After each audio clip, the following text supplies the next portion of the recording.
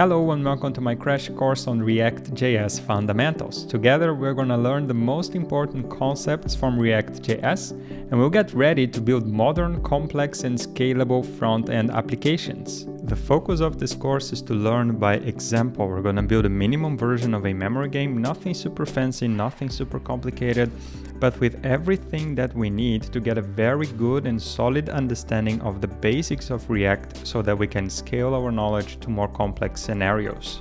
This course is divided into 10 sections. The first one talks about the introduction, the setup, then we talk about JSX, fundamentals of React components, class components and function components, how to manage state in React, working with events in React, diving deeper into the components lifecycle.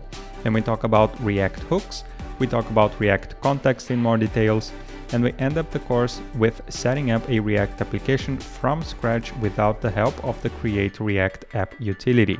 The goal of the first section, Introduction and Setup, is to set up a React project using the Create React app utility as well as its necessary dependencies. We'll set up Node.js in three different ways.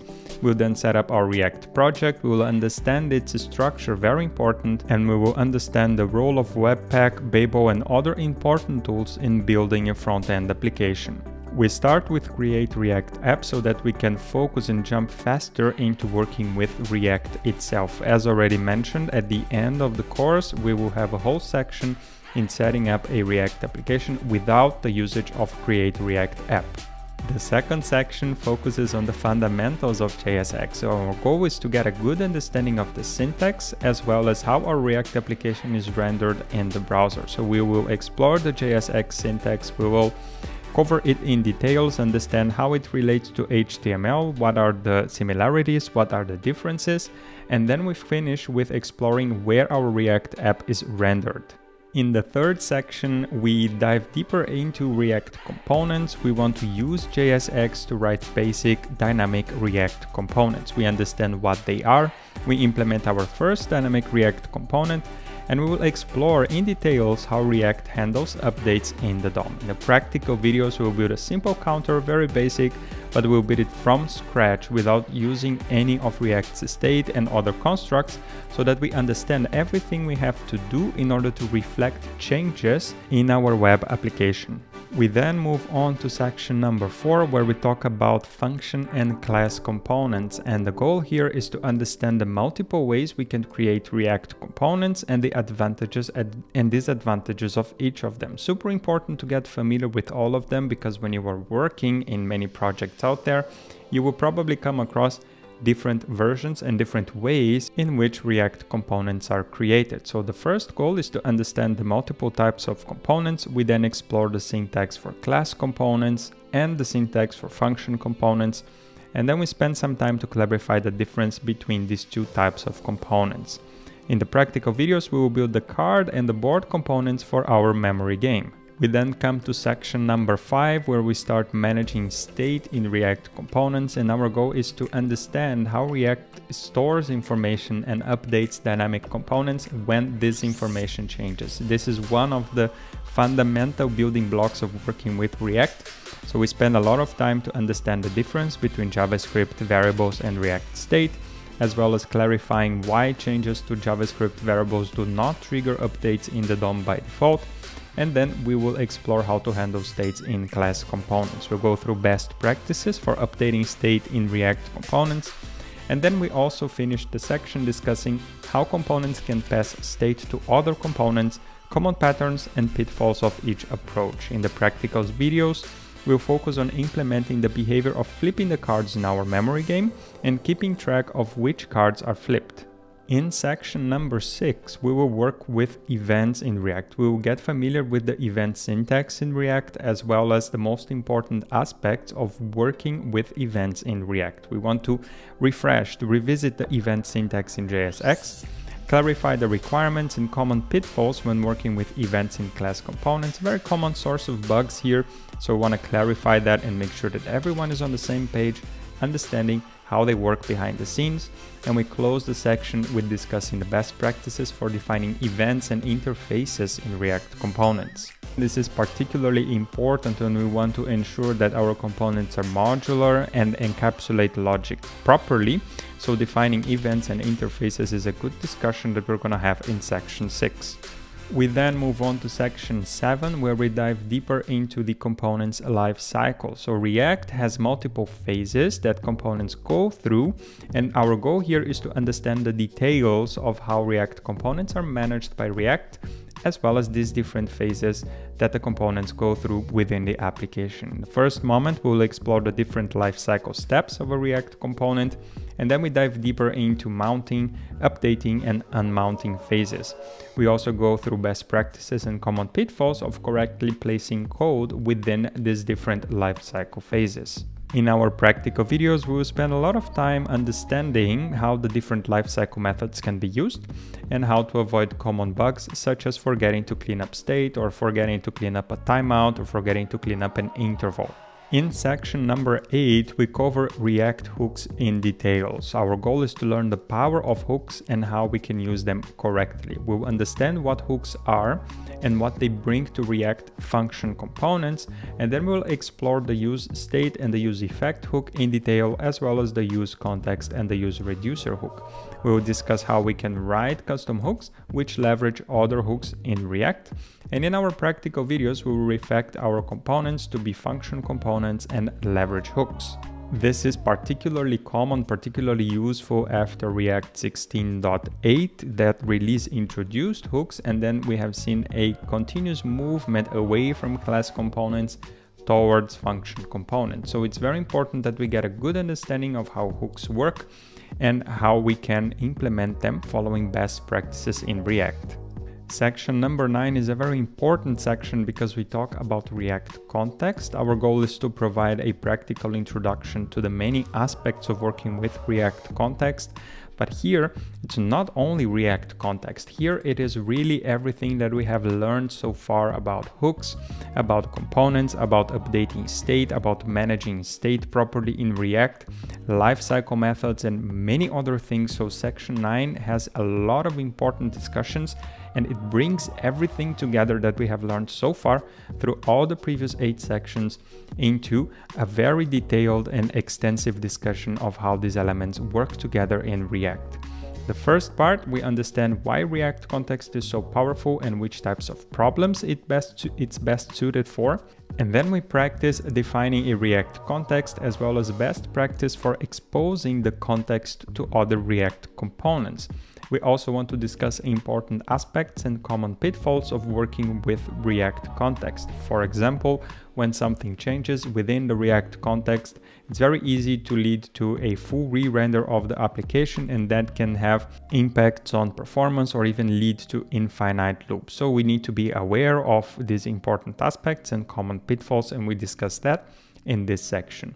In the practical videos, we will implement a statistics context which collects data from different parts of our memory game and exposes da this data to the user. And last but not least, section 10 talks about creating or setting up a React application from scratch. We will become proficient in setting up and managing the configuration of React applications. We'll dive deeper into this. We will set up everything from scratch and that's super important to understand what is happening behind the scenes. The first moment here, we want to understand the limitations of Create React app, and that's mostly that even though it gives us a full-blown React application out of the box, it does have limitations in terms of configuration.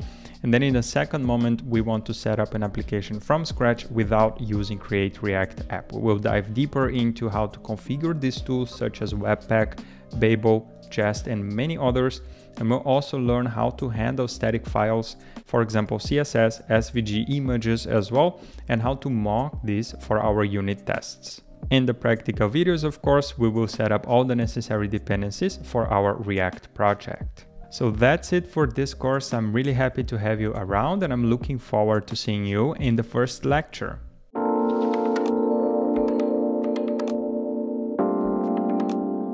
Before we jump into working with our React application, we need to make sure that we all have Node.js and NPM installed in the system. I'm gonna show you three different ways of doing that and not all of them are compatible with all the platforms. So keep that in mind when, when choosing which one to use. The first one is simply to download the binary or the installer from the nodejs.org website. Once you open the website, you will see what is the long-term support version here in the time at the time of the recording of this video. This is 18.14.2. When you open it, it will probably be higher. And all you have to do here is to click the button to download the installer. Okay, if you have another system, you can click on other downloads and you can see that there are different ways here that you can download the installer for different platforms. You have for Windows, for Mac, and also the source code for you to install it in your Linux machine. There are Linux binaries here as well. So this is the most straightforward way of installing Node in your machine. Um, while this is compatible with Windows, Mac OS, and Linux, um, it has a big disadvantage in the sense that it allows you to have only a single version of Node installed globally. If you have multiple Node projects and some of them depend on an earlier version, for example Node 16 or even Node 14, there may be several incompatibilities between them and this may, may lead to a much harder way of managing these different projects. That is where NVM comes into play and NVM, also known as Node Version Manager, is a way for you to manage multiple versions of Node side by side in your machine, okay? So if I scroll down here, you will see that it's possible to use different versions of Node by simply executing nvm use and then this is going to use a certain version. Um, you can install multiple versions with, with nvm install and you can quickly switch between them. You can also have a global version for Node as well as local versions for different projects. While this is very intuitive, one of the drawbacks is that this NVM tool it's not very much compatible with windows okay? And that's i think it's a it's a curse of development that many tools which are out there are not do, do not have full compatibility with windows.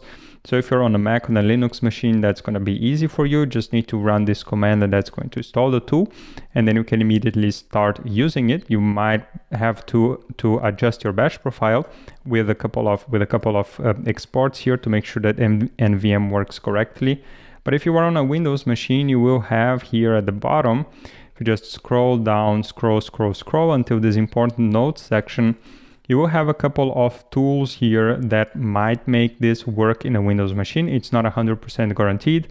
Just keep in mind that support here for Windows is slightly more limited than the standard Node installer. The last tool I want to show you is my personal favorite. I use this tool, ASDF. And it is very similar to NVM in the sense that it allows us to manage multiple versions of Node side by side, but it does go much beyond that because since it has a plugin architecture, it allows us to manage multiple versions of many tools. In addition to Node, it also allows us to manage, for example, Python or Terraform or any other tool where you may have different versions. Java is another one.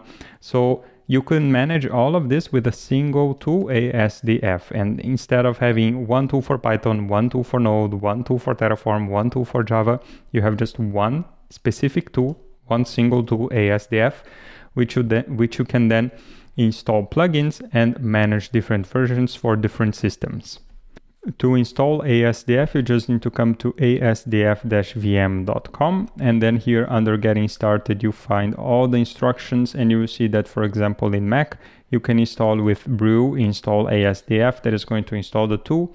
And then you will have to come here at the bottom and just add a couple of lines to your bash RC or to your ZSH RC, depending on which tool you are using. Okay, so if for example, you are in ZSH, then you would have to add this, this uh, path here to the file to make sure that ASDF is working properly. You can also use directly the, the, the git command to download its latest version or the specific version 0.11.2. This is going to place the repository under .asdf and then you can just follow the instructions here. So there isn't really a, an installer per se, you just need to clone the, the repository or to install it via brew and then configure it in your bash rc or in your zsh rc file. there are a couple of dependencies for, for ASDF, so make sure to read through the documentation and make sure that you have all of them installed. Once you have it installed, you should be able to run this command here, ASDF plugin list all and this is going to show you all the different tools that ASDF supports. As you can see, this is a lot of stuff here has a lot of tools supported. If we scroll up, we should see here somewhere Terraform, right? So here we see Terraform. If we scroll up a little bit more, we should see Java as well. As I mentioned, here is Java. We should also see Python at the bottom. Here it is. We have also RabbitMQ. We have Kubernetes. So let's have a look here. There you have it, kubectl, right? So, so kubectl, that's for Kubernetes. You have Minikube if you want to manage different versions. You have PHP as well. So as you can see, there are a pro as well if you want to. There are a lot of different tools, a lot of different languages. It's an extremely flexible tool and and I highly recommend getting familiar with it because it's going to save you a lot of headache and a lot of times whenever you need to work with different versions within your machine then you don't need to really worry about whether uh, what is the what is the globally installed version no if it's not available you can just add it with ASDF and then set it locally for for for it to be used within a certain project let's see how it works with node.js right so here we can say ASDF plugin list. This is going to show Node.js. This is the only one that I have installed in this environment here. But then we can say ASDF install Node.js and let's take the version here from the installer. So back in the home page, that's going to be 18.14.2. 18.14.2 and that should install the version in our machines. Once it has downloaded here, then you will see um, that this is already then available by our A within our ASDF installation. By running ASDF list node.js, we will see that we have two versions installed. That's the 16.15.0 and the 18.14.2. And then here we can simply say ASDF. For example, let's set the global one for 16.15.0. That is going to set now if we use a node version, we see 16.15.0. Now if we were to set this to 18.14.2, then immediately our node version is updated to 18.14.2. For this course, let's keep it at, at um, 16 version. It doesn't really matter here. We are not using anything Node.js related, anything advanced. So it's going to be compatible with also later versions. There's no problem. I just want to show you how you can manage different versions here and how can how this can be useful for you later during your development life. So global is not the only one. We also have the local if we want to set Node.js to a specific version within a certain directory. And we could say that here the local is going to be 18.14.2, for example. So now if we were to run node-v here, we see 18.14.2. But if we were to come back one directory higher and then here within code simply say node version, then we should see 16.15.0, okay? So um, here, once again, fundamental React, we can then visualize it a little bit better. The node version within fundamental React is set to 18.14.2, but outside of it, for example, in its parent directory or in any of its siblings directories, it's going to be set to the global version of 16.15.0. Okay, so this management between global and local versions also very flexible. It is possible both with NVM and with ASDF, with the difference that ASDF you can have multiple versions for multiple tools, while NVM is restricted only to Node. Last thing, let's just here within our fundamentals React remove that local version so that we still look at the global version here, or we could also set the local to 16.15, but here let's then just do that. And how do we do that? There is a file which is added by by um, ASDF, which is called here a dot tool versions. Okay, if I were to show the result, the, the value of this or the content here, you see that it identifies Node.js 18.14.2 and then this is used by ASDF whenever we are working in this directory. So to remove that, we can just remove the tool versions. Once this is gone, then we should be able to see that node here within our folder is back to 16.15. So as simple as that, we didn't need to do anything else. We still have both versions installed. If we were to say here, plugin or rather list node.js, we would still see that two versions are installed. And you can see setting and removing a local version is as easy as running a command here on the bash and removing a file afterwards. Regarding compatibility, similar to NVM, I haven't found much support on ASDF for Windows, but it is widely supported for Mac and for Linux. So if you are in one of these two platforms, then you're covered. If you are on Windows, then it might be harder to make it work. Once again, you always have the fallback option of downloading the installer and running Node in the traditional way by installing it globally in your system via the provided installer in the nodejs.org website. I have talked a lot about Node, but nothing about NPM, and that's because NPM comes installed with Node. Okay, so if you download a Node 14, 16, 18, doesn't really matter, you come with NPM. Ideally, you would be using NPM version 8 or higher. So here with Node 16, we have version 8.5 installed. If we were to use here um, ASDF global Node.js 18.14.2, then let's see what we get for NPM and that's a 9.5 version so it's a higher version. And nonetheless both of them will be compatible with the things that we'll be working with here so no need to worry about it. I'm going to reset the global version once again of node.js to 16.15.0 and the npm version is going to be 8.5.5 so if you have these versions that's already good enough um, you will be able to follow with the whole course. If you have later versions, that's also fine. And if you have earlier versions, I believe everything is compatible here, but you may see slightly different files if you have NPM version 6. That's why I recommend that you have NPM version 8.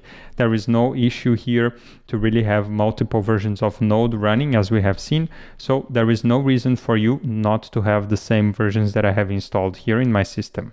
Perfect, with everything set up, let's now take a short pause and let's come back in the next video. We are now going to set up our React application with the help of create of the create React app package. For that, we will run the command npx create react app. Here, then we pass the folder where we want to create. That's going to be fundamentals dash react. And then we'll pass a template of a TypeScript and then we'll pass very important, very important parameter here, the script's version to make sure that we are all on the same page. We're going to install the version 5.0.1.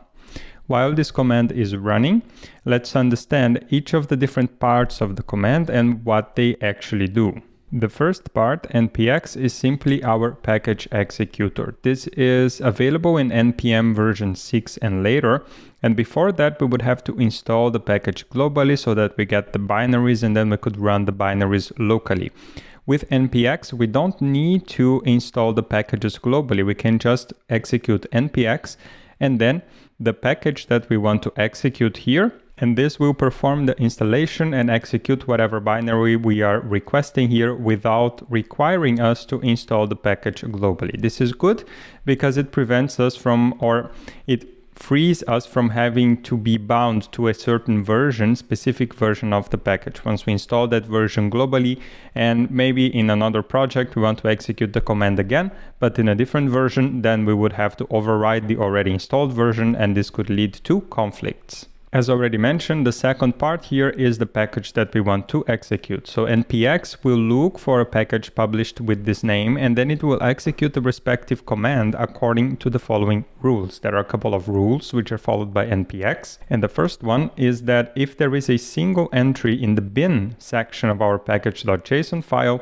then this script is going to be executed, right? So it's also going to match the name here and then it will execute whatever script is indicated here in the bin section.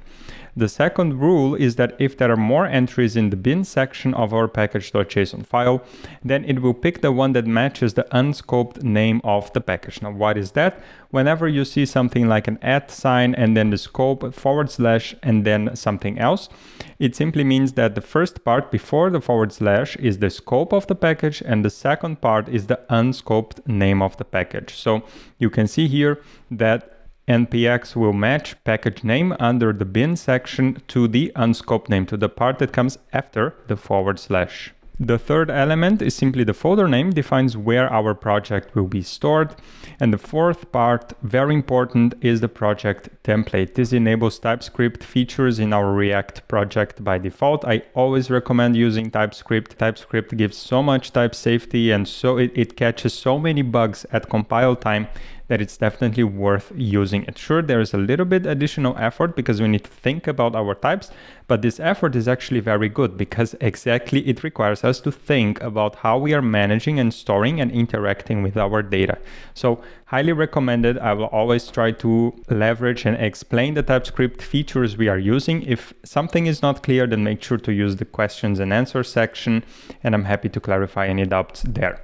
The last part, the scripts version, as already mentioned, we also need to be sure to have the same one. This, this ensures that we all follow the same version and prevents newer students from facing breaking changes, right? So um, Inevitably, after the publication of the course, React and Create React app continue its developments and they release new versions. And if you are watching this video much, much later in the future, it may be the case that there is a small or some different changes, some breaking changes between the versions that we are using. So if we don't specify the script's version, it will use the latest one.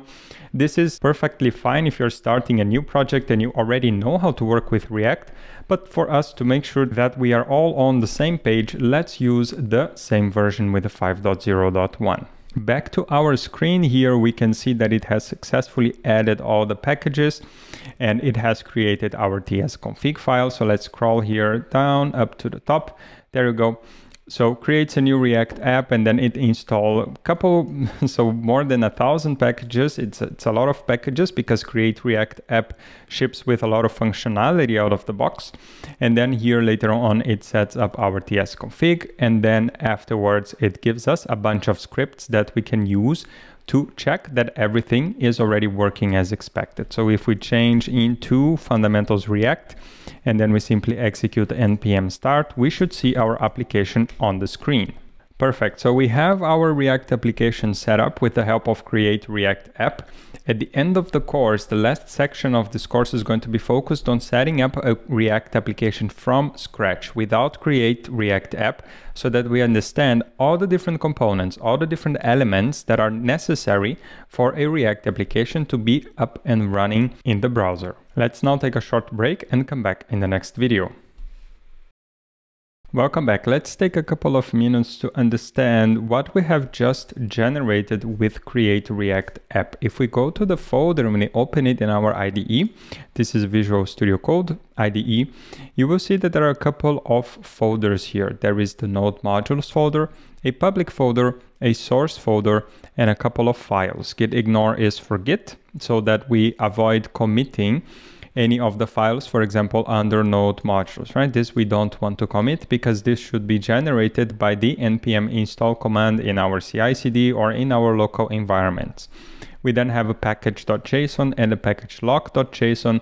And these two is simply define the structure of our NPM project. The package.json specifies a bunch of options here, the name, the version, the dependencies of our project, as well as a couple of scripts that we can run. We can run any of these scripts with npm run and it also has a few more configuration options. The package lock.json file specifies a very long file. Here, if I scroll down to the bottom, it has almost 30,000 lines, and it specifies the exact versions which are installed in the or which are installed as a result of our npm install command. This is very important because it ensures that whenever you install something with npm install, you get the exact versions which are specified here. That makes sure that if it works in your local environment, it's going to work somewhere else if you make sure to run npm install or npm clean install. Okay, so package lock file, very important to commit, very important to be added to your repository.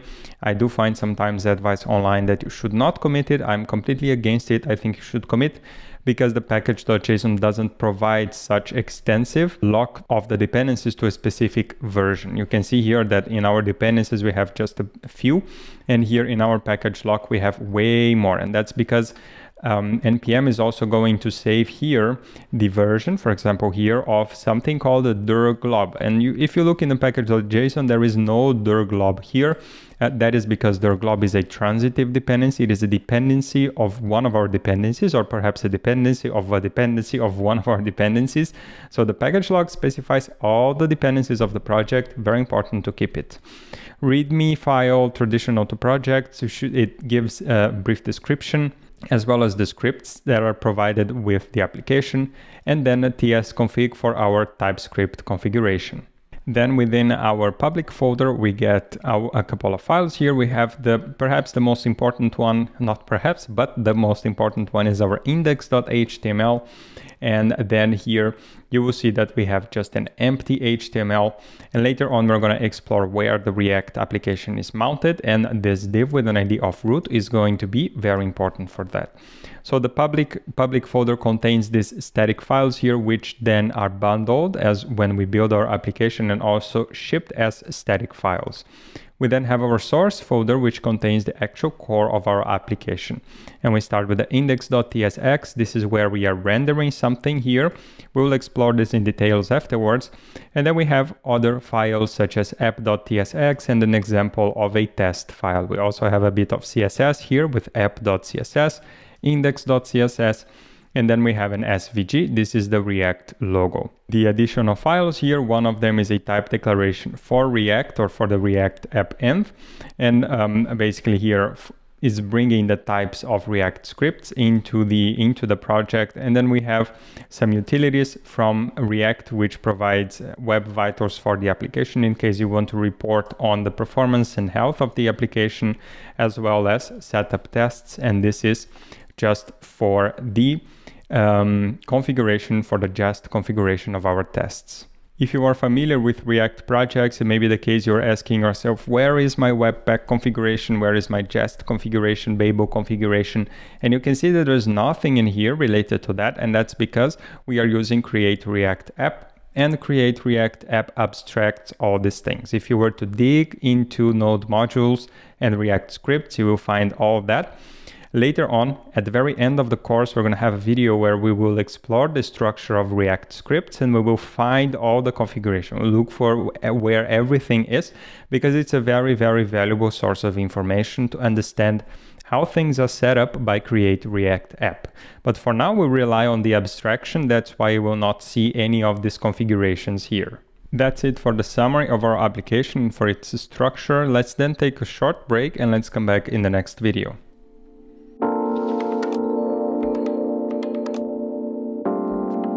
Welcome back. Let's start exploring what is JSX and this is the most fundamental piece of information that you need to know for, for building React applications. And here you see that we are declaring a certain variable in JavaScript. This is pure JavaScript up to here, right? We're just declaring a constant and we are assigning a certain piece of information that looks like HTML, but it's not really because this is inside of a JavaScript file. Now, this is what we call JSX.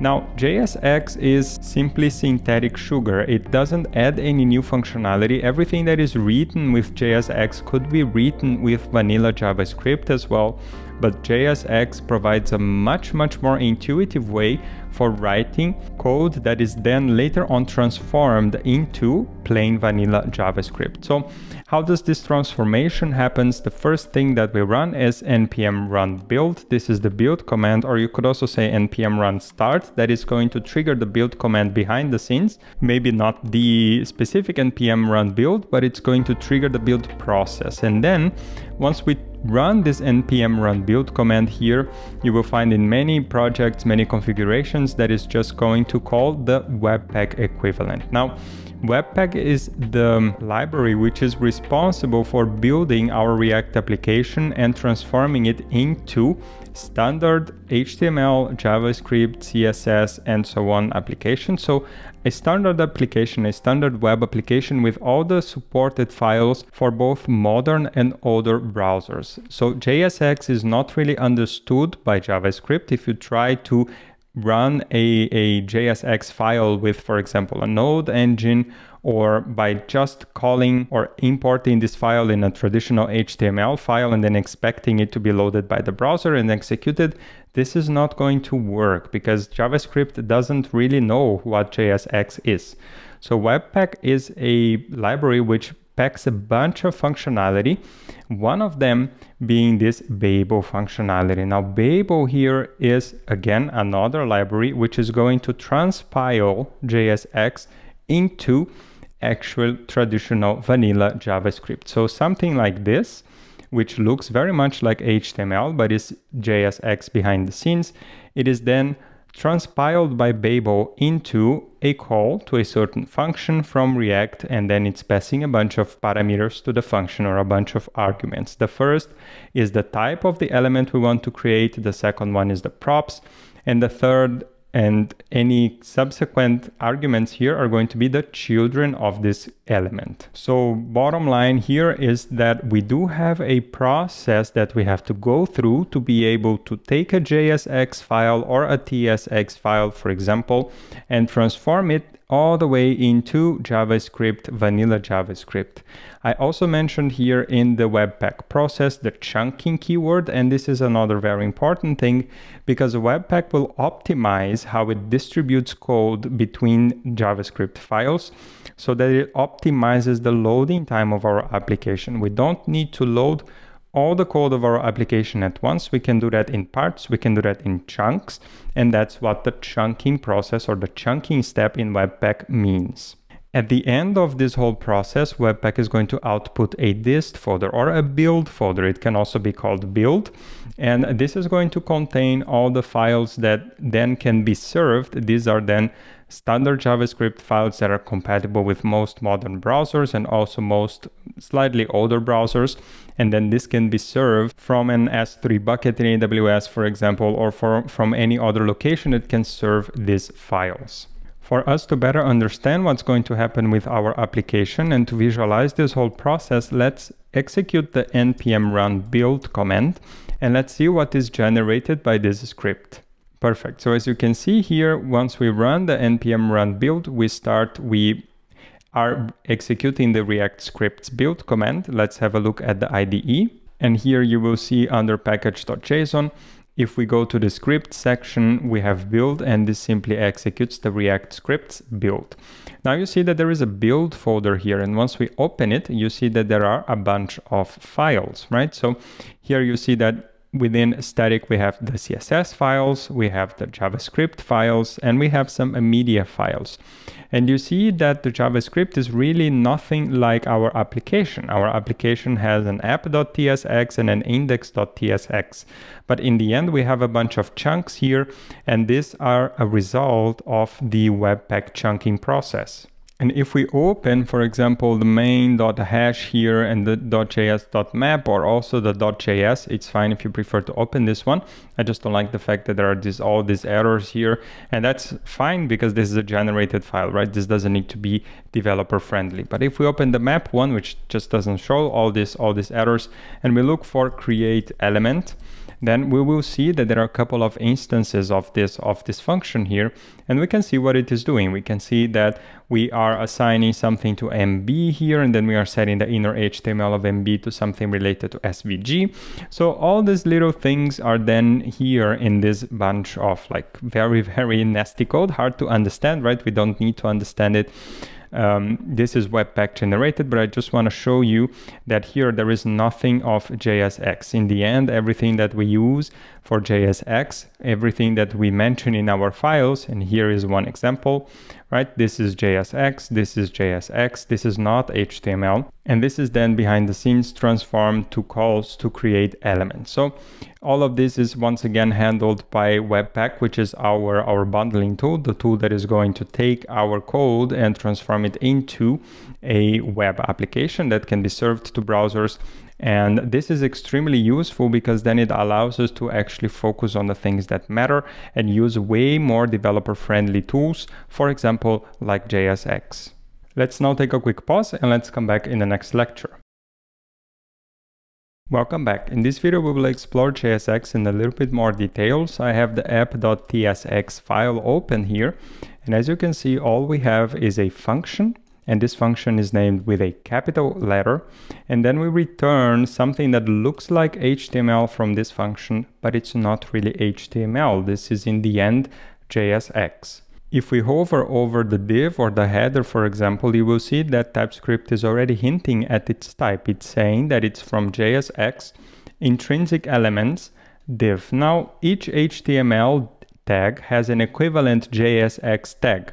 So here you see that same thing, JSX intrinsic elements header, JSX intrinsic elements IMG, and these will in the end be transformed into their HTML equivalent, but they are not really HTML. They are very similar, but they are not the same thing. This means that if we were to try to write HTML here, we will have a couple of issues. So 90% of the knowledge can be transferred directly, but there are a few gotchas. The first one is we don't, we cannot use class here because as you see, the moment we remove the name here, uh, this simply says that property class does not exist on the type of HTML props. And that's because class in JavaScript is a reserved keyword. So since this is JavaScript or this will be transformed into JavaScript afterwards, we cannot use JavaScript reserved keywords here. So um, an alternative that was provided by JSX is to use the class name. Class name will then later on in the HTML file or in the HTML components, it will be equivalent to class, but here in our code, we have to use class name. Another very useful feature of JSX is something that you see here, where we have this image source and then we have a pair of curly brackets with a variable in between. The logo is being imported here, so it is stored in the local variable, but we could also write or create a new variable in JavaScript. For example, file name is going to be, let's call it app.tsx right? This is our file name. And then here we could say edit code source. And once again, curly brackets and then the file name. Now this here will interpolate the value app.tsx within or after our forward slash. So it will substitute the value of the variable by the content here. Let's save this. Let's back let's come back to our terminal. Let's start our dev server and let's see this in action we now have edit source app.tsx, but if we were to come back to our IDE and change this to anything else.tsx, we save this and then we will see that in the browser the value is actually changed. So it's a very powerful thing to have interpolation here because this gives this is the foundation of having dynamic elements or dynamic React components. Another very important part of JSX is the fact that we can return it from functions. You see here that we have a function app that returns JSX. And then within index.tsx here, very interesting, we can just import this. This is the default export from our app.tsx. And we can simply use it as a very HTML-ish tag here. So this is not HTML once again, this is JSX. And here we it just looks like HTML, but this makes it much easier for us to work with this component. So a component is basically anything that returns JSX, a function that returns JSX or a class that follows or implements a certain or rather extends a certain superclass that is provided by React. We will explore all this later on in the course. But here we can think of a component as a function that is returning JSX. We can then write here const hello world like so. And we could say this is just a function that returns a div which says hello world like so. So if we were now to take this here and and, and, and add this as a, as a tag in our application. So let's put it maybe above our code. Let's put within a paragraph and then we have hello world, not like this. If we add like this, it will just show the text hello world. But if we add it between open and close like so, and then we can self-close the tag, then this is going to actually tell us or show us the content here. If we were to change this to say goodbye, for example, goodbye world, and save this, then we will see that this also changed on the screen. So the moment that we have a function that returns JSX, we can use this variable here within our code as we were using, as if we were using these standard tags. One very important thing is that whenever we have this pattern, we need to add or have the first letter in uppercase. If we have this lowercase, this is not going to work as expected. Okay, if we were to add it here, we will see that we get an error from TypeScript and that is because TypeScript and also JSX and React behind the scenes, they look at the first letter to define whether this is an intrinsic JSX element or whether this is a custom JSX element. Intrinsic JSX elements are all this, which have a direct HTML equivalent, so div, header, image, paragraph, and later on link as well. And here, since there is no equivalent HTML element for hello world, then we get this error from TypeScript saying that the property hello world does not exist on a type jsx.intrinsic elements. So how do we solve that? We have to use capital H, like so here, and then like so here. Another important difference between JSX and HTML is how we pass events or how we pass functions to our components. In HTML, we have something like this, right? So on click and then we pass a string and this string would be the function we want to execute. But in JSX, you see that this is not the case. We are not allowed to do so. It simply says that the property on click does not exist on this type here, uh, HTML props of our div element. Okay, it even gives us a hint. Did you mean on click like so?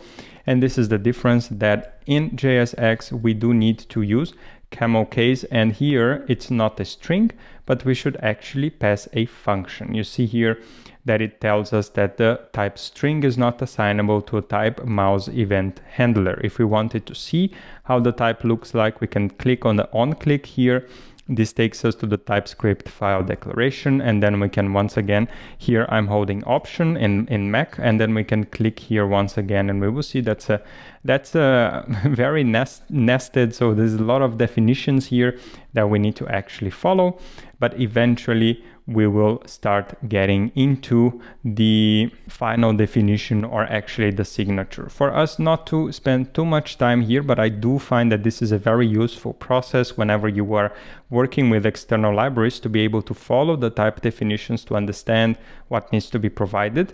Here you can see that as, as long as we hover over event handler, you will see that it has here in the end it is simply a function that receives an event as a parameter and it returns nothing. Okay, so this is what is expected. I'm gonna close this and here you will see that um, if we were to substitute from the string to once again use the interpolation, open and close curly brackets and we pass a function, we simply say console log clicked like so this is already a JavaScript function. It is valid. We will save this, come back to the browser. And now let's open our developer tools. We have a bunch of warnings here. This is coming from the previous things, invalid things that we were doing. You see the hello world with a capit with a lowercase h here. And once we refresh the page, then we will see that this is just going to give us a, a warning regarding HTML. We could get rid of it by just removing the paragraph and then instead of using, for example, a div here, we could use directly a paragraph like so. Right, so if we use a paragraph and then we come back, everything is the same, refresh the page and the warning is gone. Now, back to the event, once we click on this div here, anywhere on this div, you will see that this gets printed in the console. This is once again much more flexible than pure HTML where you had to work with strings because here you can have very, very complex behaviors. You can receive this function from outside of the component or via the properties of the component, which we will explore in a later video. And we can define this function within our component and reference a couple of other variables. Very powerful, very flexible approach, much easier from a development perspective. So these are the main differences or these are the main characteristics of JSX. Don't worry if there are some concepts which are not clear, that we are just at the beginning of the course and we'll revisit these concepts over and over again. We cover them in much more details and we see many more different use cases for now. Before we close the lecture, let's just remove a couple of the things that we have added here. We don't need to have these different the, this, these elements here. We can remove the hello world as well. And then here we can also have the old app.tsx file like so. So once we save this, and then everything should here on the browser be back to, to as it was in the beginning. Having covered some of the most important concepts of JSX, let's now take a short break and let's come back in the next lecture.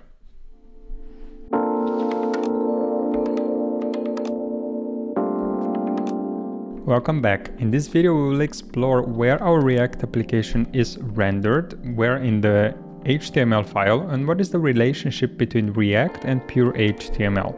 So I want to start exploring with you the index.html file that comes shipped out of the box with create react app. I'm gonna double click here to make sure that the, the file is pinned here on the top and we can explore it. We already went through it. We saw that there are a couple of meta tags in the head and then here within the body we have an, a body with just two tags. The first one is gonna be run whenever we do not have JavaScript enabled since we need JavaScript for React, then we will print this.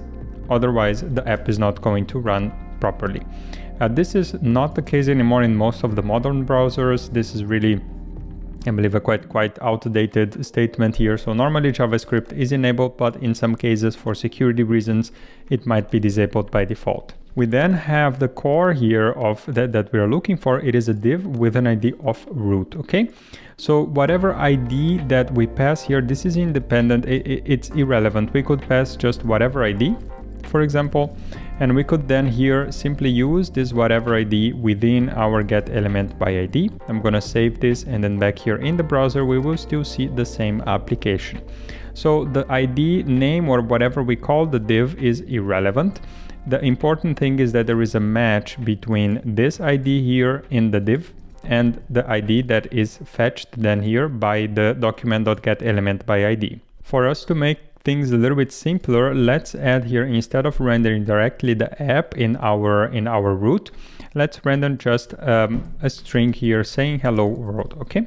So now once I save this here and I come back to the browser, we will just see hello world at the very top. I'm gonna zoom in a little bit so that it's easier to see. Great, so now we are able to render this on the screen. Uh, the question is, what happens once we want to add some more HTML here? What if we want to add a paragraph outside of React? Right, so what happens if we wanna do something like this? Is this possible? And once we save this here, we should see that this is perfectly possible. It's no problem that we add more HTML code here outside of the React application. So the React application gets rendered under this div with an ID of root, but it doesn't mean that we cannot do other stuff outside of the React application. There is a catch, however, is that whatever we are doing inside of this React application here this requires some additional ways or additional work to make it communicate with stuff that is placed outside of this React application. Okay, so what we explore during this course is how we work with a single React application cases when we have multiple React applications or React applications next to pure HTML or React application next to jQuery applications, for example, or next to Angular applications, this would enter more into the direction of micro frontends. And there are a few tools, a few techniques that we can use to enable communication between these different applications, but that's outside of the scope of this course. I have just mentioned multiple React applications. So what do I mean by that? Well, what do I mean by that is simply that we can replicate this flow here as many times as we want. If we come here to our index.html and I will create another div here and I will say that this is another application.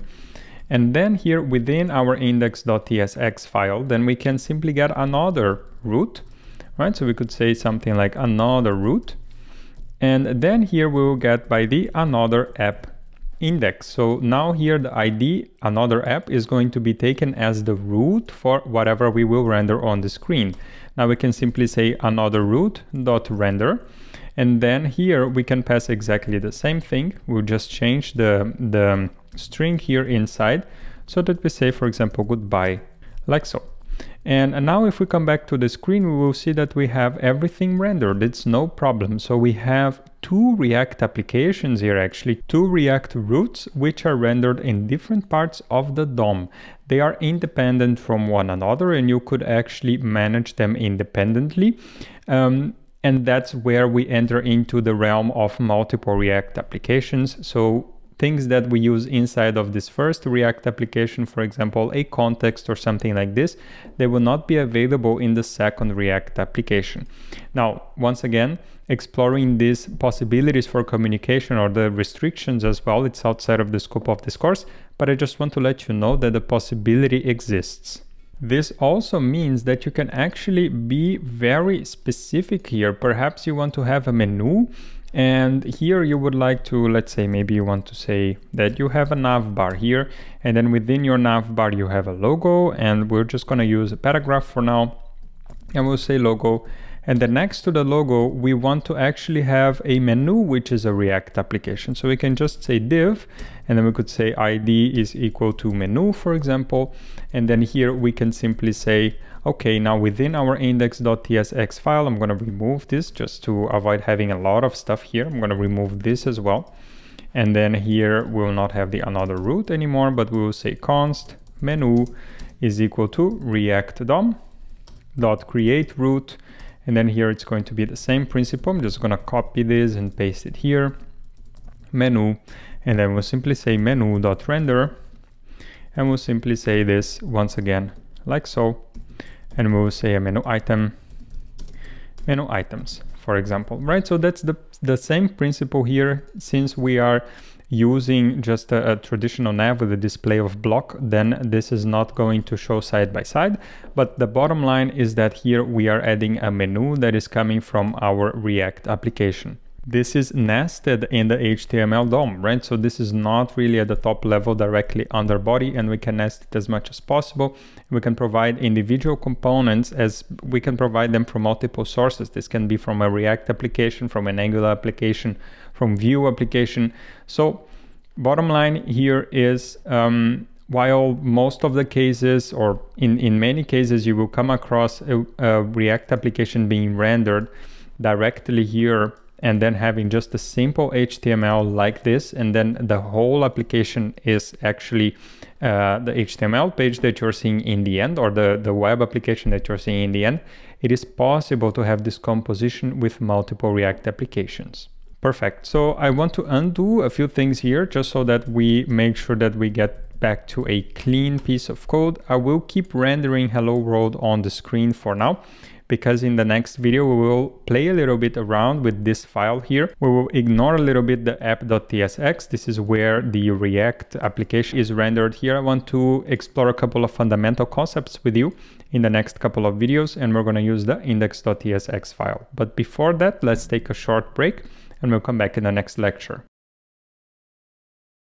Welcome back. In this video I want to discuss a couple of fundamental concepts in React and for that we're going to explore a very simple implementation of how we can implement a counter on the screen. Okay, so here very simple we're going to start with a counter variable. We're just going to say that this is zero to begin with and then here we could just directly render, we can say something like this.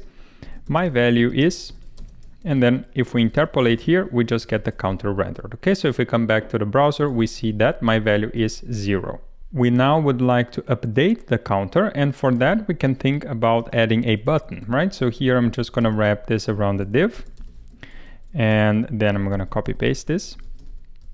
And then one intuitive way for us to think here is that we would simply add a button at the bottom, right? So this is a simple button and we'll say here increment and then whenever I click on this button, and remember on JSX the events aren't camel case, whenever we click on this button, what we would like to do is we would like to increment the counter, like so, right? So uh, increment assigned to the same variable here.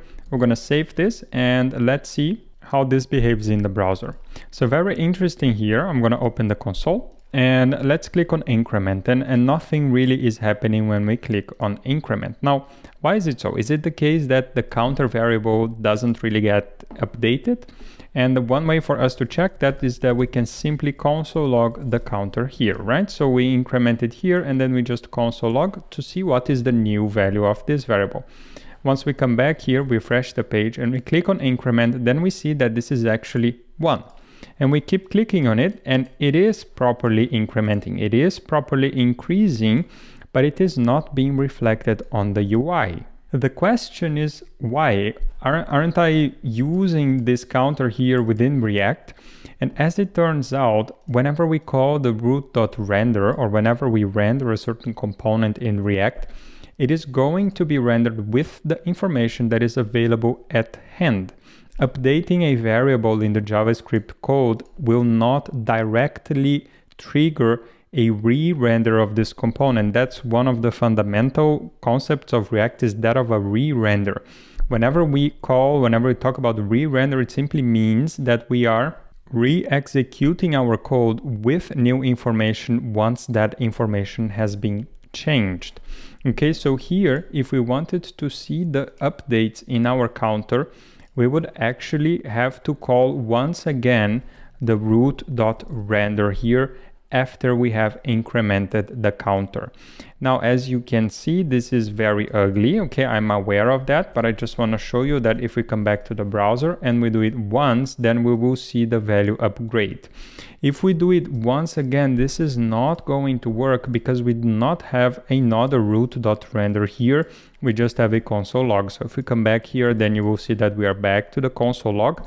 So the point is that it's not really possible, it's not feasible for us to simply copy paste the root.render whenever we change the value of a variable. This is also not efficient because this would basically re-execute the whole application and a lot of JavaScript code and this can be very heavy in terms of computation. We will see in later points in the course different ways that we can work with information that needs to be updated and tracked by React.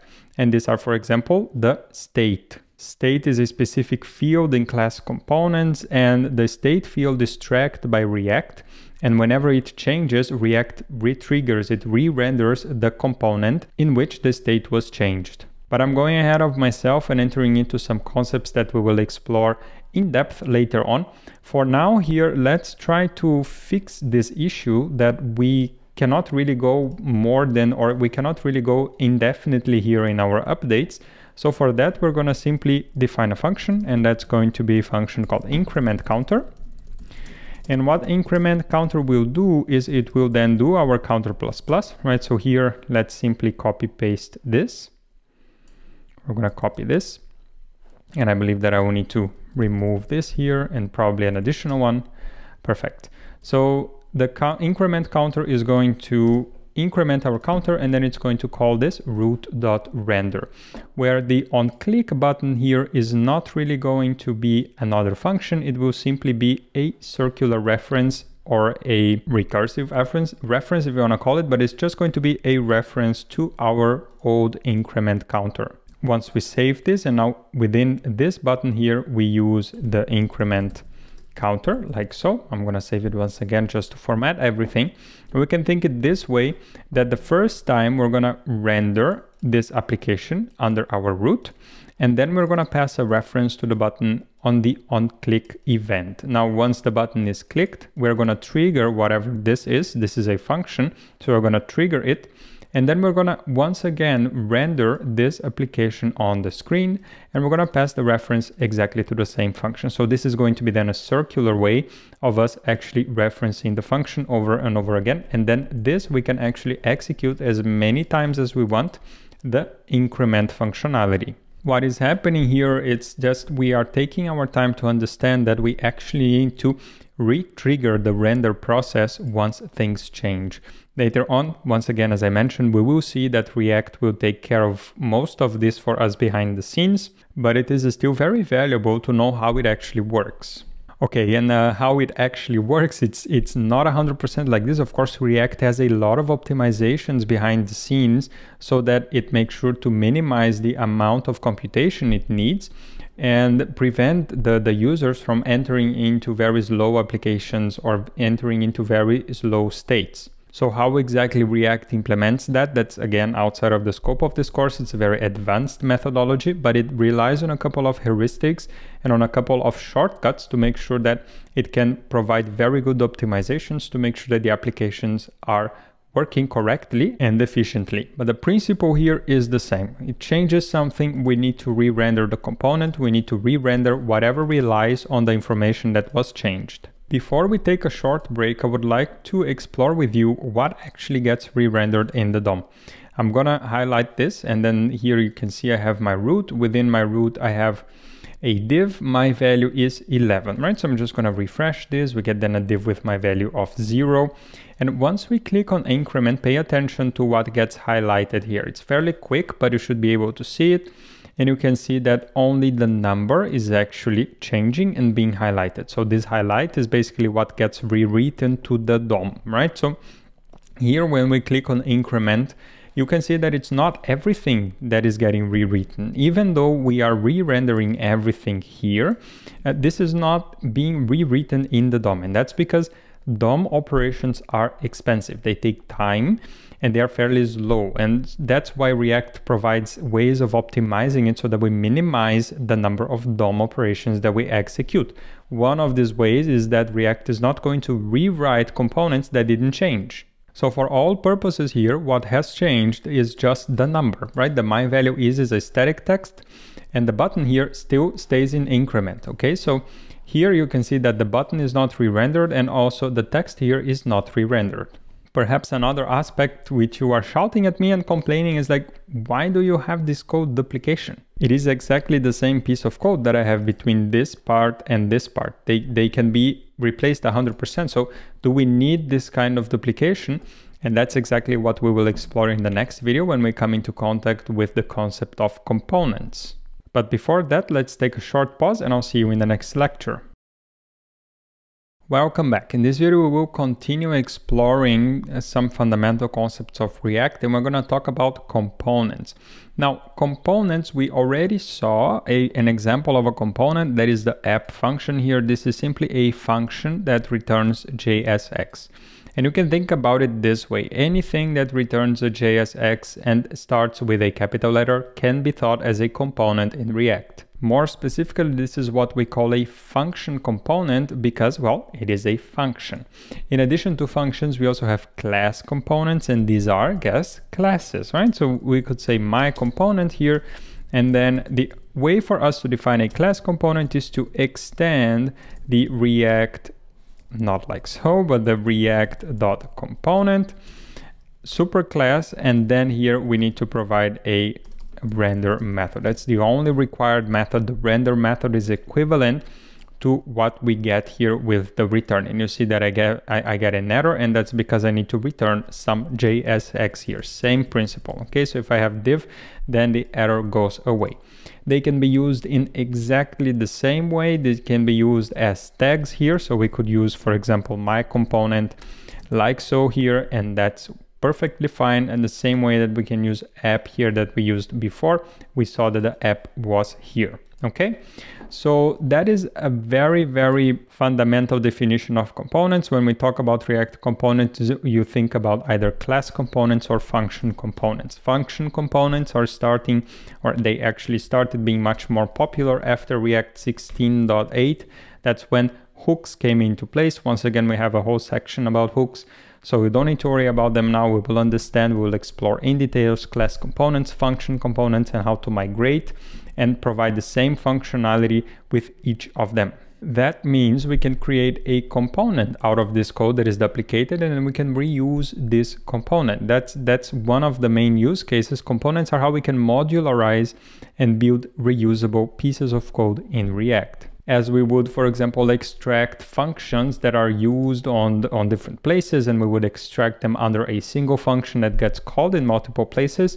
That's the same thinking, that's the same reasoning that goes behind creating React components. And it may be the case that you want to extract a smaller piece. Perhaps you would like only this div to be a component. And here we could we can see that we have a duplicated code.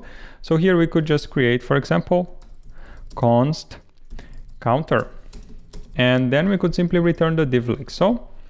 And here let's call it counter value, for example, counter value, right? And then we can also use this here and that's going to work just fine. I'm gonna save this back to the browser, refresh the page. I'm gonna close this just for a bit and you will see that this is working just fine. So what we did is we extracted a shared piece of functionality into a common component that returns JSX, which then allows us to use it within React components or within other components.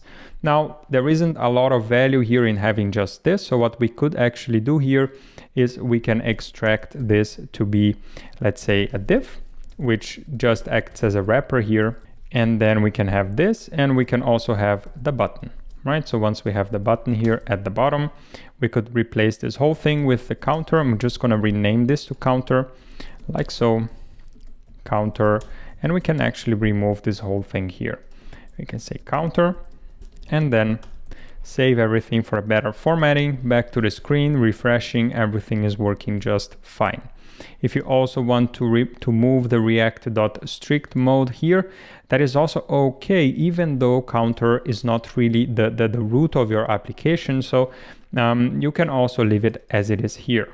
Last thing that I want to mention in this video, very important, very important, uh, is regarding how does this counter component, let me just cut this and put a little bit below. Like so and the, the, declarations are fine. Here you can see that the counter is used within increment counter and increment counter is used within counter. That's fine because javascript is going to bring all these definitions to the top. So it will actually be able to work with them uh, without causing any bugs, right? So it's independent from the order that we define things here. So the very important thing I want to discuss with you is actually regarding the counter here and the increment counter. And as you can see, these are referencing things which are outside of our component, right? This function is declared outside of our component. The value of the counter is stored outside of our component.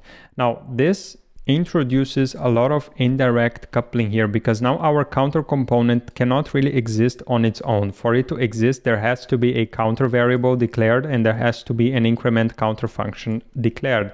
And if we want to customize the behavior of what happens when we click on the button, it's not possible to do so because that's really hard coded. Whenever we use the counter, we know that when we click, it's going to increment the counter. So this is not really testable in a sense that if I want to use this counter component within our maybe a unit test or whenever I want to use the counter to customize the behavior, perhaps I want to execute something else in addition to, to increment counter. Perhaps I want to have something logging the information somewhere else. So it's not customizable. I cannot really customize what happens within our on click nor I can customize where this value of the counter is coming from. It is inevitably and always bound to the counter variable. That's a very strong coupling and it makes our counter component harder to maintain. And it also makes the component impure because if I were to simply change the counter here to another value, let's say 10 or 100, or if I were to change the increment counter function, then this would have side effects inside of my counter. And if I, whenever I use the counter component and I click on the button, I also have side effects because this function here, it is actually changing state. It's changing a piece of information that is outside of our component. This is a side effect, right? So whenever we use a component and we trigger some change outside of the component as a result of using that component or interacting with it, that's called a side effect and that makes the component impure. So not the best setup here. There is a way for us to address this and that's what we will explore in the next video when we talk about props. So let's take a short break and come back in the next lecture. Welcome back. In this video, we will discuss the concept of props in React, which is extremely important for us to create modular, reusable and customizable components. It's it's very important concept and it simply refers to how can we pass information programmatically to a component from the outside world. We already saw that this component is coupled indirectly by hard coding a certain variable here within our counter and the function increment counter. In this video, we will see how we can fix that by adding some props to the component. So I'm going to start by defining the type of information that we would like to receive here within our counter. I'll simply say type, and this is going to be counter props.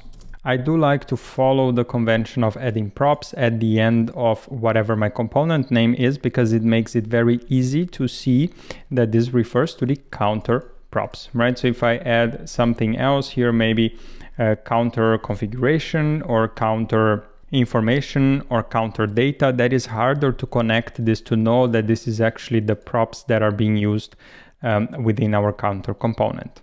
So what we would like to receive within the counter component is we would like to receive from the external world, we would like to receive the value, which is going to be a number.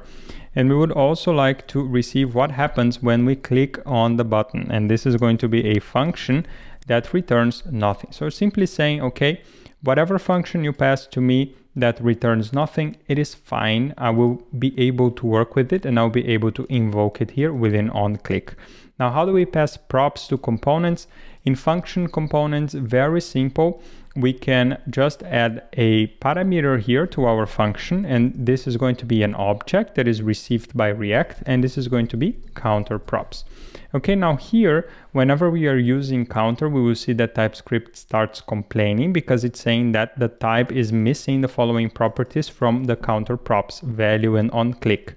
So this is because we have defined these two properties here as being mandatory. For now, let's mark them as optional and then we will step by step introduce these properties to the places where we use the component. The first thing that I would like to do here, however, is to just console log what we are receiving in the props on the screen. So I'm going to have something like this. And then here I need to return instead of just having the, the parentheses and the div here. That's because we are not directly returning. We are now using curly brackets because we would like to console log our props here. I'm gonna save this and let's come back to the browser. We will see within the browser, if we open the console and refresh the page, that we see two empty objects here. That is because we are not passing any props to our component right now. If we were to come back here to the IDE and here, let's say we call, we pass it here, we're gonna say value for example, and this is going to be 10. Okay, I'm gonna save this now and back to the browser, you will see that now the props contain an entry with a key of value and a value of 10. So the way that we pass props to React components is exactly the same way that we were already exploring in previous videos, how we can pass information to JSX tags. Because React components work very similarly to JSX intrinsic tags, then we can pass these components as we would pass attributes to an HTML element. Very similar, perhaps a couple of a couple of uh, differences or exceptions. The class name is one example, and the event, which should be camel case, are other examples. But here, as you can see, this looks very HTML-ish. So that is a very nice, very intuitive way of passing information to the React component. Once again here we can now make value mandatory. Now this is going to cause the one above to fail and we can then pass a value here. Now if we were to pass another value, let's say 12 for example, now this is not a value that gets updated with the onClick function. Yeah, the, the increment counter here, it is incrementing this counter. So if we were to reason about what's going to happen now, we are going to render a counter with a value of 10 to begin with. And here we would actually have to update the counter to use props.value. So we will do that now actually. So we'll say props.value like so. And then the component is going to be rendered in the first case with 10. And as soon as we click on the button, we're going to enter into the increment counter function. And in the end, we're going to return a counter with a value of 12. So it's going to be 10 always. And then once we click on the button once, it's going to be 12 and it will stay that way. Right, so back here you see that we have the 10.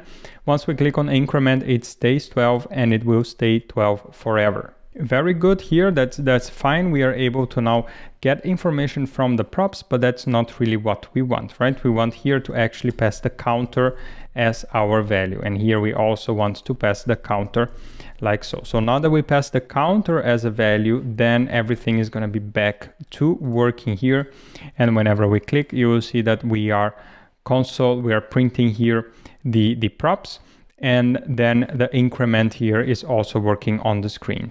I mentioned this later in the course as well, but if you are curious now and you cannot stop asking yourself, why do we have duplicated print statements here? And that is because of this tag react.strictMode. Okay, so react.strictMode renders everything twice. And this is very useful to understand or to identify whether there are any leaking information, any unclear state that should have been cleaned up between re-renders that's very useful. And this is this is run only in development mode. So when we when you build the production mode this is out. It's not going to run the the code twice. And one example that we can see or how we can visualize that this is not going to be the case we can just uh, remove the react strict mode. We're going to save this back here. Then you see that it has only one right? So now just one print statement. No big deal. That's because of react strict mode. And we will see throughout the course that is actually helping us um, identify a couple of bugs and actually uh, prevent a couple of unwanted behavior that would happen if we didn't clear our state properly. That all comes later, don't worry about it, we will come back to, to all these things that I'm mentioning. Let's now continue with our refactoring and the second element that I would like to pass as a prop here is the onClick function. So now I'm going to make this mandatory, that is going to break my counter component here and here as well and the only thing that I have to do here is that I need to pass a reference to the function that we want to execute. And this is going to be a reference to the on uh, to the increment counter function, both here and here. And now we would actually use props dot increment counter. Increment counter is not the correct name. We would actually use props dot on click. So I'm going to save this now back to the browser. Once again, we are we are printing stuff twice and when we click on the increment then everything is working as expected. We can also use here, so we can just remove this to avoid um, polluting the, the console. We can also use destructuring in JavaScript and we can have here value and on click, right? So this um, is possible because we are defining the type here as being a counter props type. This is just, so this part here is TypeScript. This gets removed from your code once the project is built and the JavaScript code is generated. But during development time, this helps us understand that, okay, whatever I have on the left side here is of type counter props, so I can safely use destructuring and I have some nice autocomplete functionality as well. We can also remove props dot from here since we are now declaring two variables, value and onClick by destructuring them from the props that we get. We save this, everything is still working just fine. Back to the IDE, let's take a moment to investigate what we have done. Okay, here in the end, you could argue, yeah, this is still using the counter from outside, or rather maybe here it's easier to visualize. This is still using the counter from outside and it's still using the increment counter here. So has this really solved any problem within our code? Like is the coupling on?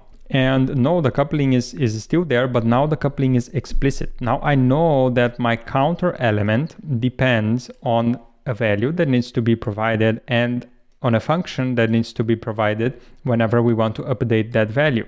There isn't any, there aren't any hidden dependencies. Our component is really dependent on only the information that it receives as an input. And this is a standard pure functionality. It simply depends always on the input that it receives and on nothing else. Now, you may say that it still causes side effects, and it does because the on-click function here, it modifies external state, but this is something that we have to learn to be comfortable with to do it in a safe way, because in any web application, you will trigger side effects. You will trigger network requests, for example, to update some value on the database, or you will download some file to the user system, or you will modify some other state that is used by multiple components. And this is this is business as usual in web development. It's just very, very hard, if not impossible, to get rid of it.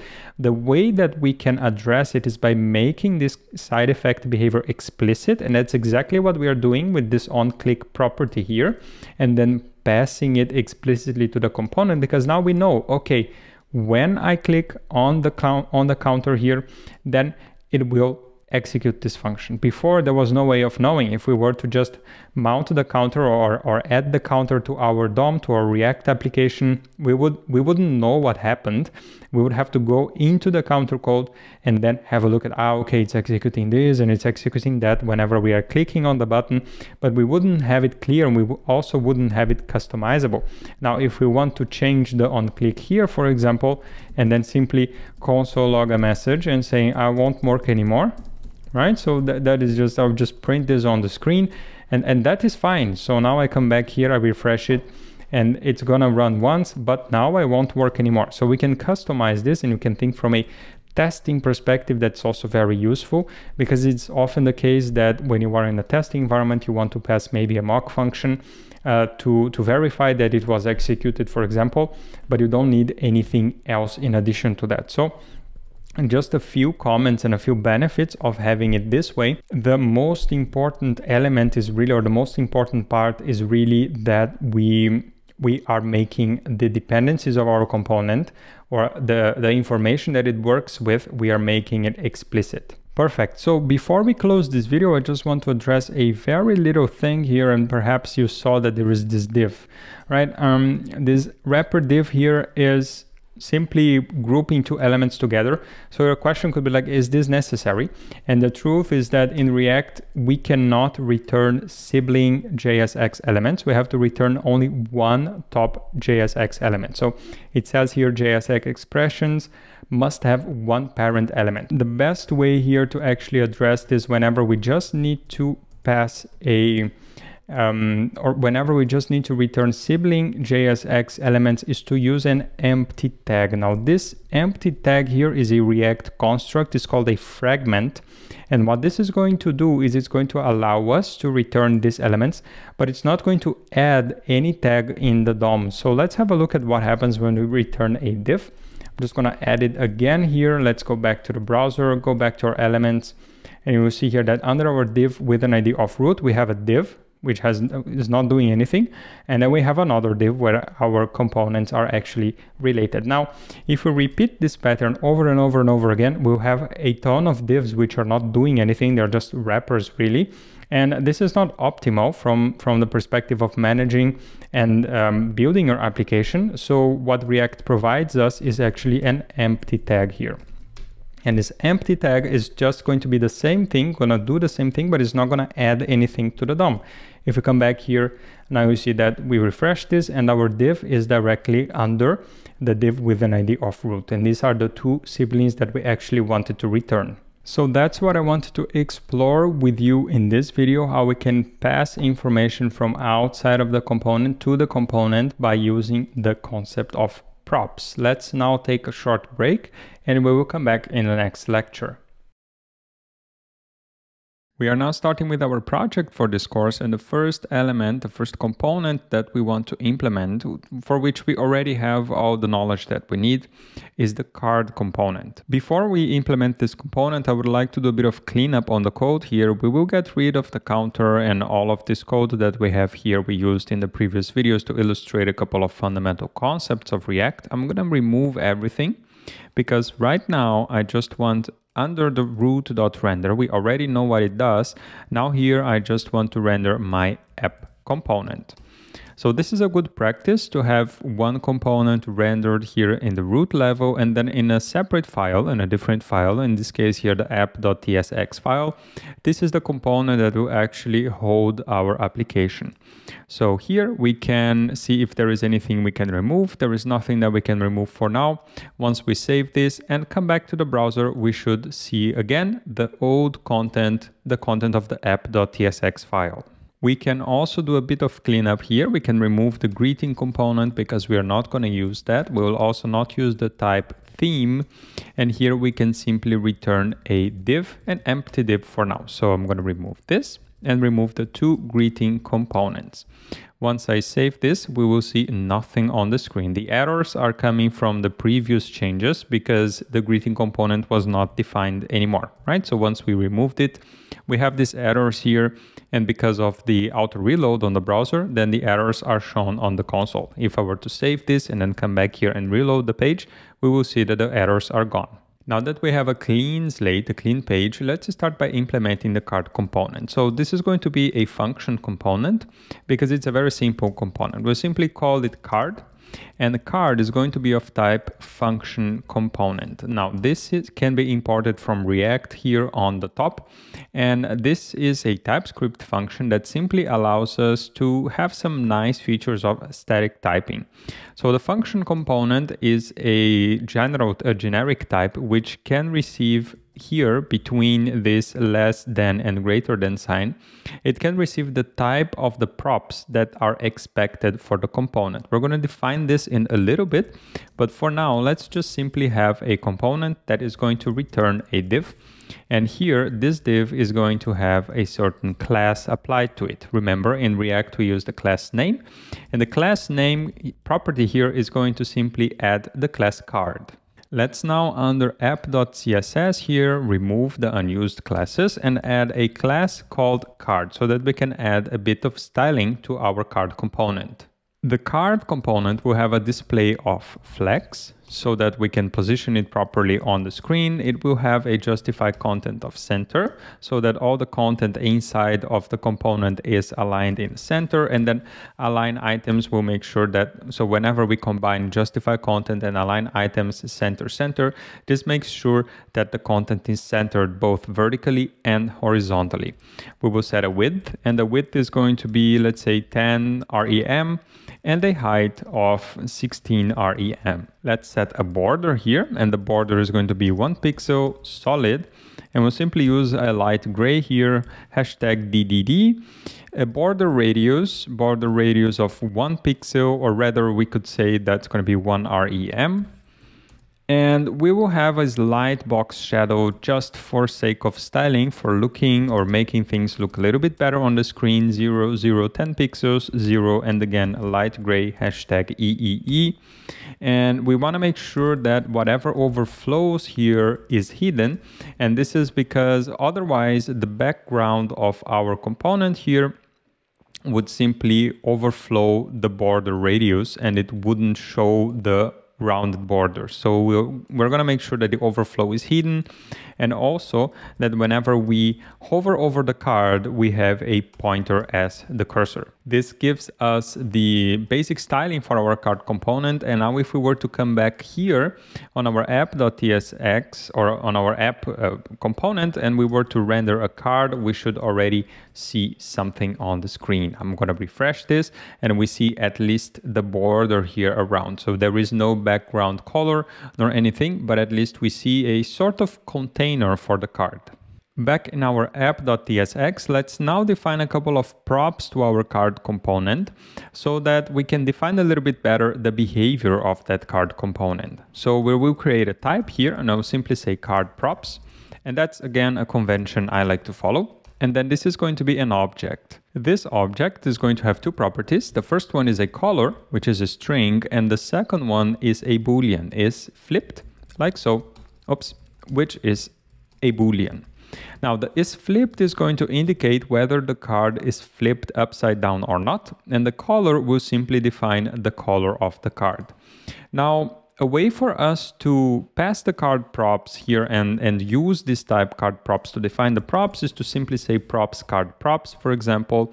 However, this is not the, let's say, standard way because here we can use the facility of function component which is to simply pass the card props as the generic element of this. And then this defines the props here or it indicates that this component is expecting these two props, these two attributes to be passed. Once we define this here and pass it to our function component, we immediately get a TypeScript error saying that, oops, you are not providing the props of color nor the prop of is flipped. So please do provide this information. Let's first fix the TypeScript error and then we come back and we start using the props object inside of our card component. So the first one, the color, we'll simply use a simple and here this we can actually pass just a string, a hashtag f00. And for the is flipped, we will use one of them is going to be true and the other one is going to be false. Now, traditionally in HTML elements, you can simply add the is flipped like so, and then this will this will be taken as being set to true. But if we remove this, actually, this TypeScript error is going to pop up again. So one way that we can simply be clear about which value we set is to just use the boolean, right? So is flipped is set to true here. This is also necessary whenever we are using a variable to host the value of this attribute, the value of this prop. So I do find that it's easier to actually represent it like this. And of course, later on, we're going to use variables. We're not going to hard code the value here. So this will make the transition a little bit easier. We we can also create another card here and set this is flipped to false and maybe use 0f0 here just to differentiate the color. Once we save this, we'll see that there are no changes on the screen. However, the cards are actually stacked on top of each other. And ideally here, we would like to have them side by side. So let's add a couple of CSS styles to our wrapper div here to make sure that they get displayed nicely next to each other. We will do that in the next video, so let's take a quick break and continue in the next lecture. Let's now create the CSS style here to the wrapper div component, which will then allow us to align the card components much better. Again, class name, and here we will simply say that is going to be a row div. And that's again convention. I'm just going to say this represents a row of cards. And now here in the app.css, we can create a new row class and start defining its style. For us to make the cards appear next to each other, we just simply need to set the display to flex here. And one important element is to set the flex flex wrap to wrap. And this will make sure that whenever we have more cards than the width of the of, of, the horizontal width here, then this will wrap to the next line. Now you can see here that the cards are already displaying next to each other, but actually they don't really have um, any any margin or anything here so we can simply add a margin of I don't know one rem here and let's see how this will display display. Oh, that's looking much better. So we're gonna leave it like this for now. However if we come back to the app.tsx file, we see that we have cards with different properties and the same behavior. And this is not really the best pattern to follow because it should be clear that whenever we have different values for our props, the behavior of our components is different. So let's now codify this behavior to use the color and to use the isFlipped property to actually determine or change the behavior of the card. In our card component, inside of the div here, we are going to use something that we already saw regarding conditional rendering in React. And we will simply use the props.isFlipped to determine what we're going to show on the screen. So if the props.isFlipped is true, then we're going to return something. Otherwise, we're going to return something else. And that should be a parenthesis rather than curly brackets like so. So now here we could simply say, um, this is going to be a div which will indicate is flipped. And this here is going to be a div which will say that it's not flipped. Right, so once I have this and then here is not flipped, and then I go back to the browser, then we will see that the first one, because it has the is flipped property set to true, it's displaying the text is flipped. And the second one, because it has the is flipped property to false, it's displaying the text is not flipped. That's a great start, but now we can actually change it, advance a little bit more the component to make sure that it renders either the color if it is flipped or if it is not flipped, it renders a nice React logo just to show that the card is not turned upside down. So once again here, I come back to our to our parentheses and then here I also come back to our parentheses and that's just complaining because there is nothing inside here. So we're going to change that in a little bit. Here, I would like to then render a div which is going to have a class name and we're going to implement these class names in a little bit. This div is going to have a width of 100 as well as a height of 100 and it's going to have a style and this style here is a way that we can use to directly set some CSS styles without using classes or without setting an ID to the div. And this I'm using here because the style that I'm going to set depends on the props. As you may imagine, I want to use the color that is received by the card to determine the background color. So here, if we start typing, we already see that there is a lot of properties and all these are actually the equivalent of the CSS properties, except that they use camel case here. So once we set the background color to be props.color and we save this, now we will see that our component and here I apologize because I didn't change the text, so it should be is flipped. We will see that our component now contains the color that we receive via props. You may be wondering why the background color is just so contained to the text, and that's because we haven't yet implemented the W100 and H100 classes. That's exactly what we're gonna do now. And they can be, this is another pattern, right? So here, my, my purpose is to show you different patterns that you can use in your code base. The first pattern that I showed you was to simply create a class that represents a certain entity in your code. So for example, the dot card here contains all the styles which are required by the card component. Now the other pattern that we are using here is to rather than create a, a class to a certain entity, to a certain element or to a certain component, we are creating multiple individual classes which have a single responsibility. In this case, the first one is going to set the width of our of our element to which uses this class to a hundred percent and the height is going to set the height to a hundred percent and that's the only thing that these two classes are going to do and by combining them as a result here, I will get a card or rather I will get a div which has a background color that is then going to cover the whole width and the whole height.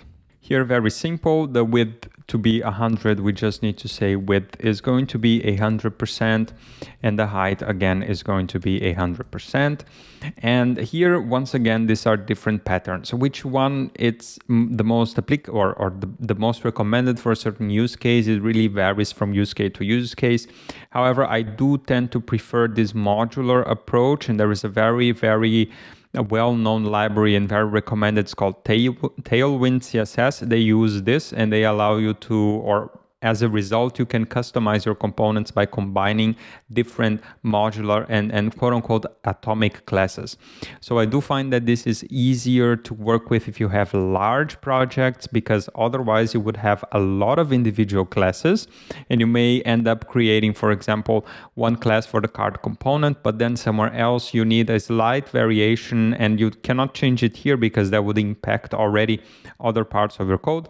So it becomes harder to maintain all these individual element classes here or component classes as your application grows. And then you may see yourself finding it much easier to work with modular, modular CSS classes. Once again, for our project here, my goal is to show you the two variations. That's why I'll be using both of them. And then it's up to you and to your team to decide which one to use when working on other projects. Once we save this and come back to the browser, we will see that now we have a card which is flipped and has all this nice red background here. We see that the overflow is hidden. Now we can show here what happens once I remove the overflow hidden, then our border is simply gone. And because we want to keep the border radius, that's why we use the overflow of hidden. We can also remove the is flipped text and simply make this a self-closing div. Once we do that, then we'll see a nice red background. And we're gonna take a quick pause now and in the next video we're gonna implement the React logo in this order card. Welcome back. I just refreshed the browser to get rid of the, all the errors we had on the right side. Once again, these errors pop up because of the auto reloading every time we make a change on the code. So don't worry too much about them if there is something which deserves our attention or doesn't go away once you refresh the page, then that's when you need to look a little bit more closely into this. So in this video, we're going to change this is not flipped text to simply show an image of our React logo that comes by default, shipped by default whenever we use create React app.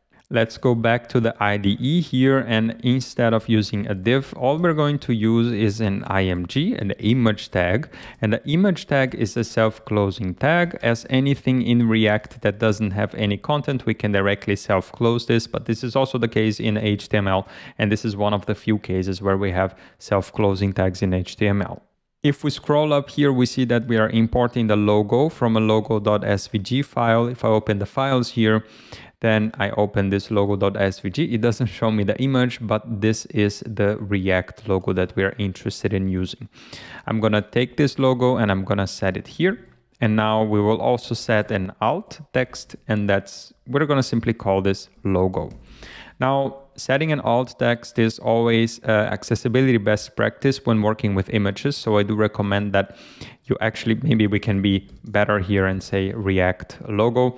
So to be, to have the text as descriptive as possible. Once we save this and come back here to the browser, we'll see a very nice React logo which displays in the middle of, of our card component. If we click on the inspector here, then we can actually see what is the size, what is being displayed here, and uh, the different CSS properties that we are actually using. Once we click here and we actually can expand this and then we see that the card is set up here and we can play with the different CSS elements, right? We see that if we remove the height here, then it's going to follow the, the React height and this is going to be, a, to be mirrored by the component here, but we're going to keep the height as it is.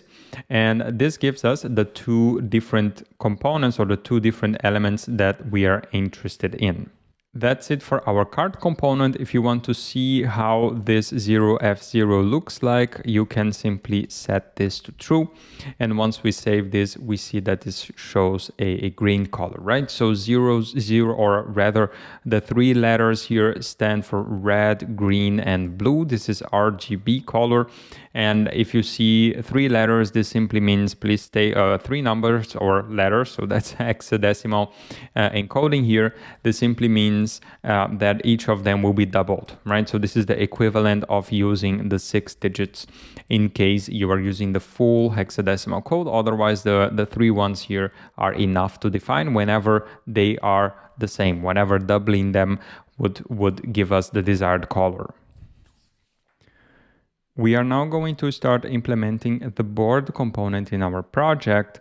But before we start with it, I want to do a bit of cleanup here. So we can see that we have a card component as well as an app component under this app.tsx file. And whenever you're working with, with a React component, the tendency is that you have a lot of components because you are encouraged to create smaller, more self-contained components. And it can become quite hard to find where the component is or to avoid coupling or to avoid populating a file with too much code if we start adding our components all in the same file. So let's create a couple of files here. The first one is going to be our card.tsx.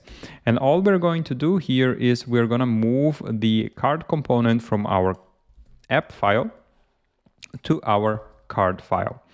Once I save this, we're going to have a couple of errors because we need to actually import a couple of things here. I'm going to copy the import line I'm going to put it here. And now we also need to move the type declaration to our card file because the type is used here in our card component.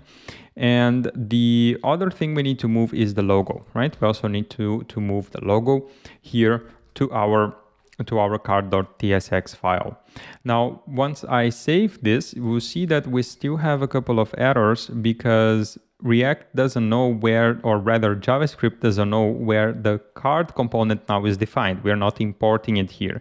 So what we need to do, first of all, is export the card component from here. We can export our constant as a named export if we simply add the export keyword before the const, or we can also export the whole card thing as the default export of the file. I particularly prefer to use the named export like so, export const card, because then I also get a little nice, um, a little and very helpful type checking here when I want to implement or to import the card from card. We don't need the, the function component anymore. And once I save this, that should be enough to have our component running on the browser. So if I if I come back here to the browser and clear the console by refreshing the page, we'll see that everything is working as expected. The next step we are going to do here is to create another file and this file is going to be called board.tsx and the board.tsx is going to host our board for the game. The board is simply a collection of cards. What we see here now, this is what I would define as the board. So basically I'm gonna copy this function here and I'm gonna paste this here. We are, however, not going to use the function component to begin with because the board is going to store a couple of state elements and as we already saw, we will start with a class component to store the state and to learn how to work with class components. And later on in the course, we're going to migrate the component to be a function component using hooks to store the state for us. For now, we will simply create a class called app, which extends here extends react dot component like so.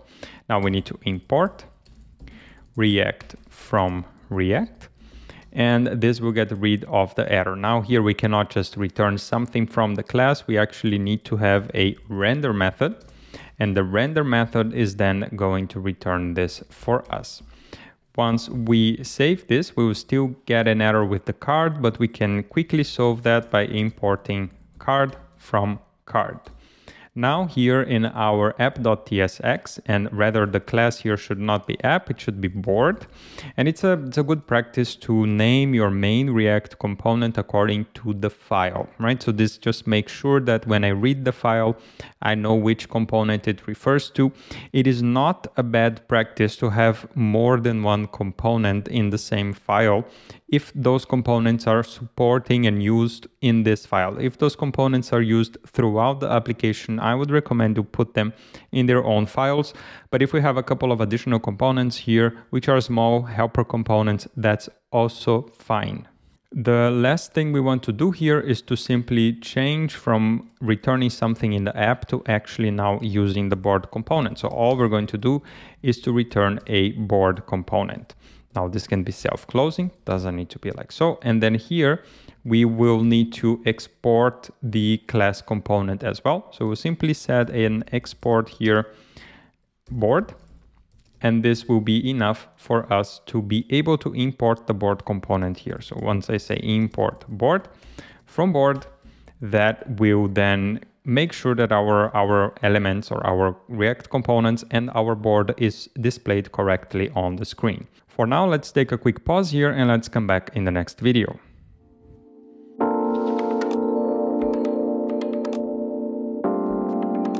Welcome back. Our board component is rendering two cards as we can see here on the screen. These two cards are hard coded here and as we can see, the board component is very simple. There is no additional information, no additional variable stored inside of this board component. And this is very rarely the case. It's, it's not always the case that we have a component which doesn't depend on any kind of state or internal value of variables. What we will start discussing now is how we can store state inside of class components. We will start with class components and later on in the course we're going to explore hooks and how they can be used, React hooks, to store state also in function components. This will allow us to migrate most of our class components to function components and have slightly cleaner and easier to maintain code. In this lecture, I would like to show you that not every piece of variable, not, not every variable, not every piece of state that is stored inside of the class component is actually state from React's perspective. So to begin with, let's uh, suppose that we have a certain counter here. And this counter is going to be a number, and it's going to be initialized in the constructor. Okay, so the constructor in class components, then it can simply come here and say this dot counter is equal to zero, for example. You see that we have a bunch of errors here, and if we hover, we will see that constructors from derived classes must contain a super call, so we can simply say super like so. And here inside of the super, we actually need to provide an argument for props. This is a React thing and it, they it expect simply a props component or a props parameter here. We can pass this maybe as null, for example, but this is not going to work. As you can see here, it simply says that the argument of type null is not assignable to parameter type this or this. And this is a bit confusing of a message, but the, the most common way and the, the standard way of solving that is we simply pass a props here. If we are not expecting any props, we can type this as a never. If we are in TypeScript, if we are in JavaScript, we can simply remove this because JavaScript doesn't do type checking. So here we can simply say props never and then pass this props here to the super call. And in this way, then everything is going to be satisfied. Let's now suppose that we want to render this on the screen here. And if we were to come here and try to simply return a button, you see that we'll get an error because in React, we can only return a single top level element. It's possible to return, this could be an array, for example. And if we return an array here, like so and pass a comma, then React is going to be satisfied with that. But this pattern, honestly, I find it not so clear, not so easy to understand. What is recommended here maybe is better to use a React fragment, which is represented by this empty open or less than and greater than signs here.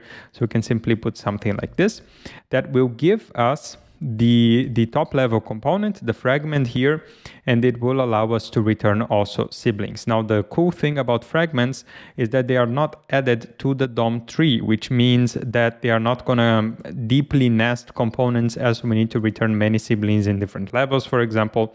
So when we have fragments, they are just a very nice way of allowing us to returning to, to return more than one top level component. So let's suppose here that now we have a div and why am I doing this is simply not to put stuff inside of a div with a class name of row because that's flex and it's gonna just, things are just gonna look ugly. So I'm gonna return a div here and then the button inside of this div like so. And this button is going to be simply increment.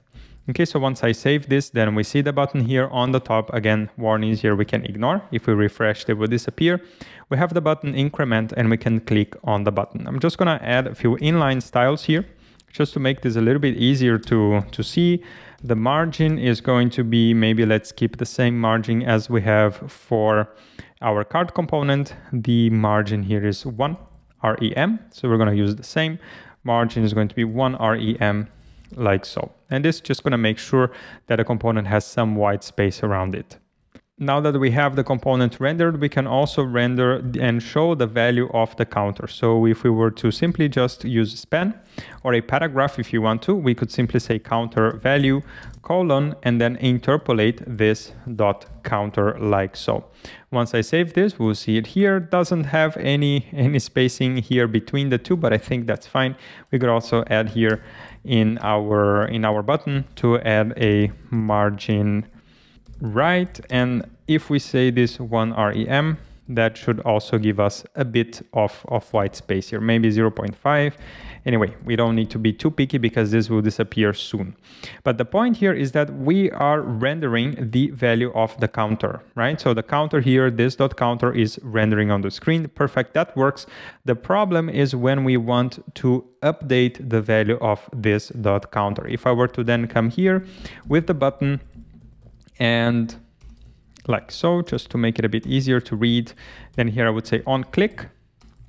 And let's say that in um, on every click, I want to update the value of the counter.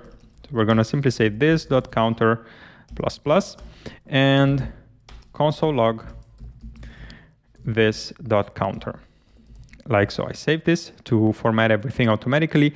And I also want to console log here a rendering message right? So I just want to, to render something on the screen and whenever I render, whenever the render method is executed, I then want to console log something that this is being um, re-rendered, right? So we could say like being re-rendered like so. Once I save this and refresh the page, then we see that we have two here. The one that we are interested in is this one. And once we click on the increment, it's actually incrementing the value. Here you can see that it's actually issuing the console log from line 22. And if I keep clicking, it keeps incrementing, which means it's saving the new value in this dot counter. This is correct, but this is not really causing a re-render of the component. This being re-rendered message is not being reprinted and the value here is not being updated. So it's very important to understand that not every piece of information, not every member variable of our class components can be used as state. And state here simply means something that we want to store, we want to be able to update, and that whenever it gets updated, it causes the component to re-render, to update to be re-rendered in the DOM and to use the new, the updated values of that piece of information. Now that we understand that not every piece of information can be used here to, to hold and to update information in React components, let's take a short break and let's come back in the next video when we discuss how we store and how we update state in class components. Welcome back. Let's discuss how we can refactor the board component to actually use React state to store information and to update information so that the component is properly re-rendered in the DOM. The first thing that we want to remove here is to simply, or to, to refactor is we don't want to store this information in any type of class variable. We want to store this information on what's called React state. So we'll simply say this dot state is equal to, and the counter here is going to be zero. Now you see that we are moving the counter from this dot counter to actually being this dot state dot counter, right? So in the in in the future, we will access this value or this this part of the state by saying this dot state dot counter. This will give us the value of zero. Now I'm going to remove this and I'm going to remove the comment here. And later on here, I will not update the counter for now. I will simply console log this dot state dot counter like so. And here I will say this dot state dot counter. We are now seeing this message and if we hover over here, you see that the property counter does not exist on the type read only and then an empty object here. And that's because we are not passing TypeScript and, and this is a TypeScript thing, it's not a React thing. Uh, TypeScript is complaining that we are not defining how the state should look like. So if we hover over the react.component here, we will see that there are a couple of generics defined here. And the first one is the props and the second one is the state. So the props here will simply say never. We will never receive props. And for the state, we will say that this is a counter and counter is supposed to be a number. Once we define this, then we will see that the error disappears and that here, for example, if I were to simply pass a different type of uh, a different property, right? So the counter here has a typo now. It will tell me that the object literal may only specify known properties, but count a does not exist on the type read only counter, right? So this even suggests our fix here, there is a typo and Another very interesting thing here is that if I wanted to say counter 2 and that's 1, for example, this will also give me an error and it simply says counter 2 is not part of your state. So this is where um, static type checking starts to shine. I really like this feature and actually we can extract this and say this is a type and this type is going to be board state, for example and board state is going to contain a counter, which is going to be of type number. So now here we can say then board state like so. And if we wanted to be 100% correct, we would also say board props and board props we would be never, right? So here we are just extracting the board props and board, board state to two type variables. This again is TypeScript stuff. Once we compile the code and it outputs JavaScript, all this type stuff is gone, but here during development, this is very helpful. Later on, we could, for example, export these types and use it somewhere else. For example, a certain function that receives a part of the state. Anyway, I'm just here uh, digressing and thinking how we could reuse these things, best practices, and also tips. But for us here, it's now just important that we know that we have defined the props, we have defined the state, and all the errors are gone. Once I save this and I come back here to the screen, then oops, you see that there is an error here and that's very interesting. It's saying that this type here is not assignable to type never. This was this is happening on the app.tsx file, and that's interesting um, that the, apparently the type never here is not compatible to this type. One way of solving it would be to use this kind of, of definition here, but I personally don't like this because in TypeScript this has um, very specific meaning and it can be tricky to do type checking with this, um, a more robust solution is to simply use the unknown keyword. And the unknown keyword in TypeScript is simply saying, look, I don't know how the props are going to look like, so don't make any assumptions about it. Basically, just assume that any property doesn't exist. We cannot make any any check with certainty regarding the shape of our props. Then once we do that here, we see that the error is gone, the component is rendered again on the screen. Now, if I were to come back here and if I were to simply then evaluate the console log by clicking on the button, then you will see that it's going to render zero. Always is going to render zero because we are not incrementing it. Before incrementing it, I would like to just make one adjustment or rather let's let's try to move gradually. Before incrementing the state by using the previous the, the, the previous value of the state, let's simply set the state to a certain random variable. So we will say this dot, and this is the important part, we say this dot set state, and then here we will pass the state that we want to set. We'll say counter, and counter here we could say math dot random, for example. So there's just going to be some random number. And now the important part here this line, this line here, console log, is not guaranteed to execute with the new value of our state. This is extremely important and it, it like it's hard for me to highlight how important this is because so many developers fall into this trap. They make an update on the state and they assume that the next line is going to have the updated value. This may be the case, but this hardly ever is or or this doesn't really hold always. So let's see if that holds here. I'm just gonna press on the increment here and you will see that we are actually rendering the previous value. So always rendering the previous value. That's going to be 0 0.1506 and that's going to be 0 0.1506. However, the console log line is on the code after the state update. And this is, again, very important. You should never assume that after the call that this state update is synchronous. This means, this simply means that the on-click function of our component here should be responsible for only updating the state, but never working with the updated value directly after calling this .set state. Maybe this is twisting a little bit our brains. Let's remove the console log here to keep it as simple as possible. So basically I have a line being re-rendered and then here inside of the button component I want to update the value of our counter inside of our state.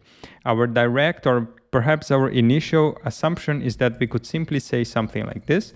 This dot state dot counter is equal to math dot random but thankfully, TypeScript is not to let us do that because this it's it's to tell us that counter is a read-only property. So TypeScript already prevents us from doing this, and that's very good because this is not how React expects us to update state. This is bad practice. You should never do that. So the way that we update state is by issuing or by calling the method this.setState. The setState method is not declared anywhere here.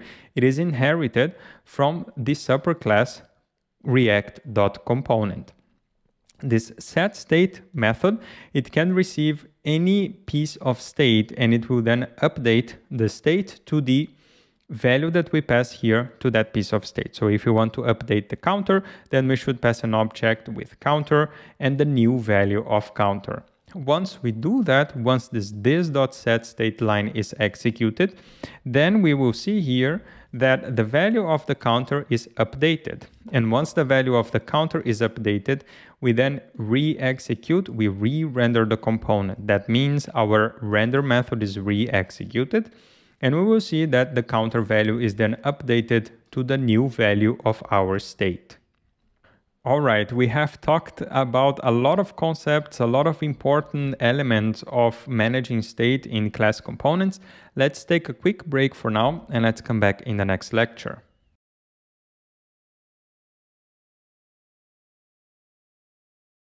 Welcome back. In this video, we will see which changes are necessary to our setState function so that we can safely update the value of the counter based on the previous value of the counter state. We already know that setState updates the state asynchronously, which means that we cannot rely on the new value on, on the next lines of code here and that means that we also cannot rely or it is not safe to assume that we can just reference this dot state dot counter here, for example. Maybe, maybe this will work, maybe it will not. And this kind of flaky behavior it's the worst when we are debugging.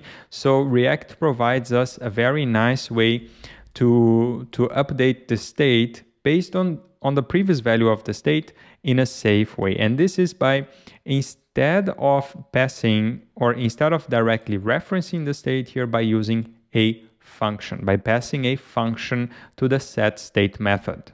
This function has the following signature. It receives the previous state, so it receives the previous state as a parameter. And then here it needs to return the new state. So it needs to return new state. Okay, I'm just simply writing it here because it is not that easy to express the return value of, of a function um, like so, but here we could simply say that the new state should then be board state, right? So the, the basically this would be the signature of this function. The, the, the, function receives the previous state and then it should return again a board state. Whether this board state is going to be updated or not, it doesn't matter. React doesn't care. It only requires us to also return a valid board state. So let's try to implement that. We're going to have here the previous state. And now we could actually then add this as a body here.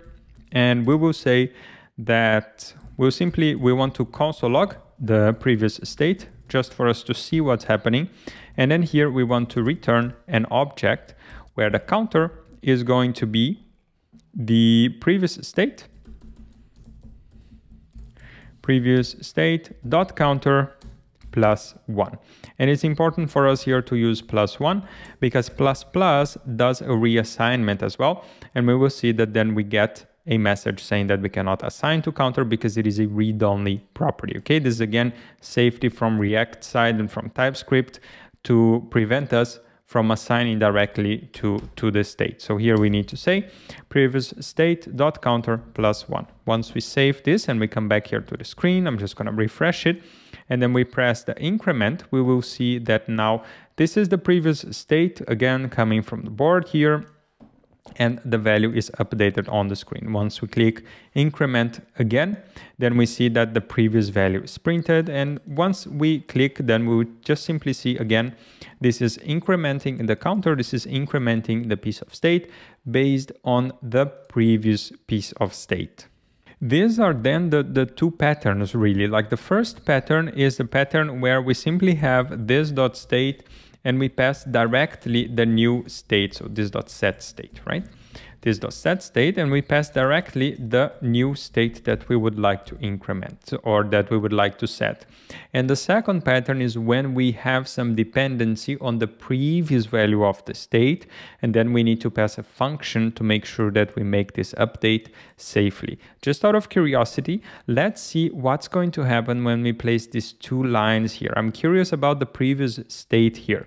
Let's see. So now I'm going to refresh the page and once I click on increment, then you will see that these two lines are actually executed one after the other properly. So React is prob probably or correctly batching these updates and this is basically one of the ways that React combines all the updates together within a single re-rendering. You see that we actually have here, we have re-rendered it only once, right? We have performed two states or two state updates, but we have re-rendered the component. We have updated the DOM only once. We have not executed the render method twice, even though we have updated the state twice. This is because React combines these updates and it properly, it, it knows, it uh, recognizes that it needs to bring these two updates together. This is another very important piece of information because it also helps us to reason about state updates. If we issue multiple multiple statements to update the state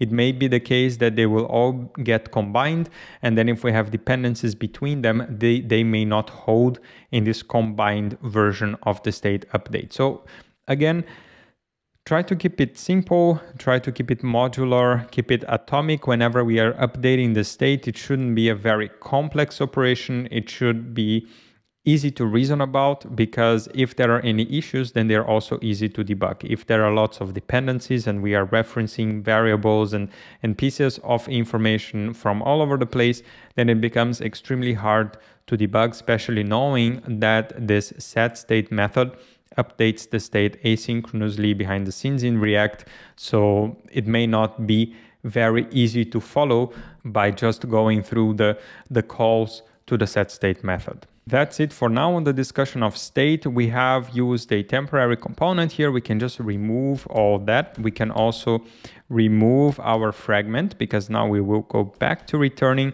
a top level component, which is our div. We do not use state anymore, so we can just remove the state here. The constructor becomes obsolete because if it is just executing a call to the to the parent or to the superclass constructor, then we can just remove it. Then again, our board props and our board state become here obsolete for the sake of leaving it here because we will use in the future of our project. I'll just simply say the board props will be unknown, the board state will be unknown. I'll pass them here and React is going to be happy as is. We also don't need the being re-rendered for now. Once I save this, then everything is out. We are back to that previous state when we are just rendering two cards on the screen. For now, let's take a short break and let's come back in the next video.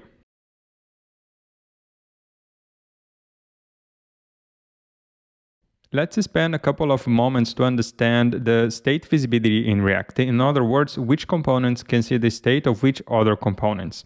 So if we were to take this question, which components can see component A's state? We have a component A here, and then as two child components, component B and component C. The question here is, can component B and component C directly see the state of component A? or that is not possible in React? The answer here is that by default, no other component can see A's state. As soon as we declare the state to a certain component or inside of a certain component, the state is scoped and visible only to that component. If we want to make the state visible to component B or component C, we need to actively pass it down via props. This is how it looks like. So we would have a component B. Component B would be declared inside of component A, a child component of component A. And let's say that B receives a certain prop, which is called items. Maybe component B is an item list and it renders these items on the screen. And here we are then passing a piece of state from the parent component. This would be the component A's state. And the piece of state that we are making visible to component B is the this.state.tasks. This allows component B to see A's state, but it still leaves one very important question unanswered. And the question is, what happens if component B needs to modify component A's state. What happens if by any chance component B needs, let's say once the user clicks on a certain row, rendering a certain item, uh, then component B would like to mark that item as highlighted or would like to maybe complete that item if it is a, if it is a tasks list. It is bad practice. It's not recommended to directly modify the state variable. So this would be incorrect to simply take the items prop here and then modify it directly. Rather, it is much more recommended to pass functions down also as props to the component B so that this function here can then be called from within the component B whenever the item is clicked, for example. And then this function here, which is passed down via props, will be executed in the context of component A. So this is important to highlight. So this function here is coming from component A. right? So here, um, this is inside of component A's scope. It's not inside of component B. The only thing that component B is going to do is it's going to take this on item clicked function and then inside of component B, it would say this dot on item clicked and then it would simply pass the index to this function. It's important to highlight that this function here is expecting an index and then it's executing another function that is defined in component A. This is a very good pattern to keep component B completely independent from component A. If we visualize component B as being a list item, um, a list of items, for example, then we can see here that component B has a generic interface. It has an interface that receives any types of items, and it has a function which is going to be executed when we click on an item. Now, what the exact behavior of clicking on an item is, it actually depends on the parent component, which is passing down the list of items. Maybe here we have tasks, but in another scenario, it could be a list of employees. And maybe the component, or rather the behavior when clicking on an item, is not going to be to complete the task, but it's going to be maybe to open a model with the details of the employee.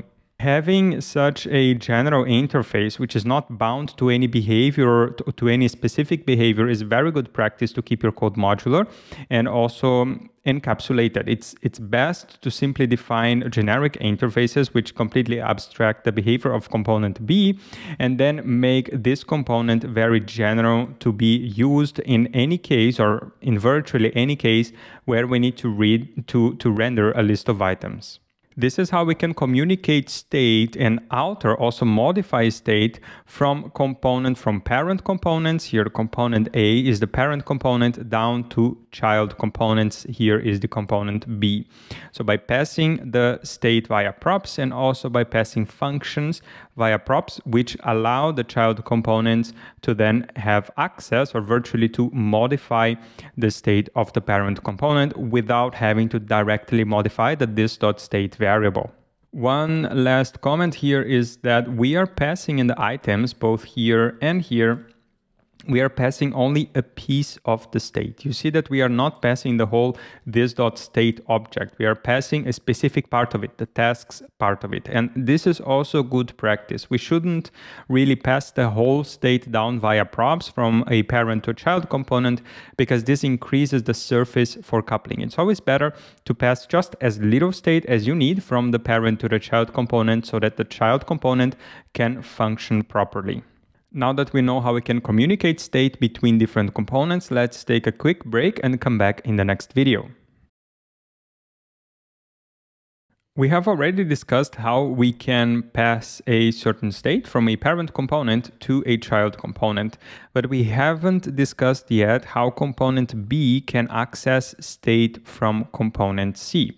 This comes often when implementing components in React, and as your React application evolves, it may turn out that a certain state, which is here nested under component C, needs to be accessed by component B.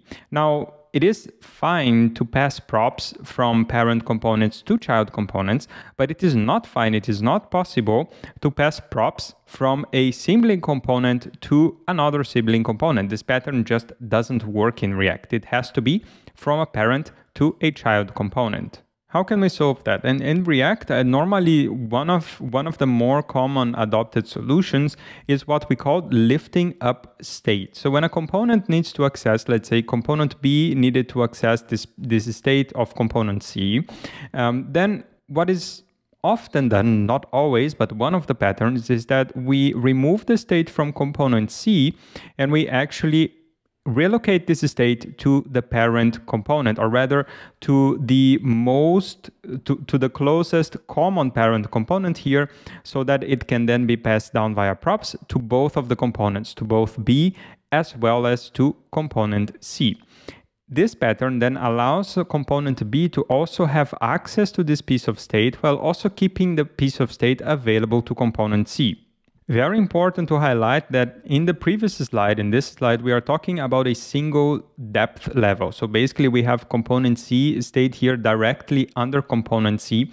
And it's easy to make this kind of quote unquote state surgery where we take the state from component C, we relocate to the parent component A, and then we just need here inside of component C, instead of referencing this dot state, we just need to reference this dot props and then pass down all the elements for the state that we need that were previously that were previously stored here.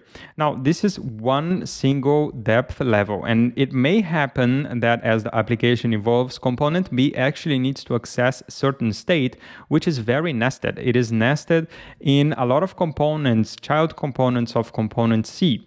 And in this case, this state lifting can lead to lots of confusion when maintaining component A, because it also holds, so component A ends up holding state that is completely unrelated to its original functionality. Basically, component A has to hold state of a certain deeply nested component from component C just because component B needs access to this piece of state.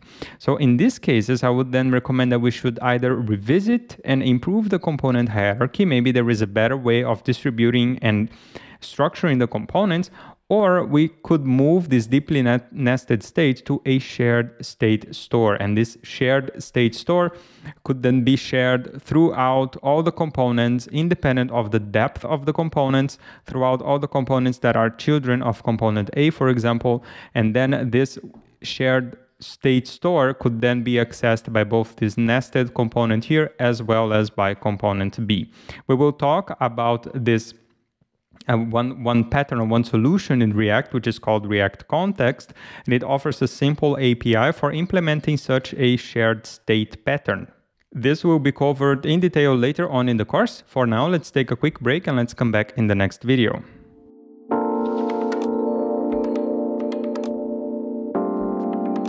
Welcome back. Let's spend a couple of videos discussing events in React and some of the best practices in defining and handling events. Events in React are very similar to those in HTML, and here we can define an event in a certain React element by passing it as an attribute. A very common example is the onClick event. If we want to execute something whenever we click on this div here, we can pass an onClick event and the onClick event receives as its first parameter an event and this is a React synthetic event. We can explore this a little bit more soon and then we can execute something here. We have already seen this when we use the counter, when we used an event on click on the button to update the counter. Once we save this and then we come back here to the screen and we click on the card, then we see clicked logged in the console. Events are a very important part of your application. They will be the things that will actually make it dynamic. And here we're just printing a message on the console, but later on we're going to add some actual behavior whenever we are clicking on the card. And as you can see, the logic is quite straightforward. We simply define the event and then we pass a function, an event handler here that is going to be executed every time this specific event is fired you can see that there are a few differences to HTML. So first of all, we pass a function, an actual function here. And the second one is that we use camel case. We don't use the traditional on-click prop like so, or rather on-click like so. This, this is not used in React. So React, because again, this is not HTML, this is JSX, then we have to follow this convention. I have mentioned that the first parameter here is a React synthetic event. And if we were to actually try to see how this event looks like, we can wrap this around curly brackets just so that we can use the E in here. And then you see that we have a lot of different properties here. A very interesting one is the target one because the target property contains the wrapper element that was actually clicked. If this is an input, for example, then this would have the value, right? So you could call, for example, you could retrieve the value of that input via e.target.value, or if it is a checkbox, you could say e.target.checked. So the e.target attribute or the property here is very important, very relevant whenever you are working with the element and whenever there is some value from within the element that you want to retrieve. One very common pattern in React is for child components to receive a certain function from parent components and to execute this function either whenever a component is clicked or whenever a component is hovered on mouse enter, on mouse leave. And this is what we will implement now. So instead of defining the function here, we will receive this function via props. How do we do that? Uh, the first thing we need to look into the props of our component and we need to expand the props here. We need to define an on click and this click is going to be a function. Now, if we did not define on click, then let's comment out this line here. And we were to come here and try to pass an on click function to our card component. Doesn't matter if it is a super simple function like so, for example, it is not accepted. And this is because the card component here, our child component, only accepts the props that are explicitly defined in this type props. This was not necessary for this div component here because this is an intrinsic component and it has all these events already declared. If we are defining custom components, which is the case with card, then we need to include them here, or we need to go fetch some native type from React and then extend the card props with that type. Here, since we want to be very explicit about which actions are necessary, are mandatory for our card props, then we will define the onClick function here, and this function should then be passed from the parent component. Once we define this, we'll see that the first card, it the error goes away because we have the onClick function. But the second card here, it starts showing an error and that's because the onClick is missing, but it is required in the type card props. Let's then pass here a console log and we'll say clicked on card one. And we will pass a similar function here and we'll say clicked on card two. Now executing this function from the child component is pretty much the same as we have done so far when we were accessing other properties or other props. We simply need to come here on the on click and we'll say props dot on click like so. And if we declare it like this, then the reference of the function is going to be passed here to the on click. And once we save this and come back to the browser, we'll refresh it. Then we will see that it will execute correctly the function that is passed from the parent component.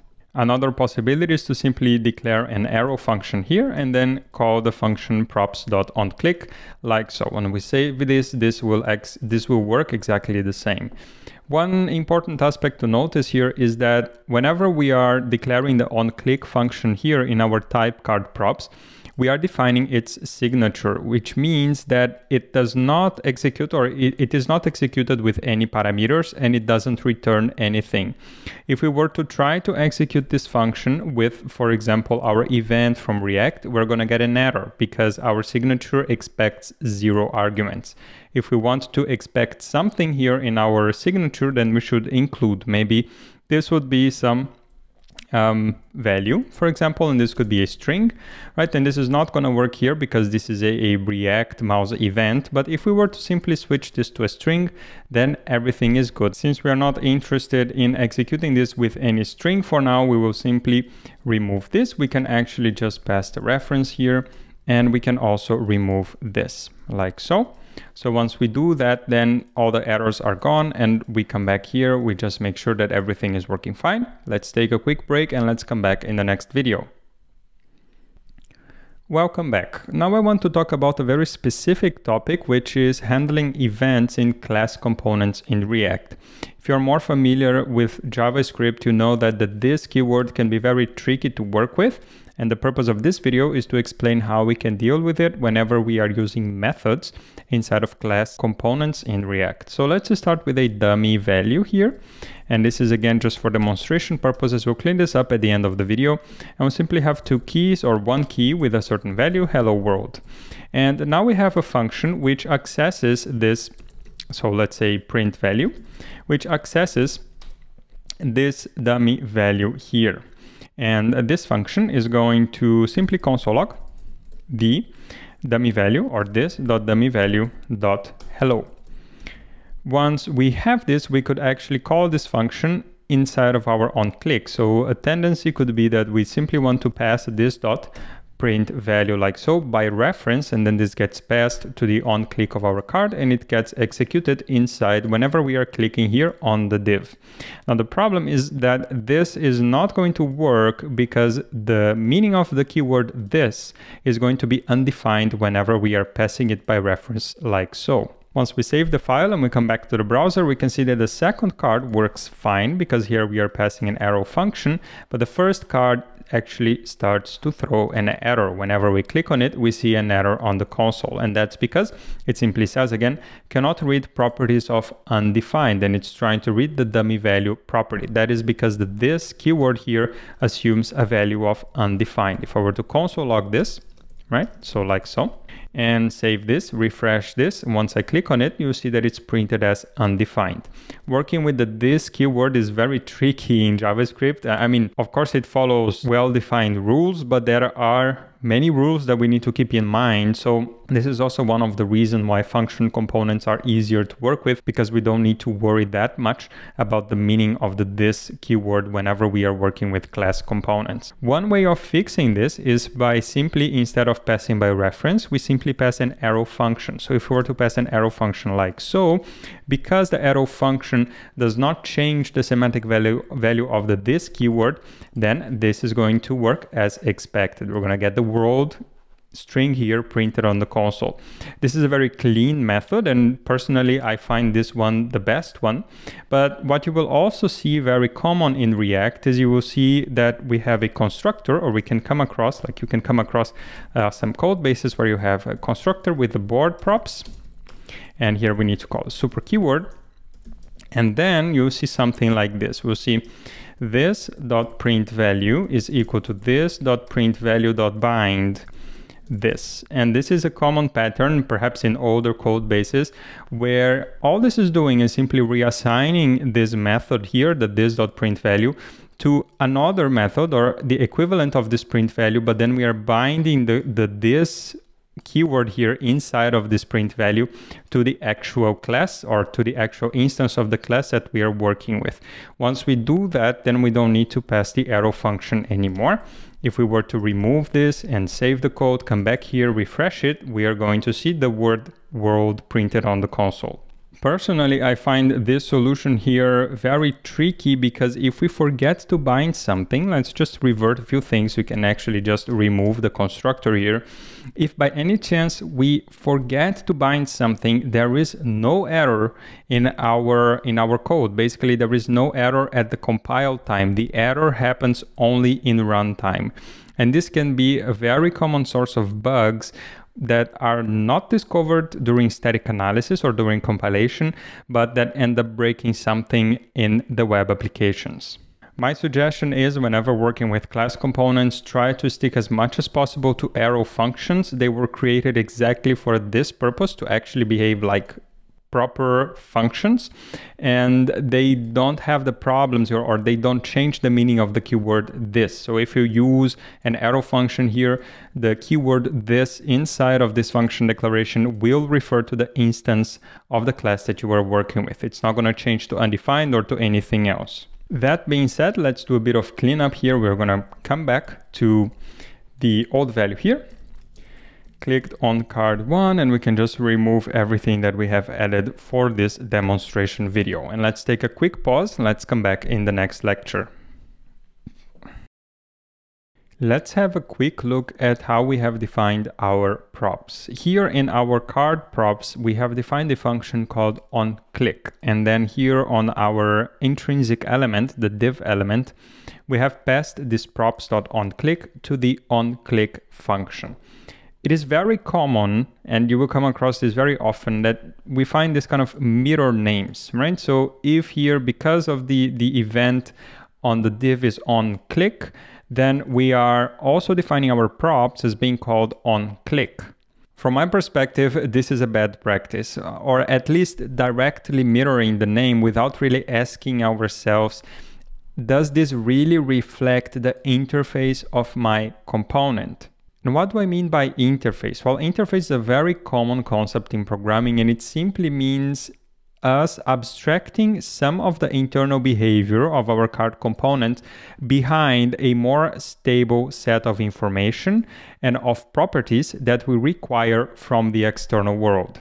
Our card props here are simply saying, look, please provide me a color, provide me an is flipped value, which is a boolean, and provide me a function that is called onClick, and I'm gonna execute this function whenever the card is clicked or wherever this is going to be defined within the card. This abstracts the internal behavior of the card of handling the is flipped and also positioning the on click function. Here, if the card were to move this on click function from the overall, the, the wrapper component here to inside to our, let's say to our React logo for example, let's say that we wanted to, to simply move it here. We're going to save this and now back on our application, we will see that something is going to happen only when we click on the logo. If we have no logo, then nothing happens.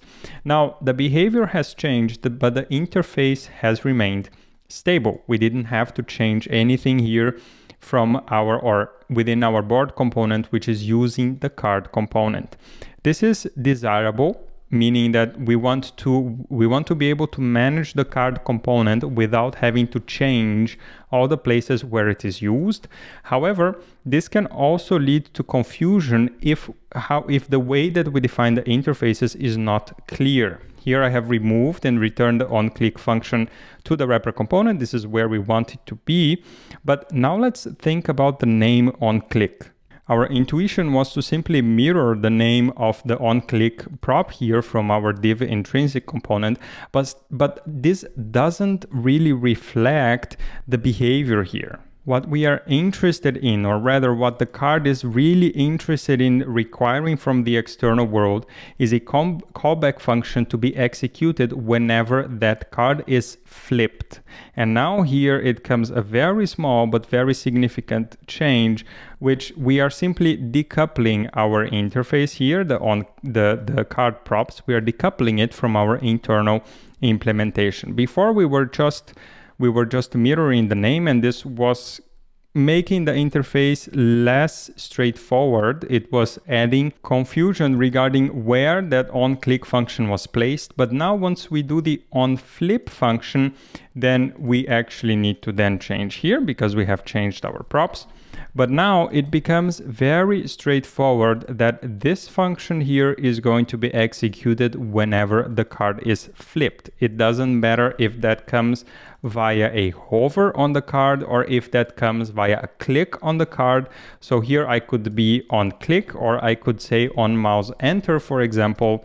And now this is going to be, because I'm not using the on click here anymore, it's not going to be confusing, right? If we, we, if we had an on click here in the name of our props and we wanted to change the trigger to actually being the mouse, the, the mouse entering, this would start being very confusing. We would have on mouse enter equals to props dot on click. And that doesn't really make sense from, from a logic perspective. Now, if we were to simply come back here, we'll have the message printed on the console here whenever we are hovering over the cards. And let's fix now the message just to, because that's not, not um, correctly written, but card one flipped, for example. And then we'll say card two flipped as well.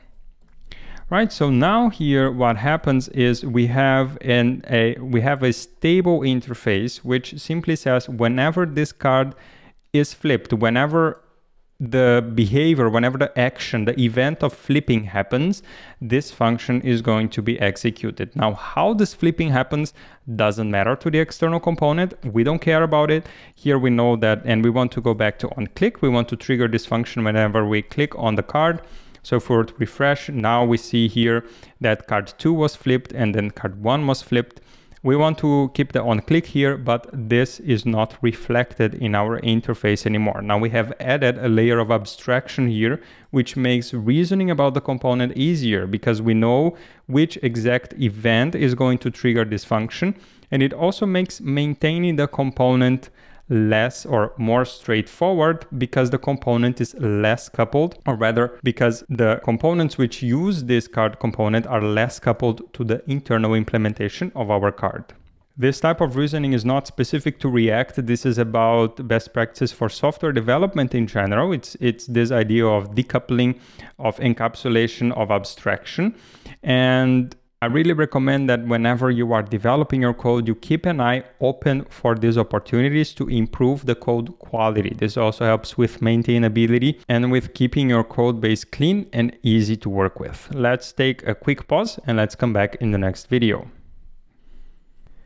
Welcome back. In this video, we start exploring how we can add state to our board component so that we can track which cards are flipped and which cards are not. At the moment, we have it hard coded here and that's definitely not how it will look like in the end. So let's start working towards adding some dynamic state and also some functions to update this state.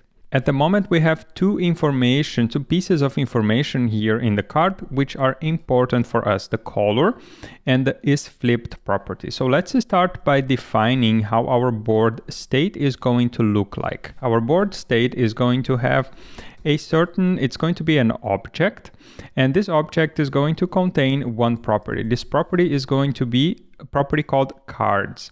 And this cards here is simply going to be an array. And this array, for the moment, we're going to say it's an, an array of a shape unknown. We don't know which kind of objects are going to be here, but we're going to define them right now. So here inside we can say type card and the card here, you can see that it's going to conflict here with the with the card that is imported. So we're going to say board card for now. Later on, we can change that. We can do some refactoring on the on the type names and even maybe move that to the card.tsx file. But for now, let's keep it simple. Let's try to make everything in the board file. So we know that our board card has a color and this color is a string and it also has a is flipped property right so is flipped like so and this is a boolean now we're going to try to represent we're to just try to keep the same behavior but without hard coding the values of our cards here or the values of the props of the cards in our board component so we know that our board card contains a color and a is flipped. And here we can simply say that this is going to be of a board card like so. Now, one way for us, or actually the easiest way for us to add a state is to simply inside of the constructor and not the easiest, but actually the correct way to add it is to initialize it inside of our constructor. So simply say this dot state is equal to and it requires and here if I don't add anything you will see that it starts complaining because the property cards is missing in this empty object type. And this property cards is coming because we are passing the state, the board state here as the second element or the second generic type to react.component.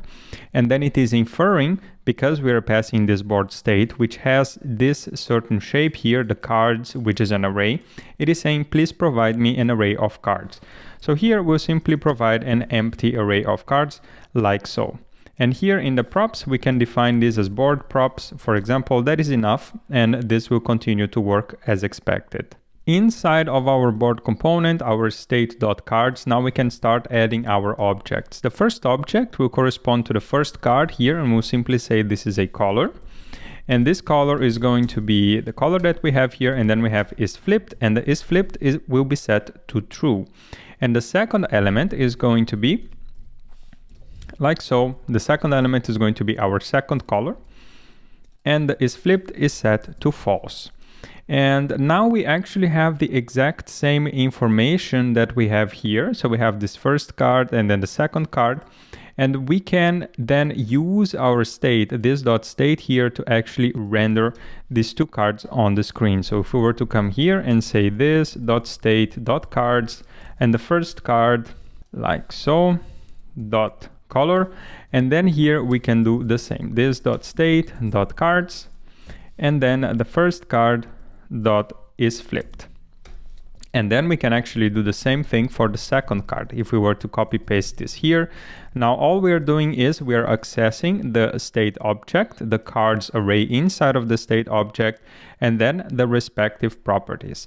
Now we can see here that we are starting to see a pattern, right? Here we are simply changing, or the only thing that we are changing between these two cards is the index, which means that perhaps we could use some list functions, some array functions in JavaScript to render these cards without having to actually explicitly add them to the code, but rather iterate over a certain array, an array of cards, and then render each one of them accordingly. We will do that in a later video. For now, let's focus on building our state and making it work with our current setup. Once I save this and I return to, to, the, to the browser here, we will see that the same behavior is as before. We are rendering the first card here, uh, has the red color and it is flipped. And the second one has the green color and it's not flipped. Let's now try to define a small function here that we will call whenever we are flipping a card in each of these two cards. So now we have a simple function that prints something on the console, but we would actually like to have another function which would be flip card, for example. And this flip card can actually be a function which receives a certain card ID, for example. But for now, let's again keep it, or actually, I think it's better if we receive the, the card index like so, and the card index can be a number. And then based on this card index, we will then change our state here accordingly. Before we populate or actually to be able to populate the flip card, the, the body of the flip card function, I want to digress a little bit to discuss one of the very important properties of the React state, and that is the assumption that this state object is immutable. That means once it is set via the this.set state, it is not modified, and also it is not modified after being initialized here. Now, what do I mean by that? Does it mean that we cannot modify state at all? No, it simply means that we should not directly modify this object or any of the properties of this object. If we were to come here and simply say this dot state dot cards and then here pass the card index and then simply say that is flipped here, for example, is set to true or to false, then we will see that we start getting a, a, a, little error here. And this is an error that's coming from linting. And it indicates that we should not mutate state directly. So if we were to ever fall into this trap, we would uh, get this very helpful error message here, or rather warning message here. And this comes because the Create React app already includes linting. But this points to us violating one of the fundamental assumptions of, of React and how we should manage state. So this is a no-go for us. We are not going to adopt this strategy. So let's discuss how we can modify an object on immutable state. Let's assume we have an array of seven objects, or rather eight objects, and we want to modify, modify the third one, the one with um, an index of two. Perhaps the first intuition that we would have, that was the one that we presented in the IDE is to define a function here which will then simply access the, the cards via the card index and then it would set them to a new value. As we have seen, this is not really encouraged and it should be avoided at all times because React once again assumes immutability of state once that state is set here or once it is updated with the set state function. The other possibility and the correct one is for us to actually call this set state function. And then here we are passing a function as we saw, this allows us to access the state from the previous or rather the previous state here. So now we can use set state and we can return the new cards here and these cards are going to be a new array and this array is then going to contain the first part here it simply contains the elements that come before the index that we don't want to modify. Then the second part of this array here contains the new element. This is going to be the modified third element with the array of with the index of 2 and then the third part here which will also fill in the IDE will contain the rest of the elements so basically what we are doing here is we are splitting this array into three elements, or rather three subarrays. The first one contains all the elements that come before the element we want to modify, and these we are just copying. This is what this spread operator is doing. We're also copying all the elements that come after the element we want to modify, and this will come here later on. We'll see how this looks like in the IDE. And finally, we are then here inside of this array in the third in, in the third position in the second index, we are then creating a new object that is going to again have the same shape that is flipped and the color properties, but it's going to contain new values. Now that we understand this, let's go back to the IDE and let's implement all this this.setState function. We now know that we want to call the this.setState and the setState here will receive a function. Actually, we could directly pass the new object that we want to set here with cards, for example. But since we need to access state still because we need to get the previous array of cards, then it is best practice. It is actually very much recommended to pass a function here so that we can access the previous value of the state. If we hover over here and we will see that previous is a read-only board state. So now here we can simply return and now here we need to return the new state that is going to be an object. The object is going to contain a cards key and then this cards key is going to be an array and we will, as discussed already, spread the first here prev.cards dot and here we will slice it and we oops we will simply slice this and we will say that this is going to be from 0 up to card index.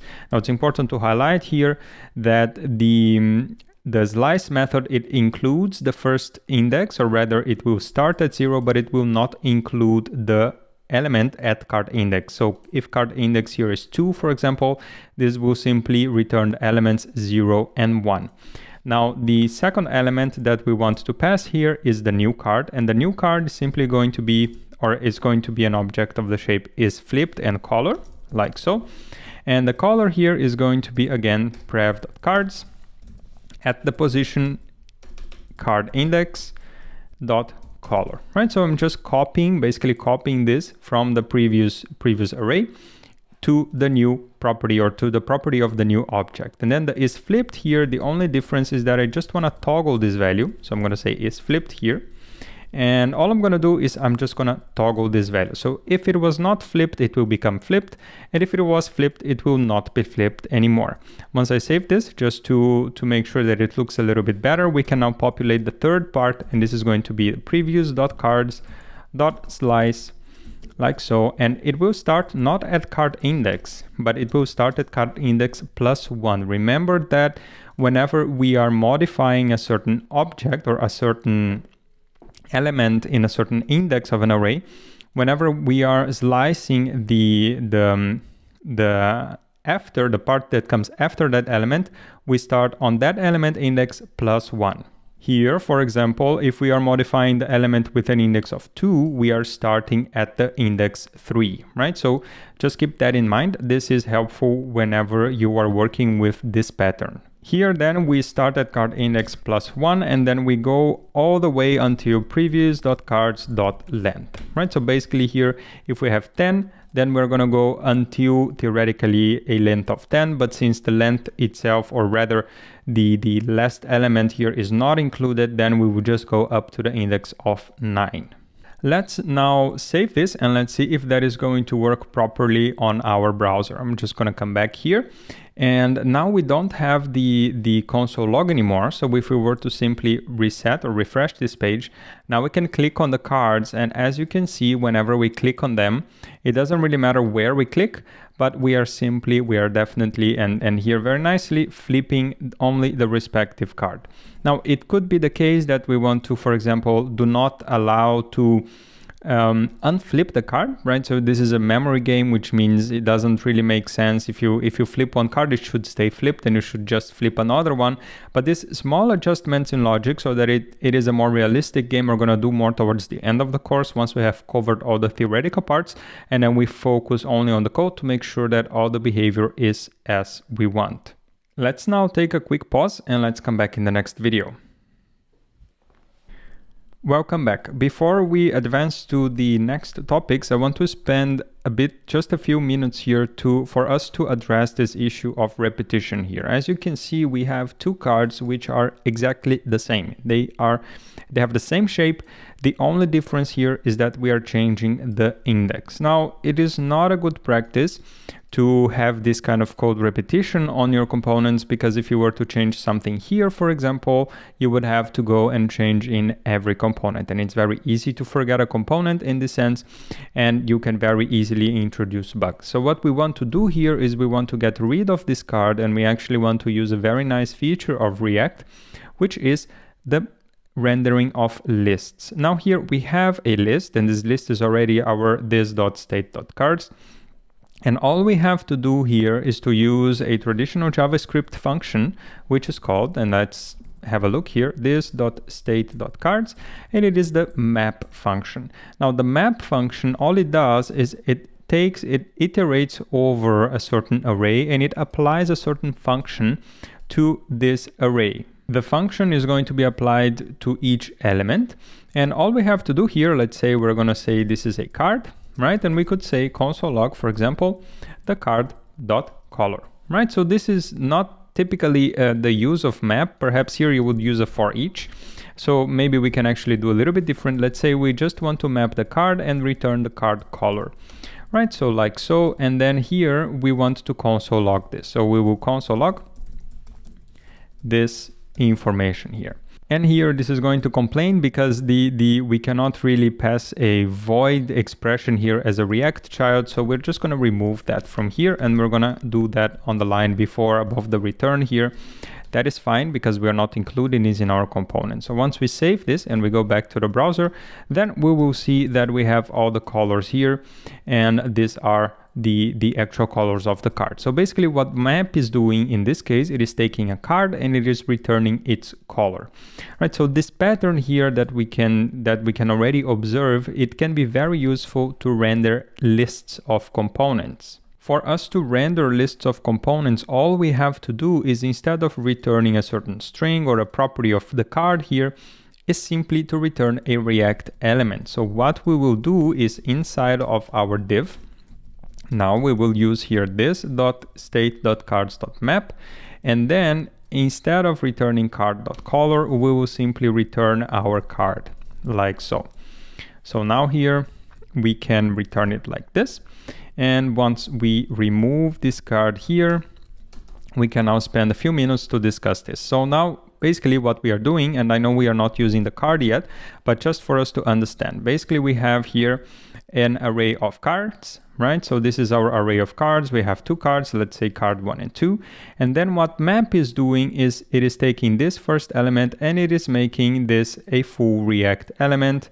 And it is taking the second element and it's also making it a full React element. And this will be rendered on the screen. Now what we want to do is we want to take the actual element here and we could even for the sake of demonstration, we can remove that afterwards. So I'm just gonna do that, return here, and then we can console log rendering. Let's put it with backticks so that we can format it. Rendering card with color, and then we'll say card dot color. So now what we have here is we are rendering this card and the only difference that the only thing we need to change is now we can actually use the card itself like so and we can check whether the card is flipped. We don't need to add the we, we don't need to access the original array and try to find the card by its index.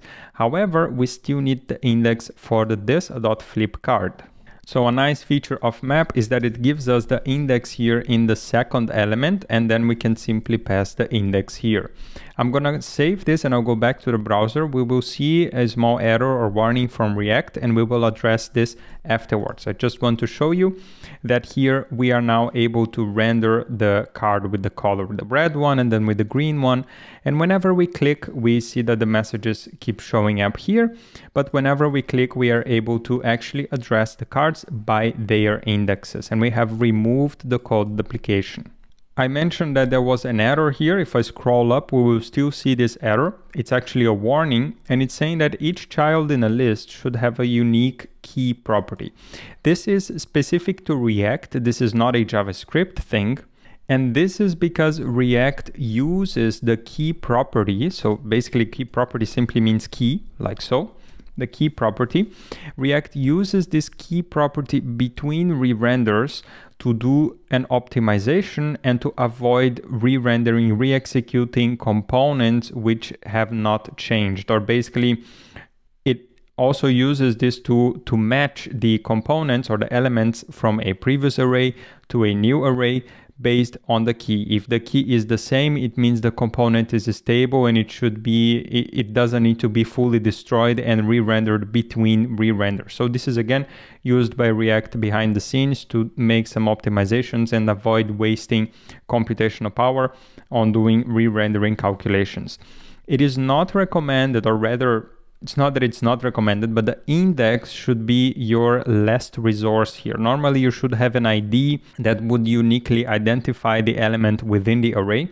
This is not the case for us here. We actually don't have any ID. And if we were to use the color, this later on would actually cause some problems because the, the whole point here is to have two cards with the same color, right? That means the color is not a unique property. And then we cannot just use colors here. So we cannot use a combination of color and is flipped either. So there is no unique identifier for each of our elements. We could add one but here for the sake of simplicity for us to really not to to waste time with something that is not adding value. Right now we're just going to use the index and the index is going to be fine. If we save this and we refresh the page then we will see that the warning is gone once again, if you are or whenever you are working with such arrays and you have a unique stable identifier that is part of the object, then by all means use that. Only in a last scenario, as a last resort, you should use the index. That is simply because the index can also change, right? So elements can change their order order on the array depending maybe you delete a certain element or the array is it doesn't maintain the order between re-renders or there are some operations that change the order. So the index is not a guarantee that the element stays the same. Basically we can have a different element on the same index in the next re-rendering and that's why the index is not very much encouraged to be used but here since we know the cards are stable and they are not going to be deleted or we're not going to add any other card dynamically then we can simply use the index for now Last but not least, before we close the video, let's remove this console log here. We don't need this console log. And last thing I want to show you, one of the benefits of having this pattern is that now we don't need to copy paste the card component to add a new card. We can actually just come here to our cards element on the state or to our cards array on the state and then we can simply add a blue card here. Once we were to save this and come back to the browser, we'll see already the blue card. Once we click on it, it works just as the other. So behavior stays exactly the same. And we have added a new card just by appending a new element to our initial state. We could also have a button to add more cards if we want more cards if we wanted to. The whole point here is that we don't need to come here and copy paste. And this is also a very good advantage because depending on how you are working with your component, probably you're going to load the data via network request, via JSON object, for example, and then you want to have the possibility of setting this to a certain variable in memory and then simply using this variable to render it on the screen. This is definitely possible with this pattern and it's much easier to work with for us that are used to working with JSON objects, arrays and objects in JavaScript. That's it for this video. Let's take a quick pause and let's come back in the next one.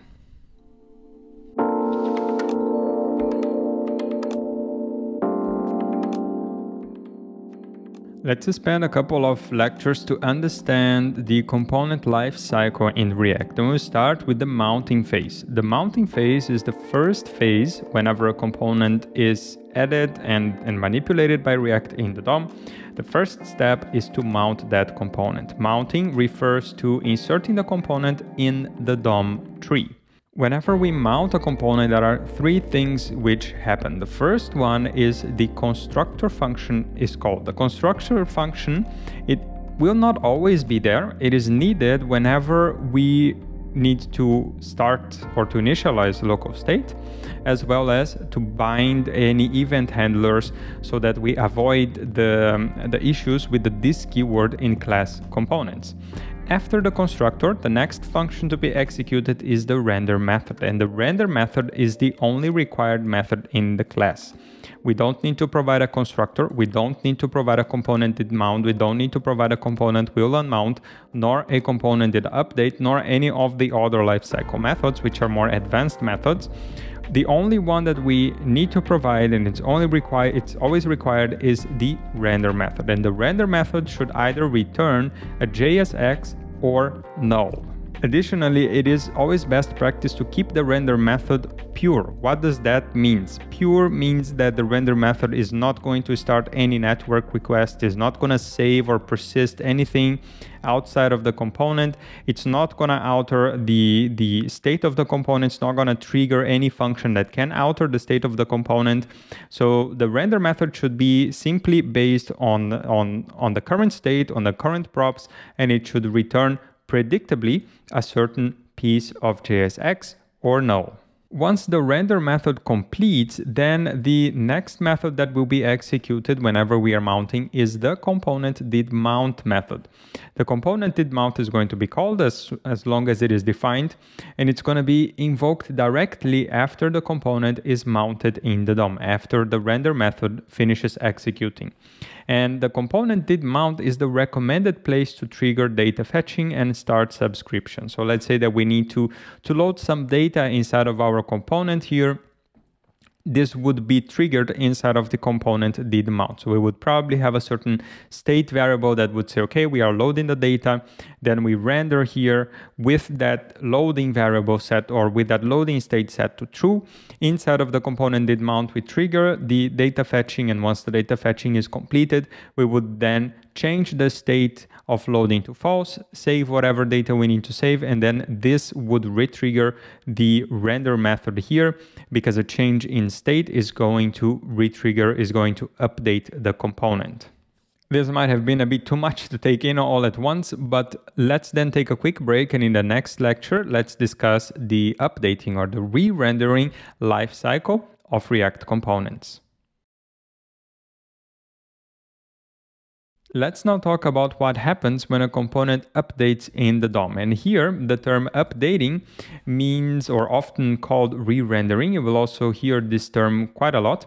It refers to updating a component that is already mounted in the DOM. So here we are not adding the component for the first time. The component is already there, but there were some changes in the component and the component needs to update.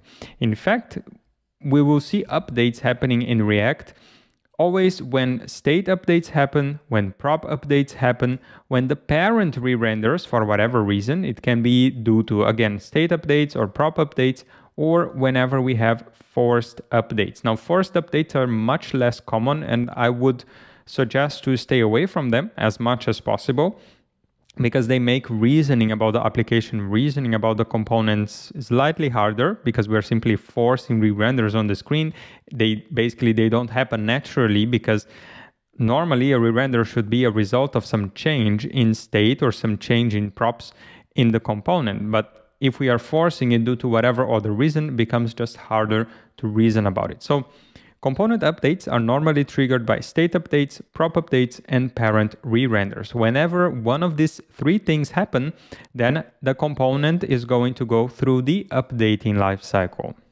In the re-rendering, the first thing that's going to happen is the render method is going to be called with the updated props and the updated state in case any were updated. So if the parent re-renders but nothing in the child changes, then the child is just going to be re-rendered with the same state and props as before. But if something changed, for example, if the parent had some update and that changed the props of the child component, then the render method is going to be invoked with the updated props. After the render method is called, the component did update method is going to be called and it's invoked directly after the render method returns. So once the render method completes, then the component did update is going to be called. And it receives here, if needed, it receives the previous props and the previous state as parameters in case you want to do some operation with them.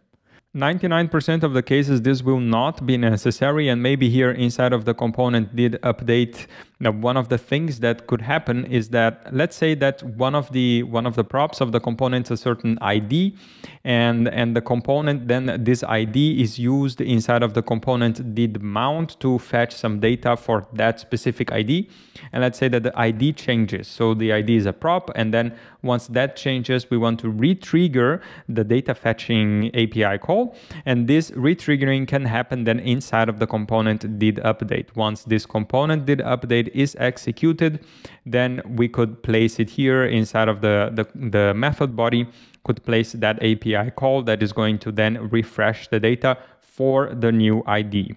That is just one example, one use case for component did update. There are others, and you will come across them as you work with React components and React applications. Just keep in mind that it's best practice to place this kind of updating logic inside of component did update, because as we discussed in, in previous lectures, the render component should be kept pure. That's it. This is the, the, the basics of updating. There are other lifecycle methods. For example, there is a lifecycle method called the should component update, which if you return false, it's going to prevent the component from updating. And this can make the component a little bit more performant by avoiding unnecessary re-renders. However, these more advanced methods, I'm not going to touch them right now because they can make the whole understanding of, of React components a little bit harder.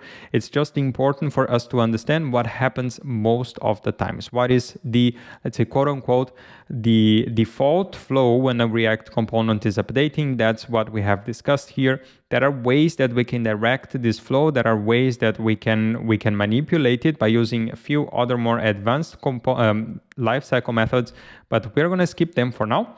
And this is basically the overall updating flow for React components.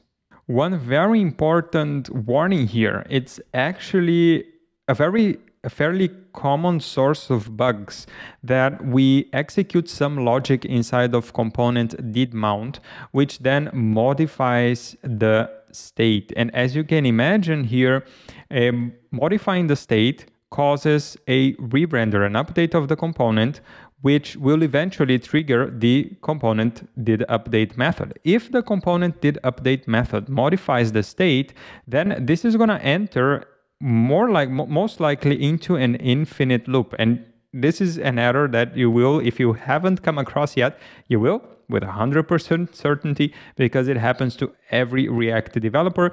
Eventually we will render or we will enter into this infinite re-rendering loop and then we need to figure out where the logic is inside of the component did update that we are actually causing a state update as well which is then re-rendering and rerunning the component did update, which then updates the state again and causes another another updating loop. And as the as the process goes and it evolves then you see your application is going to freeze on the screen most likely. And then you will see an error in the console saying that that the rendering depth has been exceeded and and the application basically broke. So that's the that's a very important warning. This is very important for us to keep in mind and avoid state updates inside of component did update because this can very quickly lead to this sort of bugs.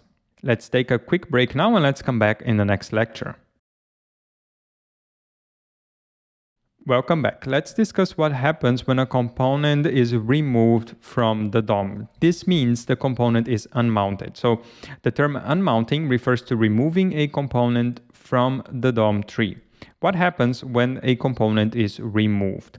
The first thing or the first method that is going to be executed and actually the only method from this listed here is the component will unmount method.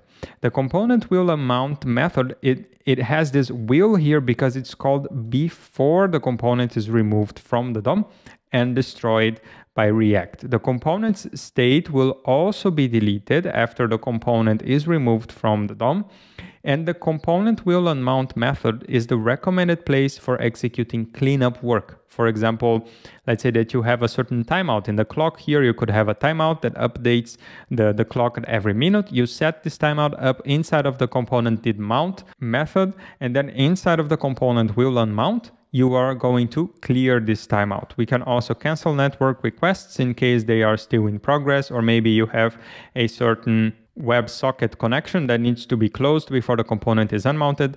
The component will unmount method is the best place to do that. There is a very common pattern in React, and I want to issue a word of caution here because if you haven't, you will definitely see such a type of pattern in React applications where we use a certain Boolean value to decide whether we are going to render one component or another component. Here, let's say that we have some part in the header component and the user component is just gonna render that, that profile picture. And if the user is not logged in, then we are going to render the login button. This pattern here, it causes whichever component is not rendered as a result of this of this boolean flag here this component is going to be completely removed from the DOM and the other component will be completely mounted in the DOM. This means that this will trigger all the lifecycle methods and reset the state of the component whenever the component is unmounted and remounted. That means if we had some kind of persistent state inside of the user or inside of login button component that we would need to keep alternating between these two components, then this pattern cannot be used because it's going to reset the internal state of the components. It will always execute all the lifecycle methods once the component is mounted in the DOM. So this is just a word of caution. This is not a bad practice to use. Okay, this is a very common pattern and you should use it for rendering conditional logic. It's, for example, if something is loading here, you can render a loader. And if it is not loading, then you can actually render a component. It's a very common, very common pattern to have, and I'm not against it at all just be aware that this causes the component to be removed from the DOM and added again whenever the value of this boolean flag changes. Once again, this causes all the lifecycle methods to be triggered and the state to be reset. So if you observe the component coming back to its initial state, that is because we are probably removing it from the DOM and adding it again. Time for a quick break and we'll come back in the next video. Let's spend a couple of minutes to explore how the different lifecycle methods we just explored work in class components and let's try to visualize them here in the code. So the first method that we have discussed was the component did mount and for us to implement any functionality here and whenever we mount the component in the DOM we can simply add a component did mount here component did mount and then this will allow us to do whatever logic we want to whenever the component is mounted in the DOM. So I was just added to the DOM like so. Once I save this and I come back to the browser, then you see a couple of renders here. And then this happens in very interesting. This happens twice. This is because we have react.strict mode here. This is purely a development feature uh, or that is used in development environments. This is not going to be the case in production environments. And if we were to remove this from here, come back to our browser, then we will see that this will be printed only once.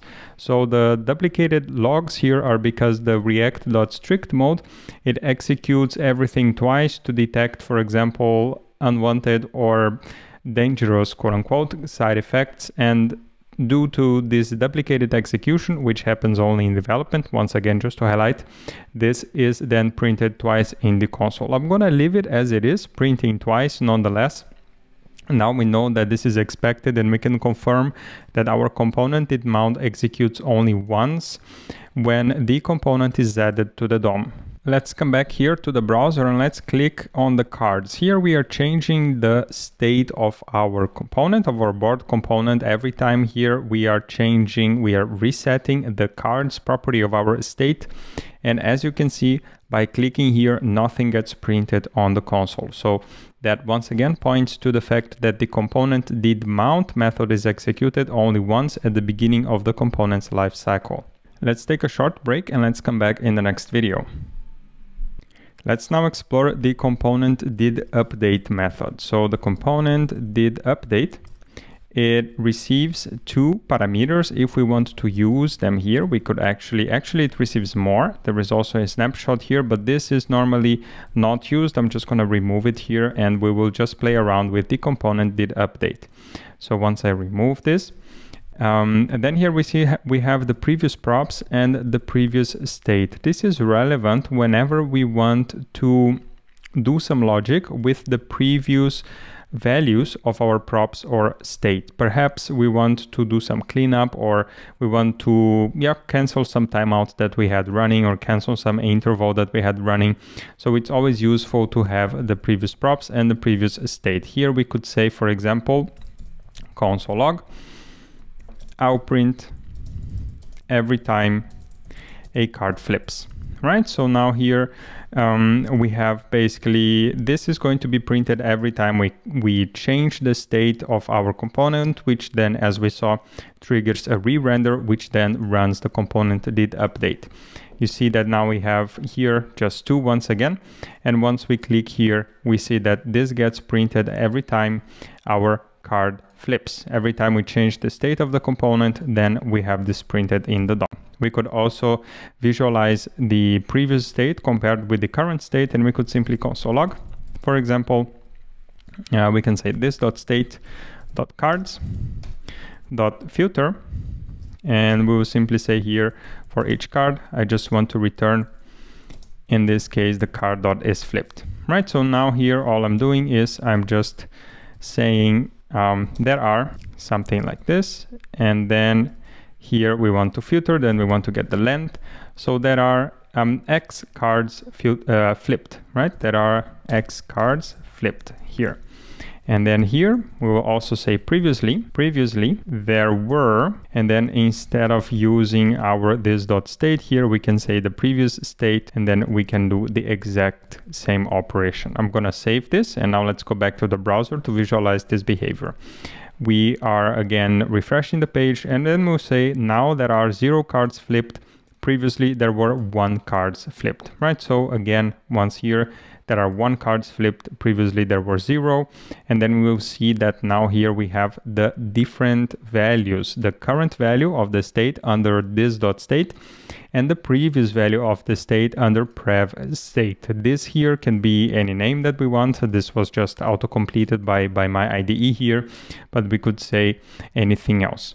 So the basics or the principle of component did update is that it will run every time the state changes, every time the props change, the component did update method can be very useful. For example, if we want to execute a certain network request, that depends on the value of our state. If we have some user ID or maybe some project ID, task ID that we store in our state, and every time the user changes it, we want to load the details of the selected task or the selected project or the selected value with that ID, then we can run within our component did update, we can run a network request and we can then display this information. So whenever we need to react to some change in our state or props, component did update would be the recommended place to do it.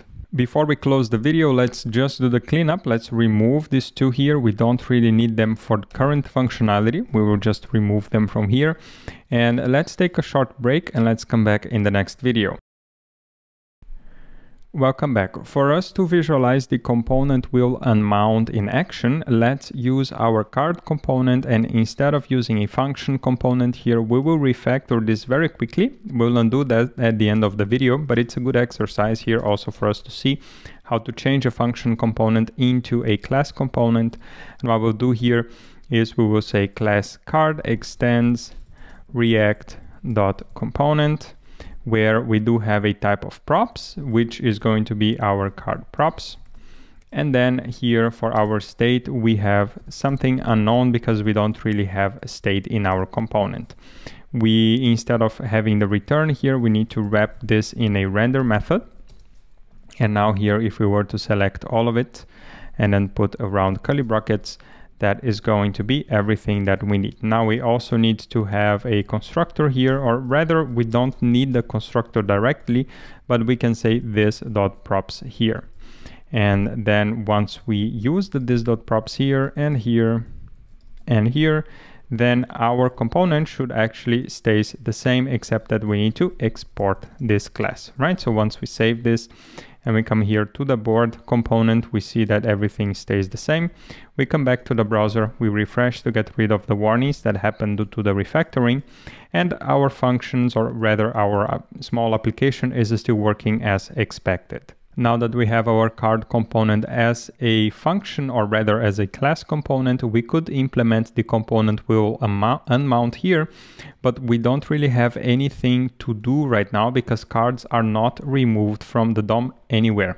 So in our board, let's add a little button here on the top we're going to wrap this around a React fragment so that we can return more than one uh, sibling element here. And then on the top, we're going to simply have a button. And this button is going to be remove last card like so. Let's see how this is gonna look on the screen. We could add a little bit of styling here, but once again, since we'll remove all of this from our code at the end of this video, then let's not spend a lot of time here.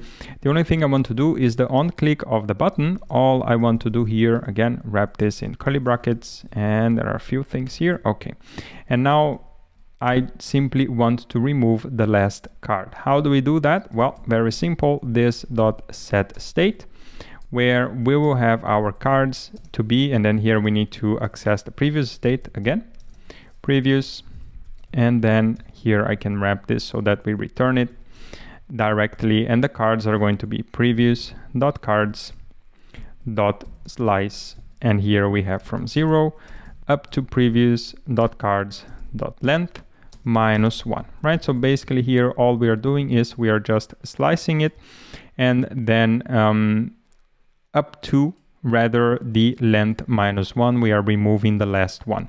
If we want to be fully correct about what we are doing here we will use the spread operator to make sure we are making a shallow copy of these cards. Again this is um, a shallow copy. That means that this is not going to to make a deep copy of the objects that we have here. This is not a fully fully immutable operation but we at least stay on the safe side regarding shallow copy. Since the object uh, the objective here is not to do a deep copy of the of of the of our cards property it is to visualize how we can work with the component will unmount then we're going to take this as good enough for now so if we were to come here refresh everything and then click on remove the last card then the cards will start to disappear I'm going to refresh the, the browser for them to come back. And inside of our cards here, let's simply add a component, oops, inside of our class, a component will unmount, right? Like so. So now here we'll simply say console log, I will be removed from the DOM. And the important thing here is that it the, the the the lifecycle method is about component will unmount not did unmount right if we were to have a component did unmount we we see that this doesn't exist right? So the the only one is the will unmount and this will be executed before the component gets removed from the DOM. Let's save this come back to the browser and then once we click on remove the last card we will see that this will be printed on the screen. I will be removed from the DOM. Component will unmount is the place where we want to execute cleanup functions so that whenever we remove our component from the DOM and the component is not used anymore, it's not displayed anymore, then we don't have anything hanging, any intervals, any timeouts that we need to clean up, any hanging network requests or open socket connections. So just make sure to do the cleanup in here. Otherwise, I don't see uh, that many applications for the unmount hook, cleaning up is definitely something that we need to keep in mind. So this is an important part of our application. Before we take a short break, let's clean up this very quick here. We just need to remove the button. And once we save this, everything is back on the screen. I'm gonna leave the component will unmount here because in the next video, we are gonna explore what happens when we conditionally render components in the DOM, or rather when we conditionally render components in React. Let's take a short break and I'll see you in the next video. Welcome back. Let's have a look at what happens when we conditionally render components in React. And what I want to explore here is I want to explore what happens to our lifecycle methods. We're going to say here, we're going to have all of them. Okay, so we're going to say component did mount. And the component did mount method is going to say console log I have been added to the DOM. And here, maybe we can also use our, our props here to at least identify the color of the card. We're gonna add a new card here uh, with a different color so that we can identify what happens. So we'll say color, and that is going to be our this dot props dot color. I have been, right, I have been added to the DOM. And then we will also say, um, I will be removed from the DOM. I will be removed from from the DOM like so. Now if we come back here to the browser then we will see that we will actually have a couple of things. So these first logs here are because of our strict mode, and then we should actually keep these in mind here at the bottom. So for us to actually avoid a lot of additional logs here, let's remove them from our from our um, index.tsx file, at least for now. At the end of the video, we're gonna re-add them. Once we save this, come back here, then we see only the, um, the component did mount execution. Back in our board component, let's create a new card and this card is going to be simply a card that will be here at the bottom. Okay, so that's going to be outside of our uh, list because we want to have a bit better control over this card. It's going to have a color and the color here can be, let's say, uh, hashtag FF0 and the is flipped is going to be set to true. Okay, just like so and then the on flip here once again we can we don't need to to have this this dot flip card because this doesn't really work on on elements which are not part of the of the state here because here we are basically modifying the state right? So if we want to flip this card we would have to have a separate state that would store this boolean value here and then we are going to pass this boolean value. So for us for now with the on flip can just be an undefined function like so. It doesn't do anything special. Once we look here on the screen we have a card which is yellow. That's a very strong yellow color but let's leave it as it is for now. And what we are interested in is in rendering this card conditionally. So now we're going to add a button here as well, another button. And this button is going to have an on click function. And then this button is simply say toggle yellow card. Okay, so very simple, very straightforward. Here we have for now an undefined, and we're gonna in, we're gonna add this property to our state. We're gonna add a property here, which is going to be uh, show yellow card like so that is going to be set to true to begin with and this is not part of our state here so we will simply do it here edit show yellow card this is a boolean and then everything is fine. And then here at the bottom what we want to do is we want to say this dot set state. Once again we need the previous state because we want to toggle the yellow card and then we need to return something here right? We're going to return this and then we'll simply say please spread the previous dot, um, or rather we could spread previous and then say um, show yellow card by being not previous dot show yellow card. Okay, this is one way of doing it, but actually with the set state, we don't need to return the whole thing. We can actually return parts of the state. If we just return it like so, that's gonna be fine for React. I will refresh this page, so now we can see it a bit better.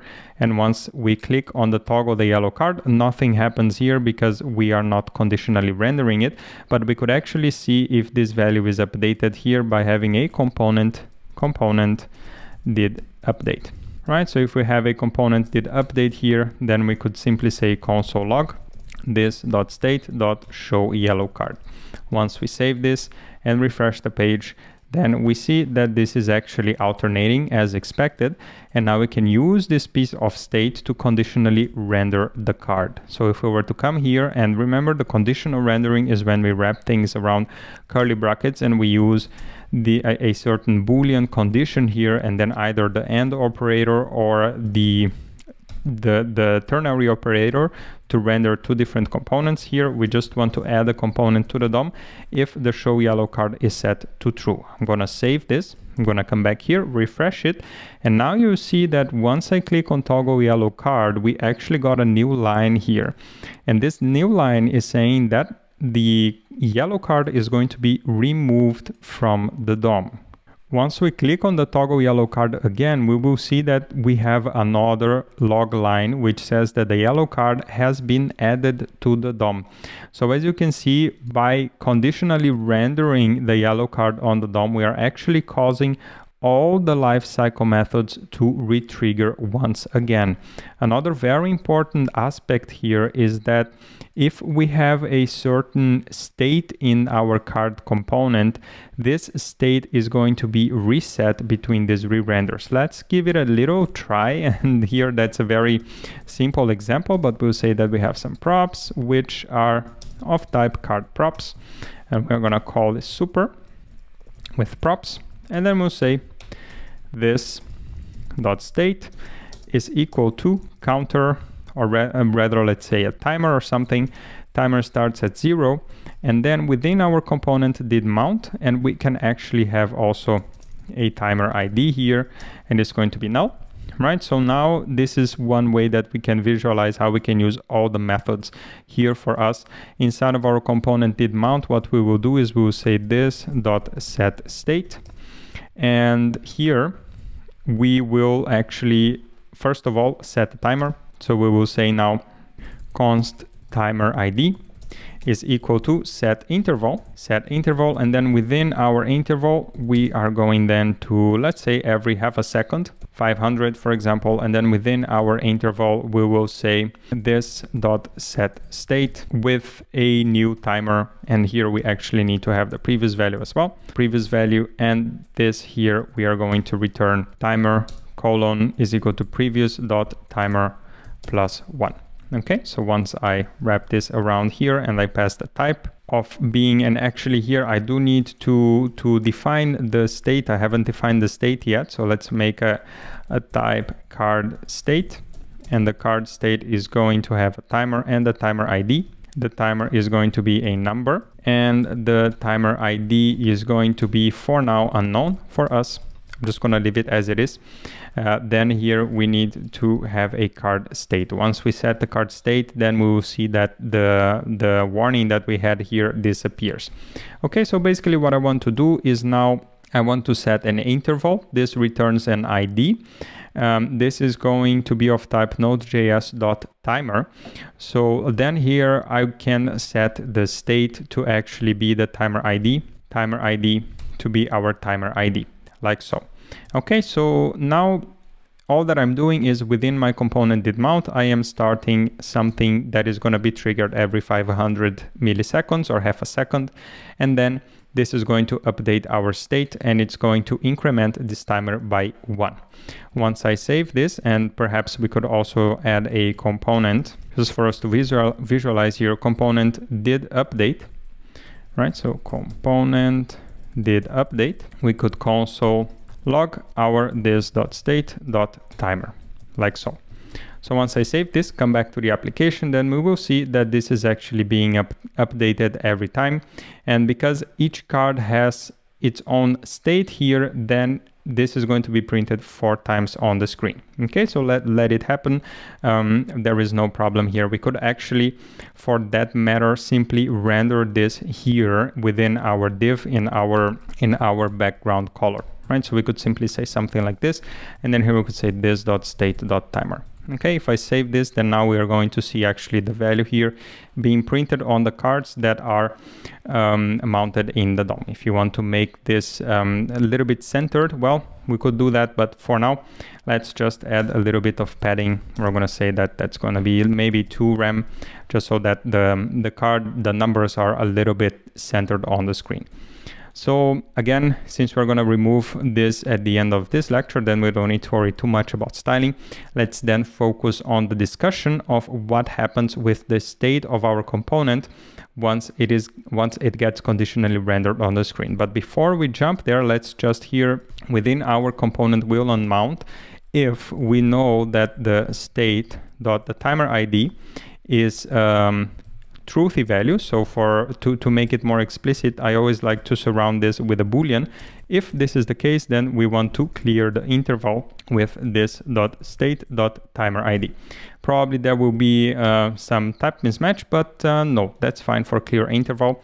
So what clear interval is going to do is it will simply clear up the interval that keeps running here once we fire it up. So when the, once the component gets unmounted, then this gets removed from the DOM. So now let's see what happens once we render the yellow card conditionally. Remember that the timer starts at zero, right? So now here we have a, a little fail and that is exactly what we are getting here, the type unknown. So basically this is not caught up by the IDE. Ah, now it is caught up here once I save this. So there it is, no overload matches this time. So here we could actually maybe try to set this timer ID. The type here node.js dot timer like so. Once we have this, then here this is going to say that null is not allowed. So we can simply say either node.js.timer or no. Okay, so this allows us to have the null to begin with. And then here inside of our of our component will unmount, then we have here that this is not allowed, but then we know that this is defined. So if we remove the Boolean here, then this is everything that it takes to actually remove this warning. Everything will be working here on the screen. Since I like to have the Boolean, we could actually do it like so, or we can say as node.js dot timer. Okay, so um, like so. But here we can just use the exclamation mark. The exclamation mark simply says, okay, I know this value is optional, but I am also convinced that this value is going to be defined here because we are just checking it on the top. Since TypeScript is not able yet to identify that whenever we wrap with a boolean here this means that this is defined we're going to use the exclamation mark just to to prevent typescript from complaining once we save this and we're back here, then now we can see everything on the screen. And finally, we can explore what happens once we remove our yellow card. And then we re-add the yellow card. And as you can see, the state got reset. Now, this is a very, very, very important behavior because it's a fairly common source of bugs to assume that the state of our components gets persisted even if the components are removed from the DOM by being or, or by not being rendered if the condition here evaluates to false. It's a, it's a fairly common source of bugs and I would um, highlight this for you to keep in mind that whenever we are doing such, such a pattern, whenever we are conditionally rendering something and the component is not rendered, then everything is destroyed we are going to run the component will mount lifecycle method and we're going to reset the state. And once this component gets rendered again then we are going to run the component did mount and the state will start fresh here from the beginning. All right, these were a lot of changes just for us to visualize this behavior, but I think it was a nice exercise as well for us to see, for example, a certain pattern. Uh, working with intervals can be a fairly common thing. Maybe you want to pull something from the backend or you want to update something regularly on the screen, on the UI. So intervals will definitely be there whenever you are working with React. Now we can actually undo everything. Here we can remove all our hooks or rather not hooks, not yet. We can re remove the component lifecycle methods and then we can also revert back from being a class component to being a function component. That's going to be a function component with our card props and this is going then to be something like this. We're going to have the props here. Now we don't have constructor anymore. We don't have the render method anymore and here we don't use the this dot props we just use props like so. Here as well here it goes away as well. And we don't need to render anything else here. We're just going to close this div. And then also here we do have an additional curly brackets. Now we don't have a card state anymore. We don't need this. And then within our board we can also get rid of this yellow card like so. And we can also get rid of this button and doing cleanup is very, very pleasant. So that, that's why doing it here with you whenever we are removing code. That's perhaps one of my favorite parts of being a developer is whenever we are removing stuff. So I'm to remove everything that we have here and we don't need this state anymore. We don't need the show yellow card anymore and we don't need this here anymore. And the last thing is we can re-add this um, strict mode here from React. I'm gonna save this and I'm just gonna double check that everything is working still as expected. Cards are being flipped on the screen and we can then take a quick pause and come back in the next video.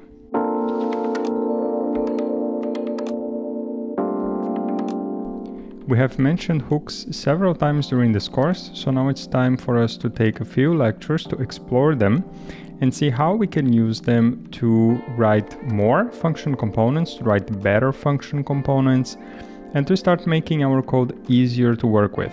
Hooks allow us to extend, to enrich the functionality of function components, while previously function components were considered only to be stateless components which would have some logic that would be fully dependent on the props. Now function components can have an internal state and they can also have behavior which is similar to those lifecycle methods of class components. There are a couple of features from React that hooks enable for function components. The first one is persisting state between re-renders. The second one is that we can execute this component lifecycle methods when the component mounts, updates, or before it unmounts. And the third one, which is also a very useful one, is that we can share logic across different function components by defining custom hooks. These custom hooks can also use other features of React, for example accessing the context API or extending the usage of other React hooks, and this can be very useful when sharing logic between function components. The hooks make function components very powerful and flexible and allow the developers to benefit from virtually every feature of traditional class components. Now there are a couple of exceptions and one of them is that there is no equivalent hook to the component did catch lifecycle method of class components. Component did catch is used together with error boundaries in React to make sure that if something goes wrong inside of a component, the error stays contained within that error boundary. If we are working with error boundaries, then we will have to work with class components because they are the only ones that offer the component did catch lifecycle method. Another lifecycle method that has no hooks equivalent is the should component update method. And this is a method in class components that allows us to fine tune, to very precisely define whether a class component should update or not, whether it should be re-rendered in the DOM. If we return false for this lifecycle method, then the component would not be re-rendered. However, there is no direct equivalent to this in the hooks world. So these are two examples of functionalities of class components that if you need them at some specific cases, you might have to use the class components, the traditional React class components. On the left here, I have provided a couple of examples of how the hooks look like. You can see here this use state and two instances of use effect. We can have more than a single hook of a certain type within function components. If we wanted to have, for example, 10 different pieces of state and we have 10 different instances of the use state hook, that is perfectly fine. We can repeat them, it's not a problem. However, there are a couple of rules that we need to follow and we will explore them in the next video after we take a short break. Welcome back. Let's cover a couple of the rules of hooks which are required by React, or let's say React enforces these rules so that hooks can work properly. There are three rules here that we need to keep in mind. The first one is that hooks can only be called at the top level, not inside any if statements or loops. The second one is that hooks can only be called from within function components or from within other hooks.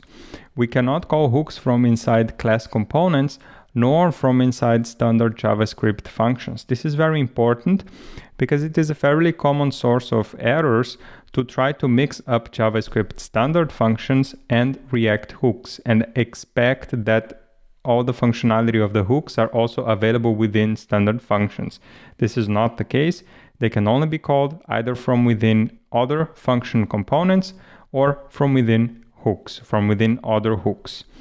And the third rule is that custom hooks must start with the keyword use. Okay, if, if a certain function in JavaScript does not start with the keyword use, then it cannot be used as a hook. However, if any function starts with the keyword use, then for React, this function is going to be considered a hook.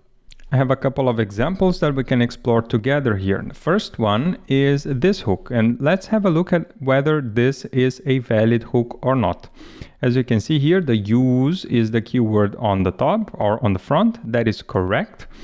Uh, however, within this hook, we have another hook being called inside of an if condition.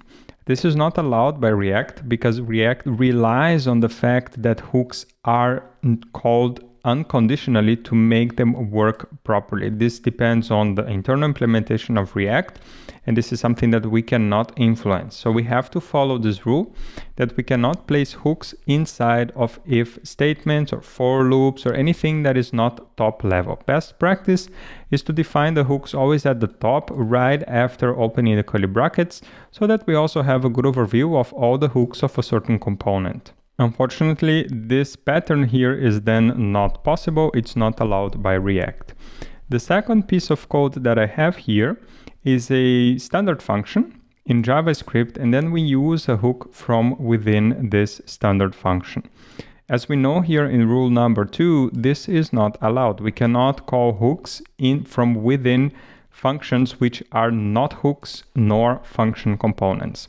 Bottom line is whenever you're working with standard functions in JavaScript, don't call hooks. Whenever you are working with hooks, make sure that they are called only from within function components or other custom hooks. So this pattern is also not allowed. Third example that I have here is an example where we have use standard function. So it starts with the keyword use and we call the hook here on the top level.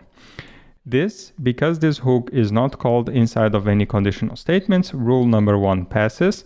Because this hook is called from within another hook in React, then the second rule passes.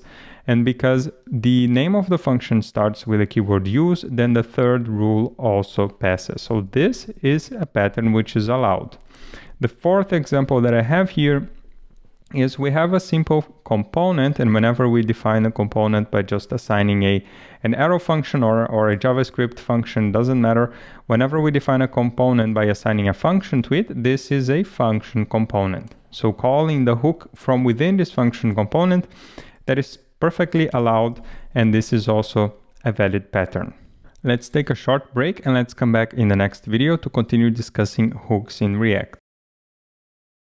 In this video discuss two fundamental hooks in React. They are very important. We use them in many places and they are the use state and the use effect hooks. The use state hook makes it possible to persist pieces of information between component re-renders. Previously, this was possible only by having a class component and by using a specific, a special property called this.state.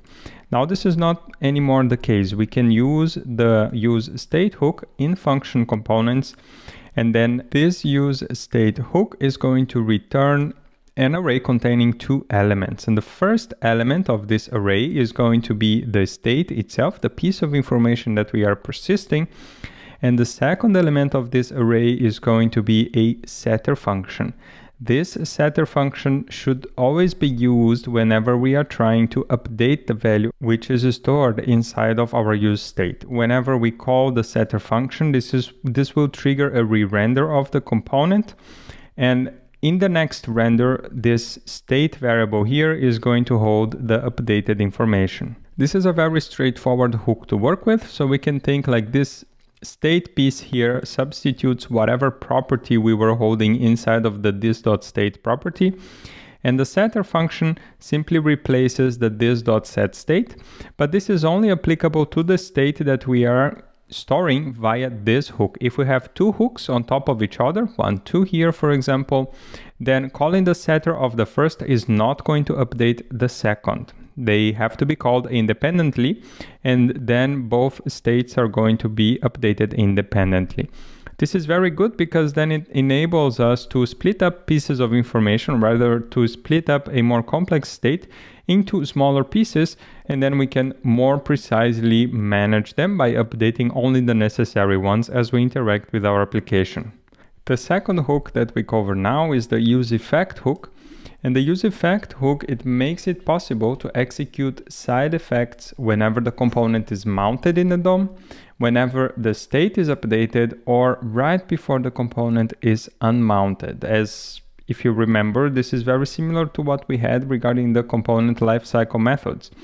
So the use effect hook, it takes two parameters. The first one is the effect that we want to run. And the second one is an array of dependencies. Now, the let's start with the second element here, the second parameter, the second argument. The array of dependencies is going to specify all the variables that will trigger this use effect in case their value changes. This could be a piece of state, this could be a reference to a function, this could be any piece of information that if changed and we want to trigger some side effect, then it is going to run the function that we define on the left side as the first argument here. This is a simple function in JavaScript and there is one restriction that this function should not be an async function, But apart from that, pretty much every function that we will come across is allowed within our useEffect hook. In this first case here, when we pass an empty array of dependencies, this is going to be executed whenever the component is mounted in the DOM. This is equivalent to the component did mount lifecycle method. We can have more than one use effect if we want to call more than one side effects whenever the component is mounted. This is no problem. Maybe we want to start loading two pieces of information I'm not sure what would be a use case that we cannot combine the functions all within a single function, but it is possible. The second use case is when we have an array of dependencies. And here, for example, we could have a dependency to our use state hook, or rather to the state that is returned from our use state. And maybe when this state changes, then we want to run this side effect here. So this is also possible and then we would specify the state here within our dependency array. Whenever the state changes, this would trigger this function within our use effect with the updated value of the state. The third use case is when we need to run, for example, some cleanup, something that we would run inside of our component will unmount lifecycle method. This is defined by the function that is returned from our use effect whenever we have a use effect that runs when the component mounts. Basically, this is a little bit uh, more cryptic or less straightforward to, to visualize. Basically, for us to define a function that will run right before the component unmounts from the DOM, we need to return it from within our use effect. So for example, let's say that within the use effect here, we set up a timer or set up an interval. Then if we want to clean it up, we would return the cleanup function here, and then this function will be executed before the component is unmounted from the DOM. For all these cases here, we will see some practical examples later on in the code exercises, but for now, let's take a short break and let's come back in the next video. Welcome back. Let's briefly cover two more advanced hooks. And React has many hooks. It has a use ref hook, use context hook, use reducer hook, use state, use effect, use memo, use callback, and many others. Here we are covering the basic ones and the most important ones. And the principle is definitely transferable to the other one, so you can explore them also on your own. For the use context hook, what this allows us to do is to use within or to use this hook within a React context provider to retrieve the value of the respective context. We will discuss React context and this hook in more details in an upcoming section in the course. So you don't need to rush. If this is not clear to you, if you're not familiar with what React context is, everything will become clear afterwards. The important thing here is that we should keep in mind that there is a possibility of retrieving a React context value by using the use context hook. And the last hook I want to mention here is the use reducer hook, which is normally used to manage pieces of state of more complex natures. So it returns two values. The first one is this more complex, maybe an object with several properties. So the, the more complex piece of state. And the second one is a dispatch function, which we can use. We can call it if you have come across Redux or you have read about these reducer functions or the dispatch functions. This is here, this one that we can call to update parts of this more complex state. Since the use reducer is applicable to very specific cases and in 95% of the cases the use state hook is actually used, then we're going to skip the use reducer for now and we will focus on the hooks that are more widely used. Let's take a short pause and let's come back in the next video. Welcome back. In this video, we'll refactor the board component into a function component and we will leverage hooks to store the pieces of state that we were storing previously in our state property. The first step is to define this as a constant. This is going to be a function component now. So this will simply be a function like so. And then we don't have a constructor anymore. This doesn't make sense. The keyword this doesn't exist anymore. So here we can start using our hooks or rather let's simply remove this and let's define as a constant here. We're going to say constant cards like so just for us not to introduce too much for now. So the constant cards is going to be of this type. Then we can remove this element here and also this one because constant cards is a simple array. And then here we have a flip card, which needs to be defined with a const keyword in front. There is no problem here that we have a definition of a function inside of a function. That is that is not uh, a big deal. And but however, here we cannot really use the set state hook. So for now, we'll simply comment out this block here because we just want to, oops, and that should be like so because you just want to make this code render or rather make this not break the, the our application. Then we can, after we add the hook, we can then migrate this to be in the function that will update the hook. So now here we have a return and this we cannot use the this dot state anymore. So we can simply say cards dot map and then here we would simply call flip card like so. So these are the changes and then here we don't have this last one. These are the little changes that we need to do when we are migrating from a class. And again, this is a simple class component, doesn't have a lot of logic. But now here we have a clean ground that we can start working with. Let's start introducing the state with use state hook. And the first thing we want to, to save here in our state is our cards component, or rather our cards array that we then render on the screen. If I were to save this and come back here to the browser, we'll see that everything is rendered correctly. However, the behavior is gone because the flip card function has basically nothing inside. So we're gonna add the functionality now. The first part that we need to, to implement here is the use state hook. Now the use state hook will receive an initial value and this value is going to be this array of cards. So once I place it here and I then assign this here, we will have our cards and we have a set cards function. And now we can import use state from React here on the top, like so, use state. And once we have this, we already have our cards stored in a state variable. This does not add the behavior because we still need to update this via the flipcard function, but we already have this marked as a persistent piece of information between re-renders. Now, as you can see here on the top, we have our board props and we have our board state. And the board state is a type here that would house all of our state in a single object. This is not the case anymore with hooks. So with hooks, what it happens is that each of these keys here would become its own use state hook. So all we need to do is to take the type of this state and then pass here to our use state. This is not strictly necessary.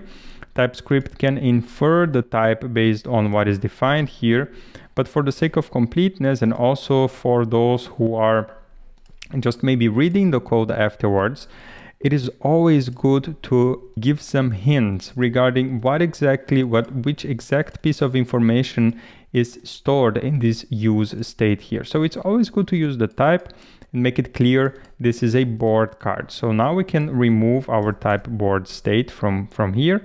And because we have no props, really we can just remove this also from here.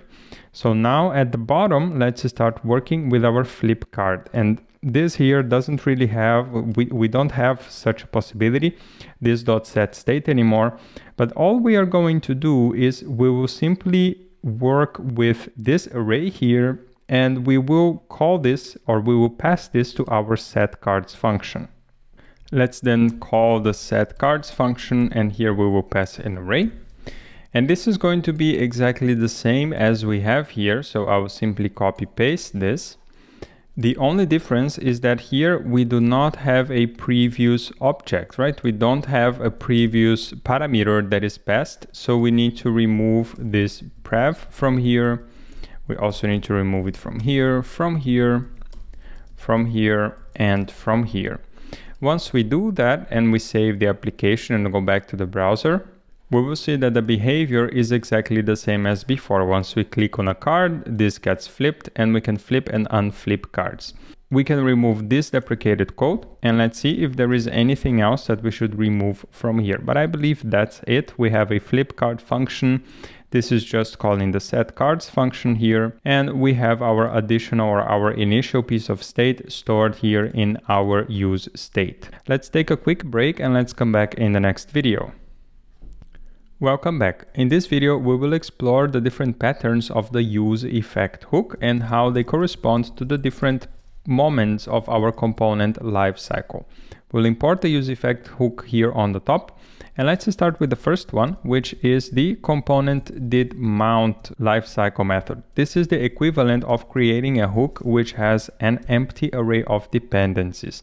This will only be run once and we'll simply say here console log, I will be run when component is mounted. Right, I'll be run when the component is mounted. Once I save this and we come back to the browser, we refresh this, we see this is printed twice and that's because again we are in strict mode, but this is not reprinted, it's not constantly shown in the console whenever we are changing the state of our component. For us to better visualize how this would look like in a component did update method, we could pass a use effect here and as a dependency we will pass our cards array. Now this hook here or this side effect, this function is going to be run every time our card's state changes. It is important to highlight that this will trigger a change only if the cards, the reference that is stored in our card's state here changes. We'll see that in a little bit. We'll see what I mean by this, but I will say console log here.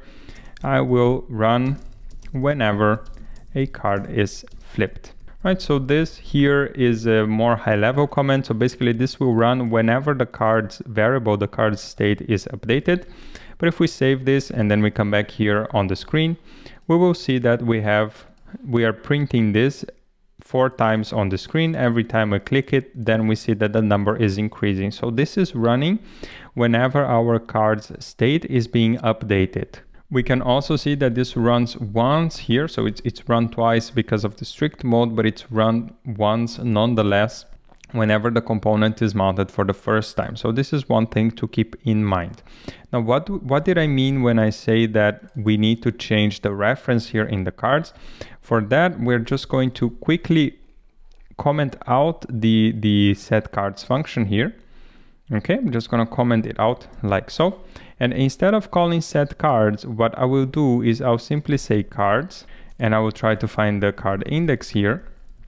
And we will say dot is flipped is equal to not the card dot is flipped like so. We have this, we are modifying the cards here. Once I come back to the browser, I'm gonna refresh this. But whenever I click, nothing is happening. The component is not updating. Things are not moving around on the screen. The cards are not being flipped. And this use effect here is not running. So it's a fairly common source of bugs to assume that changing something within our cards here is going to trigger an update to our use effect but this is not the case. The card's reference has to change for this side effect to trigger. And this is another important aspect here and it means also the quote unquote negative side, which is not really a negative side, but it, it is just a, the way that it works that whenever this card's reference changes, then the use effect hook, this use side effect is going to be triggered.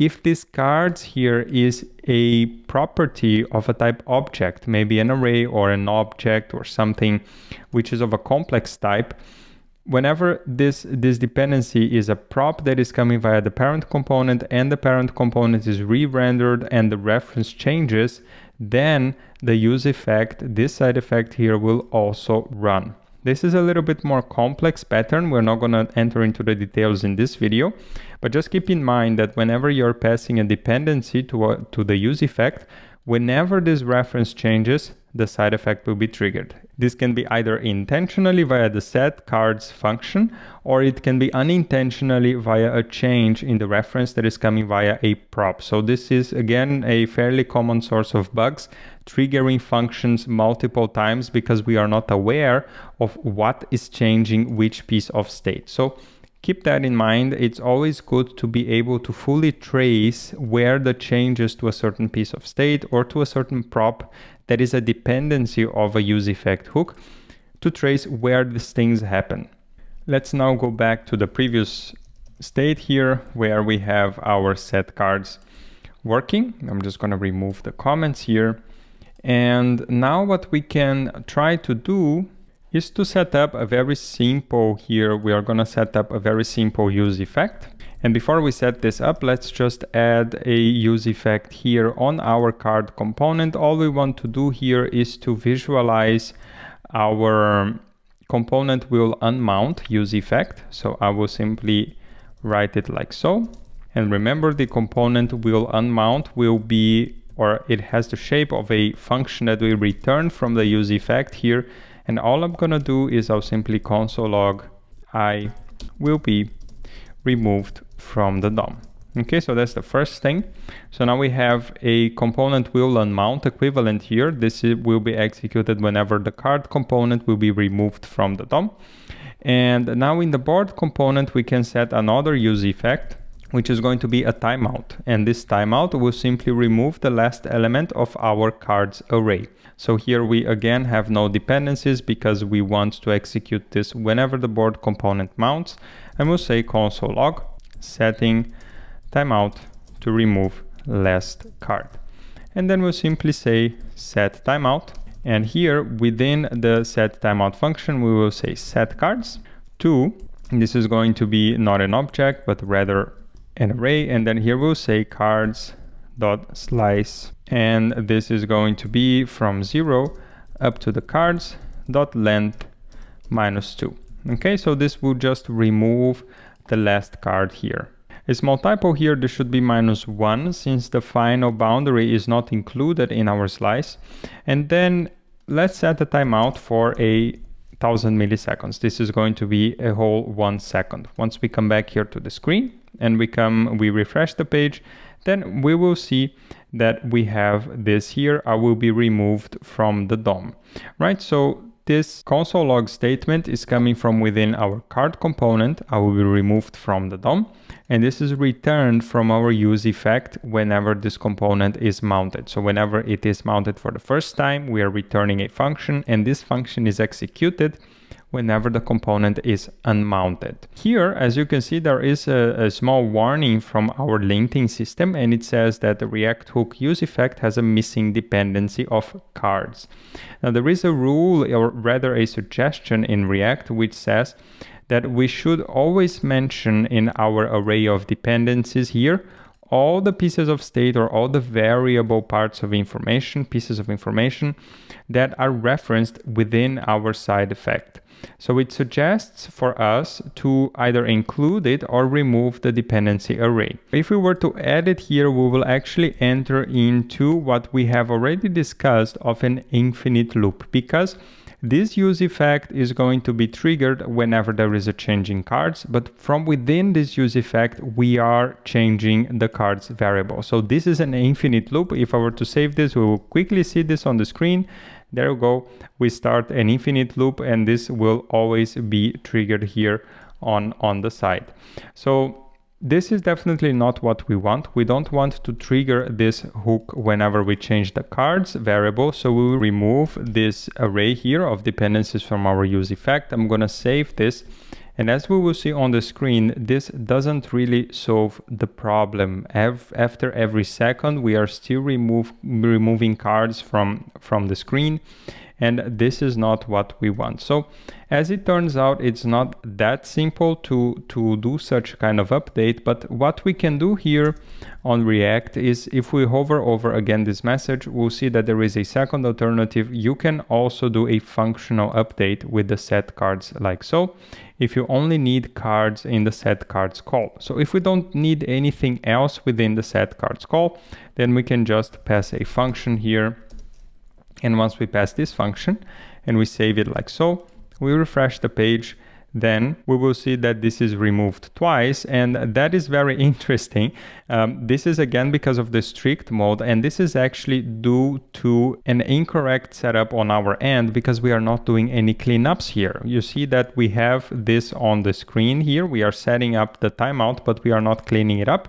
So because the strict mode runs twice, then, or rather it runs everything twice, then this set timeout is being set twice and this is updated the state twice. It's updating the state the state twice. So this is a, a good thing from, from the strict mode. It is simply pointing us towards, hey, you may have some timeout which is not cleaned properly when you are returning the function, or rather when you are setting up your use effect hook. So let's go and let's set up this cleanup function. We will simply say const timeout ID this is going to be like so. And then we'll simply return a function that is going to be a clear timeout. And this clear timeout function will receive our timeout ID. Now, if this component gets unmounted from the DOM, this last part here is going to run and it is going to clear the timeout. So we're going to save this, come back here to the browser. And as you can see now, we correctly remove only one card. Now, this is a, a very subtle, very subtle behavior, but that it makes this strict mode actually quite useful. So when you are in development mode, strict mode runs everything twice. When you are in production mode, this is not going to be the case.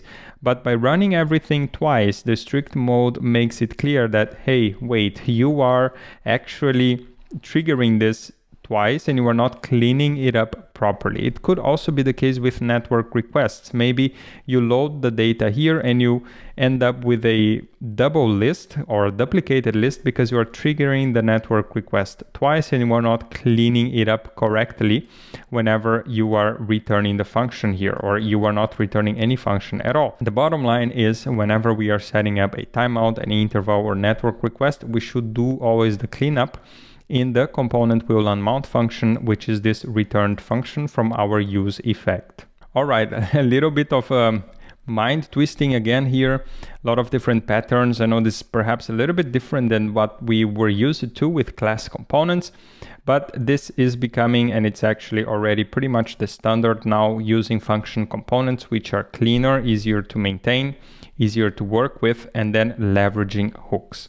So we're going to clean up now. We're just going to remove the things that we don't need. All these hooks are not necessary. And here on the top, we can remove the import. And then within our card component, we can just remove this hook, save everything, remove the import again, save everything, come back to the screen and just make sure that everything is properly rendered and still working as expected. With all working fine, let's take a quick break and let's come back in the next video.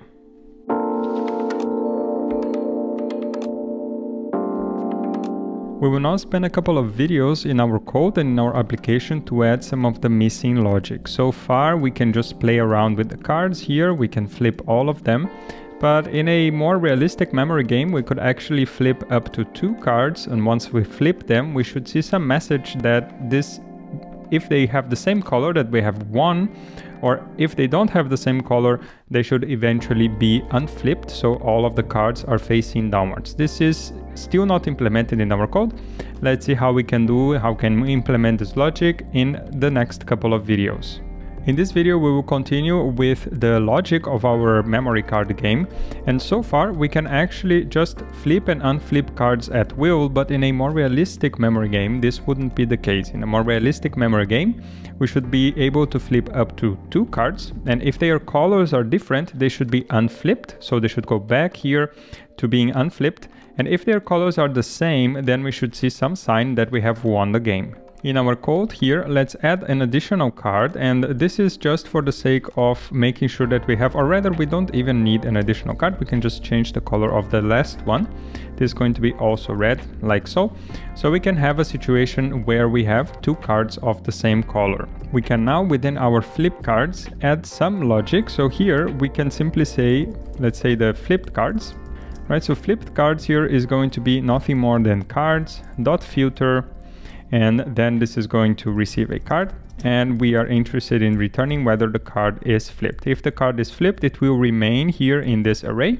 If the card is not flipped, then this is not going to be, so this card here is not going to be maintained in the flipped cards array. So let's just console log this on the screen, flipped cards like so and then we'll be able to see whether this is going to be this is going to indicate all the correct version. So here when we flip the card because we are printing this before we actually update the cards here then we are seeing the two previous ones. These are going to be the two red ones that are flipped here. So this is okay. Once we unflip this the flip cards is going or the flip card is going to be again executed. The flipped cards at this point here will have the old value of the card's element or the card's state.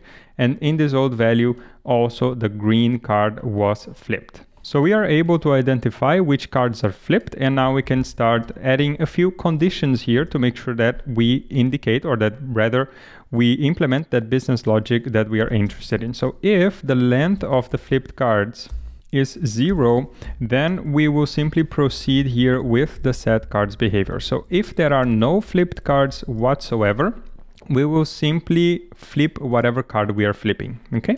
So here, once I come back here and you see that this is not going to be executed because these two cards are set, they are already flipped. So the length of the array here is already two. But if I were to come back here and then set this to false, and then save this and come back to the to the application reload this then we'll see that we'll be able to flip a card only once. Okay so once we flip a card then when we try to flip another card we will see that the flipped cards dot length is not going to be equal to zero so this set cards is not going to be executed.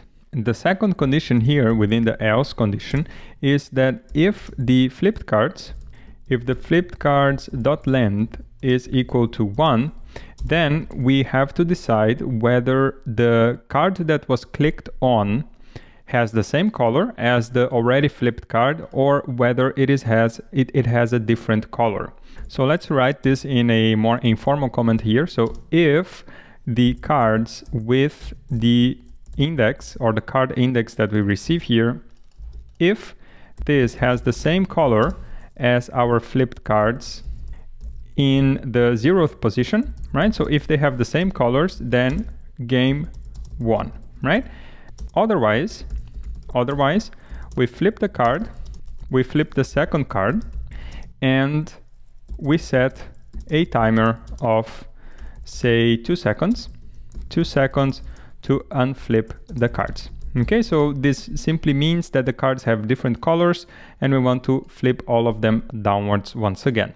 The first condition here is quite easy for us to implement. We can simply copy paste this because we already wrote this as, as JavaScript. So if the cards with the card index is the same color as the first flipped card, then we will simply, let's say here window dot alert, like so, you won, just like so, right? So let's save this now and let's see what happens once we click on the second card. I'm going to refresh this and as we will observe, we still cannot really flip the cards, but we start getting some weird message here. You see that we have won, so you won here, and that's basically because I clicked twice on the same card. So this, this code is a little bit buggy and, and I don't particularly like this code like this. So let's change a little bit because this condition here, we could actually, we don't need to add this within our flip card, but we can add this as a use effect hook. Remember, we are interested in running an effect whenever a certain piece of state changes. And for that, we can use the use effect hook. Now the use effect hook is going to have as a dependency the cards array. And then within our use effect hooks, we will also compute the flipped cards. And then we will execute this condition here, or rather all of these conditions here inside of our use effect hook. I'm going to add it here for now, and then we'll simply say it like so. If flipped cards dot length is equal to 2, then we are going to now fall under here either this first condition or the second. The problem here is that in the first condition, we don't really have the new card index for us to compare. So we need to find another way. And basically here, the only thing that we need to do is we need to compare the first with the second flipped card. So instead of using the cards and the card index, then we'll simply say flipped cards one dot color, or rather let's start with the zeroth one here is equal to flipped cards one dot color. Then we will simply alert you have one. Otherwise here, else, we simply want to set a timeout. And then within this timeout, we want to set the cards all upside down. And for us to do that, we'll simply do it like so. We'll say set cards with cards.map. And then here we need to basically change whatever we are getting or we need to set all the is flipped properties of our cards to false. How do we do that? One possibility is to have a map, which means we are going to iterate over the cards and we're going to return a new card for each of the cards. So now here I take our card, I will spread all of its properties so that we keep all the properties and then I'll simply say is flipped. I'm going to set it to false. And our set timeout here is going to be executed after, let's say, two seconds, like so. So now once I save this, we see that formatted is maybe a little bit easier to see. Let's go over once again the logic here and see if everything is clear. First, within this use effect hook, we again calculate the flipped cards by simply keeping only the cards which have the is flipped property set to true. And then we evaluate if we have two flipped cards and the first flipped card has the same color as the second flipped card, then we simply alert a U1 on the screen. Otherwise, if they have different colors, we're going to set a timeout here. And after this timeout, we're going to set the cards to a new array, which is going to be calculated based on the previous cards. Here, what we are doing is we are just iterating over our cards. And for each card here, we return a new card but this new card has the is flipped property set to false. And here I can see that the, the timeout time here is actually misplaced. It is within the map function.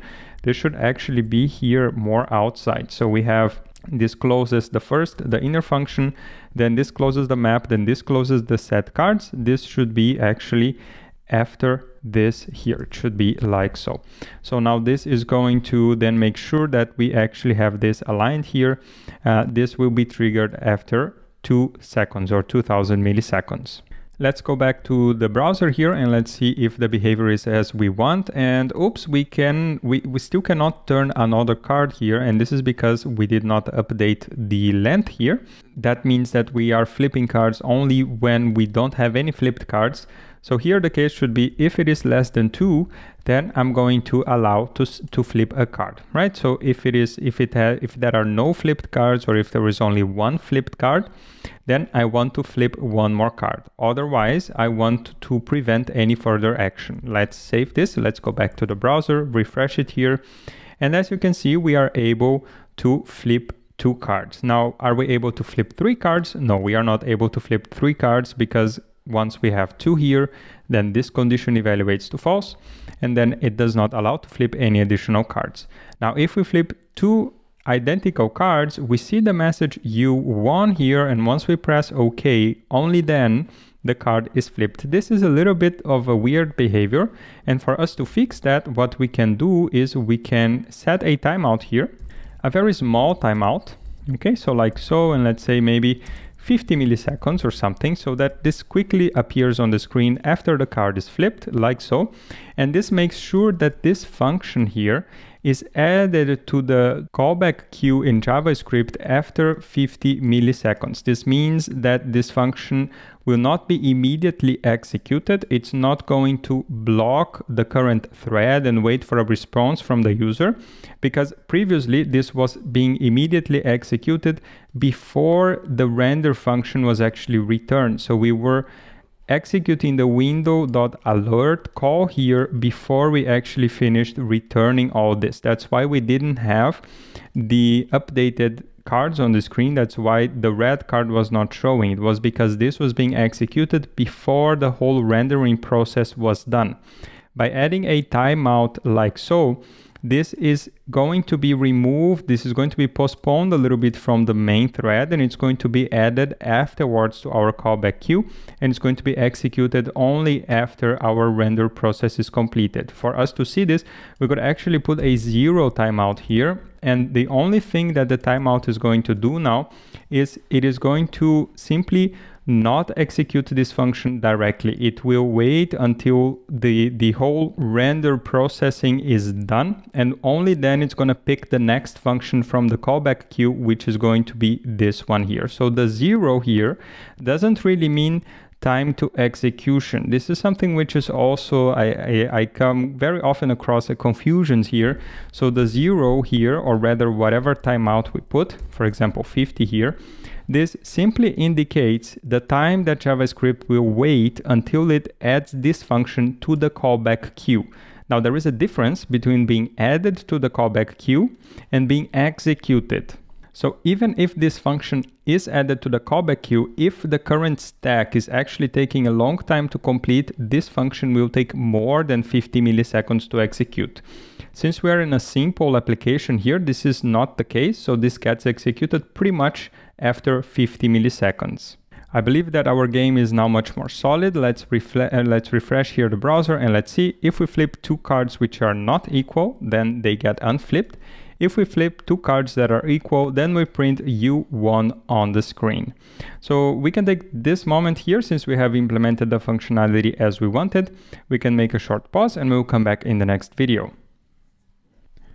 Welcome back. In this video, we are going to start implementing a small header here on the top that we want to use to have a button to actually reset our game. So once we win the game, we don't, we cannot really do anything additionally here because we prevent any further card flipping once the length is equal to two.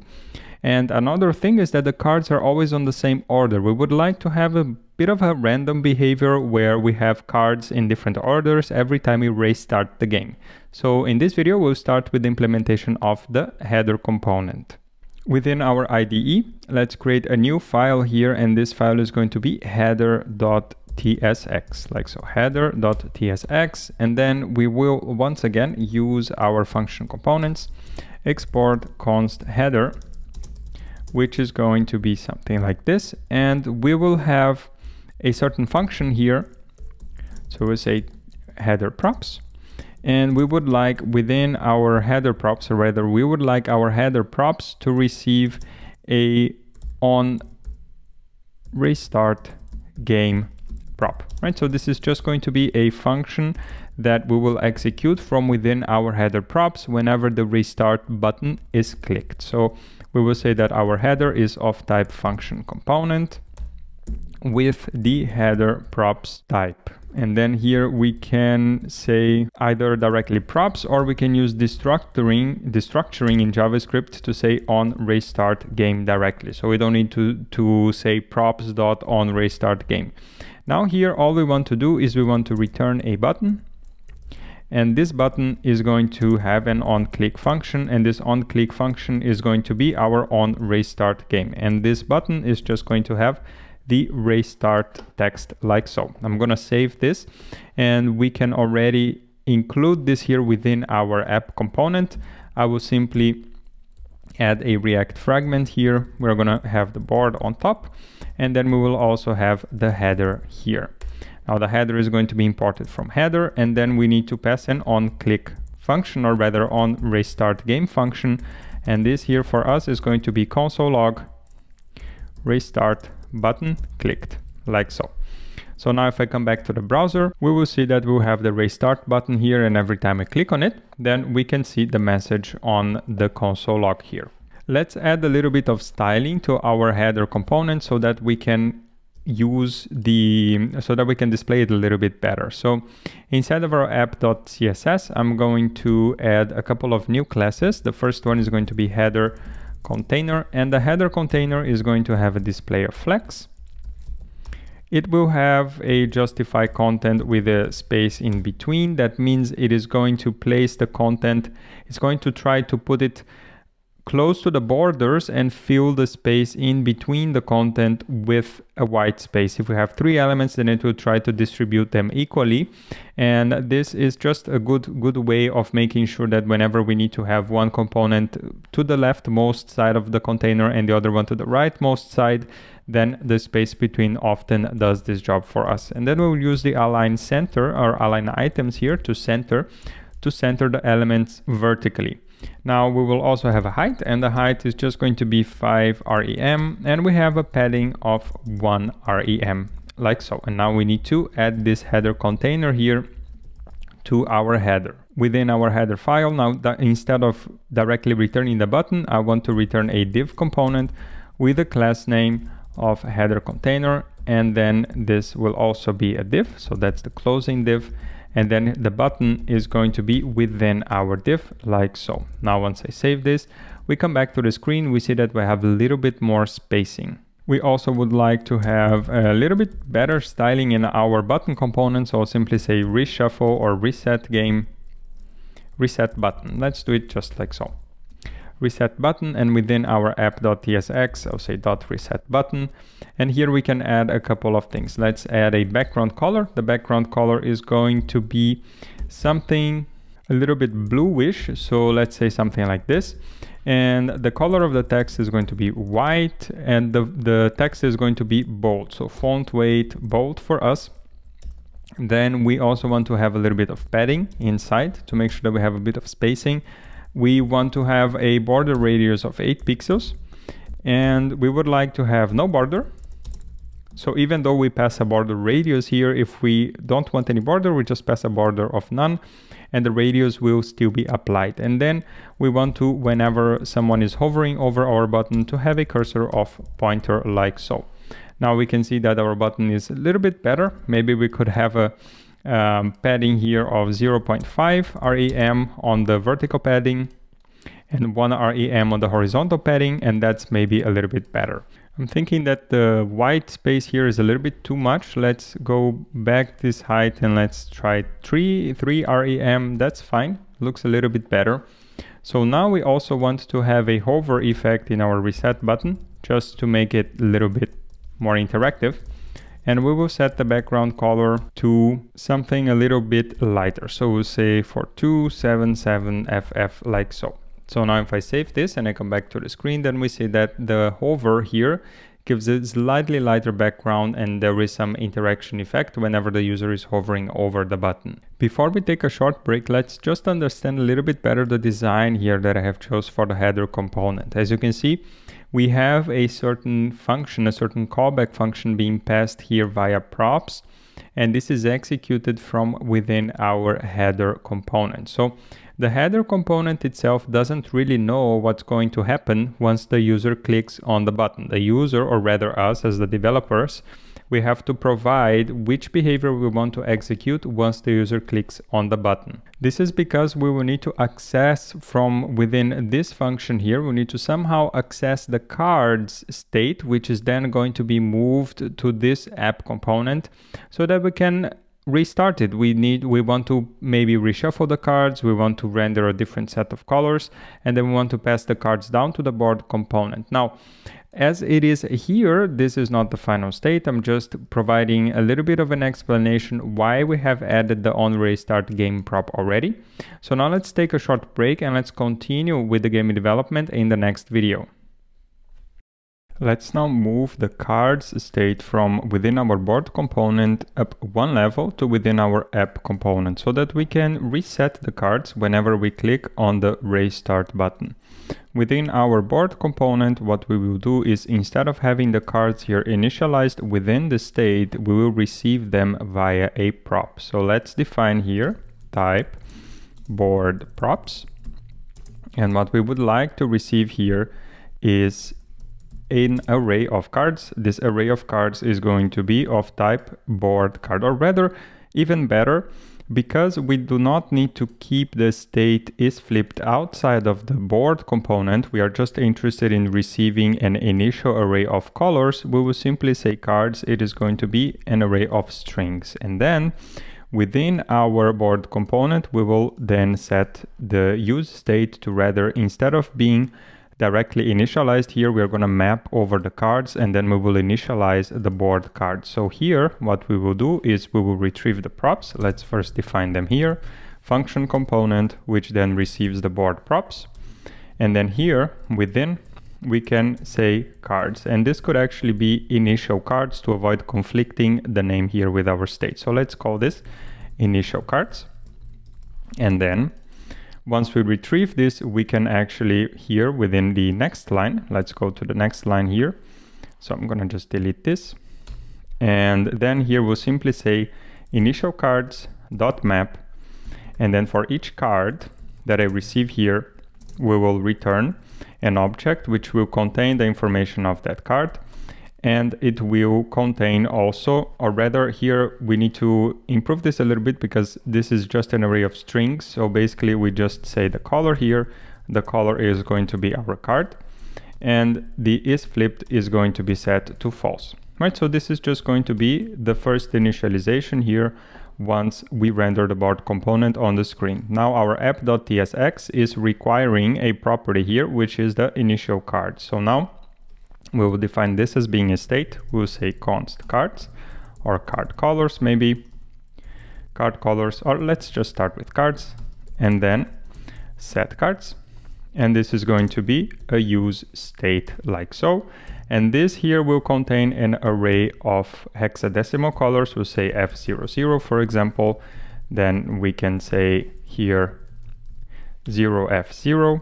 And then F00 as well, just so that we can visualize uh, what's going to happen once we click on two cards with the same color. Now we'll simply pass initial colors or initial cards here to be our cards. We're gonna save this and we'll go back to the browser to see whether everything is working as expected. We are now here on the browser and we have everything flipped down. So now once we click on two cards, then we see that they get flipped up and because they are different, they get again unflipped. And once I click on two cards of the same color, we print the message you won on the screen. So the behavior is still the same. Everything is working as expected. And here let's just revise before we make a short pause. Now, instead of hard coding the cards here within our state in the board, we allow the, the application to provide the card colors that we want to play with. And then Within our board component, we do map these initial cards here to our internal representation where we have a color and a is flipped property. But we don't require these cards to actually provide this information. This is very important because from the app perspective, from the app component perspective, everything that is interesting for the board is just to provide an array of colors that we want to play with. We don't need to know at the app level how the board is internally storing these cards and how it is managing the logic to actually flip the cards and check whether someone has won. So we should not actually expose this information from the board component. We should not let it leak outside of the board component. And that's why we have a clean interface where we just receive an array of strings. And then these strings here represent the colors of the card we will play with. Let's take a short pause and come back in the next lecture. Welcome back. In this video, we will work towards removing this hard-coded array of colors here. So how we will do that? We'll do that in a few steps. So I'm going to write them here just for the sake of understanding everything better before we start implementation. The first step is to generate a random color. Okay, so we, we just in the hexadecimal hexadecimal format. So that's the first step. We want to have a function which generates a random color in the hexadecimal format. Then we want to be able to generate an array of random colors. Okay, we'll just generate an array of random colors and then we will pass this array to the board component and we need to duplicate the array within the board component or rather not just duplicate but also shuffle this array right? Because if we duplicate it it simply means that we will have always a color at a position zero for example and then another color the same color the position n plus one where n is the is the number of colors that we have. So here we'll simply say we pass this array to the board component and within the board component we are going to do two operations here. We'll say 3.1 duplicate the colors and then 3.2 shuffle the resulting array right? The resulting array. So as you can see, we have a lot of things to do. Let's just get right away to, to working here. So the first one is we need to have a generate random colors, right? Generate random color. And this is going to take no parameters. And all this is going to do is it will return a math.floor here and we'll say math.random math.random. This is going to generate a random number and we're going to multiply this with the decimal value or the decimal equivalent of the maximum hexadecimal color and that is 167,77215. and if you are curious at how I got to this number then you can just google it hexadecimal to decimal converter and then we have from hexadecimal to decimal and we're going to enter here the white color. That's the highest hexadecimal value for colors in, in CSS, in JavaScript, and in, in general front end. Once we click on convert, then you see that we actually get this number 1677715. So this is how I got the number. We're going to come back here. And now back to the code, what we will do is we take the floor so that we ensure we take always the lower, the lower value here. And because math.random varies between 0 and 1, then whenever we multiply by the max value, we get a number that's going to vary between 0 and 16 million, 700 and blah, blah, blah, thousand and so on. And then here we just want to make sure we round it towards the lower value. And now here we can translate this to a string to string and then here we can pass the radix. The radix parameter simply says convert this number to the following base and the base here is going to be base 16 that's the hexadecimal base. If we pass this to 10 then this would just be the decimal base. If we pass this to 2 this is going to be the binary base. So we're going to just simply say 16 here to get the hexadecimal code of whatever color we are generating. So now here we have a function to generate a random color and then what we can do is we can also have another function generate random color array and this generate random color array is going to receive the array length. And then here, let me just stop this because once I save, this gets run again. So I'm just going to refresh this. And now we, we can prevent that, that window.alert coming up. So now we have an n here. The n is going to be, or the length maybe, it's going to be a number. And this is going to return me an array of strings, right? So now here, this receives no parameter. It returns me a string. And then here all I can all I need to do is to simply return array dot from. And then here I can pass an object which is going to be an array like object. The length is enough for us here.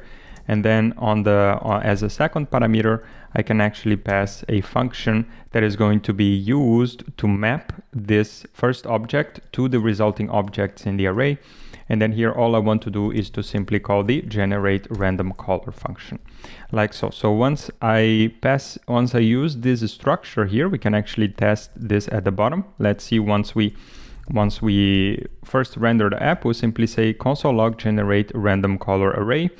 And this is going to be, let's say, an array of length 10. Once I save this and come back to the browser, then we will see that we have the arrays printed here, or rather the array printed here. So how does that work? Let's spend just a few minutes in our generate random colors array. Let's rename this random colors. Um, and here what it does is it creates an array from what is called an array-like object. Okay, so if I hover over the from here, you will see that it has a fairly complicated signature, but the first one here is an iterable, and this iterable can be an array-like object. Now, an array-like object is any object which contains the length key, and this key is of type a number. So this is what we are doing here. We're simply say, please generate an array from an array-like object. This will generate an array with a length set to len. If I were to remove the second parameter here, save this, come back to the browser and refresh it, we'll see that we will get a bunch of undefineds. So JavaScript generates an array with length 10 and it fills it up with undefineds. Now I don't want to have to fill it up with undefined values. So what we can do here is to pass a second parameter and this parameter, if we hover again over from, this is a map function, right? And the map function here is going to receive a tuple as the parameters. These are the value and the index of that of that value and this is useful if we have an actual an array like or an iterable here but the point is that this map function will be applied to every value from our array before actually returning the final array. And all we are doing here is we are mapping over each of the elements. Each of the elements is undefined, so we don't care about it. And we are just applying this function and returning a random color here. So bottom line is we are generating an array with a length 10. And then for each of the elements, we are actually returning the color that we want to, to, to generate here. Now there is one small thing that I have just noticed. When we go back to the browser, we see that we don't have the hashtag here. So let's add the hashtag and we can simply say here random hex color. And here we'll simply return like so with backticks so that we can we can interpolate values. We are going to pass curly brackets, we're going to pass a dollar sign and then the hashtag here. Once we save this, then we should see now the values with hashtag. And every time this gets re-rendered on the screen, the values are different. If we now look at our, our to-dos here, we can see that the first one is done. So we're going to mark this as done. And the second one is also done. So just copy this, paste it here.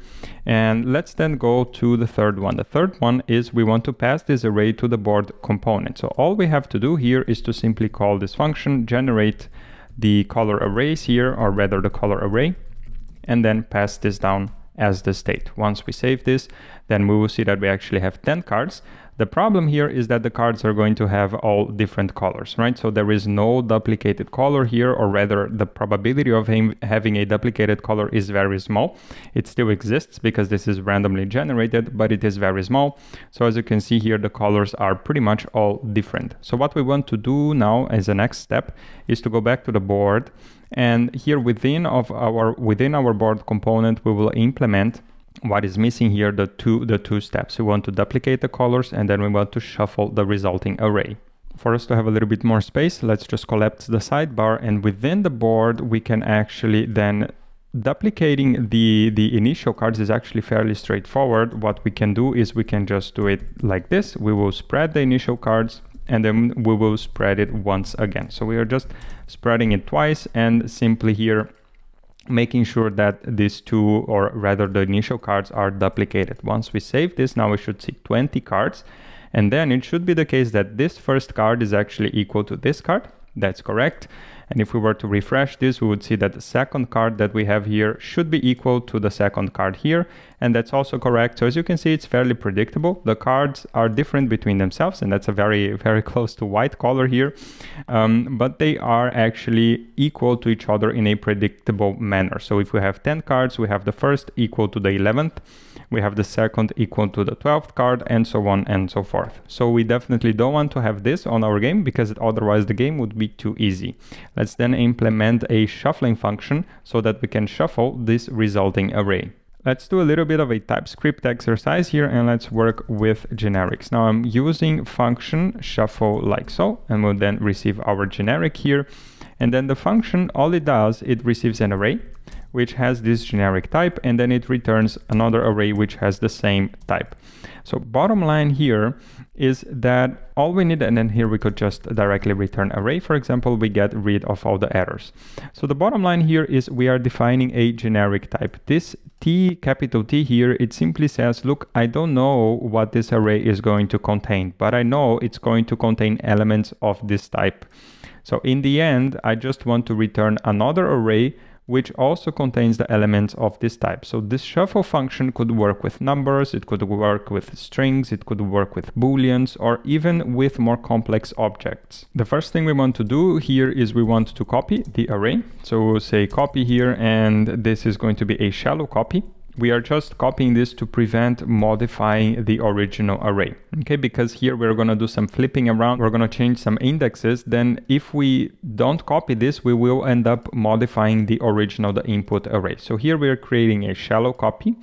And then we're going to start working with this copy. So let's say that our current index is going to be our, our length of our copy array, copy.length. And then we also want to have a random index, right? So this random index here is going to be used within our loop. Now we're going to iterate backwards. We're going to start at the current index and we will keep running the loop while the current index is different than zero.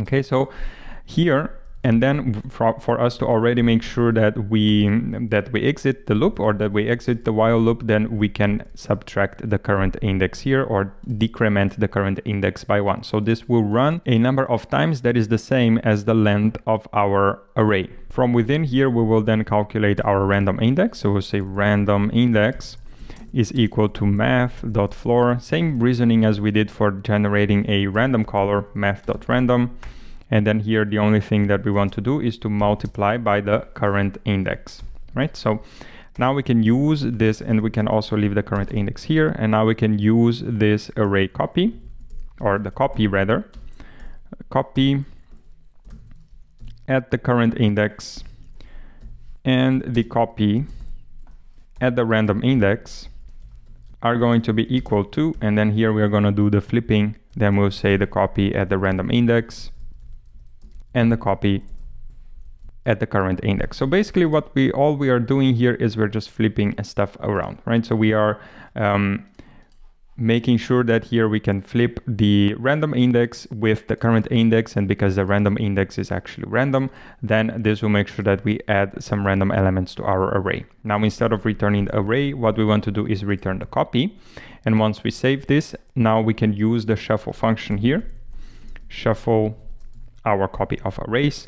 And once we do that and come back to the board, and maybe here we could actually remove this or reduce this. Let's make it two so that we can finish the game a little bit faster. Let's now come back to the board. And once we click on it, we will see that we already have this shuffled because this color here initially is placed on this position. And so maybe we can increase the difficulty a little bit more. Let's put four.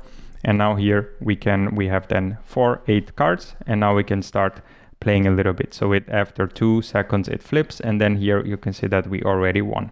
So the logic is pretty much done actually. Now if we think about it, we have a logic which allows us to provide a random array of colors. We don't need to hard code them anymore.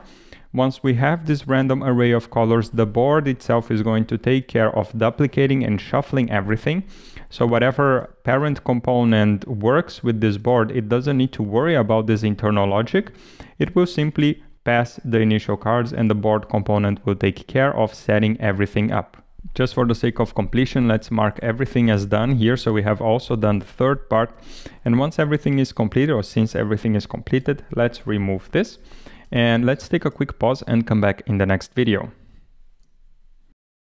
Welcome back. In this video, we will implement the behavior of restarting the game. We have a function set cards here, and we want to restart the game whenever we click on the button on the header here. So if, I, if I'm here and I click on restart, we would like to, instead of printing a message, actually restart the game.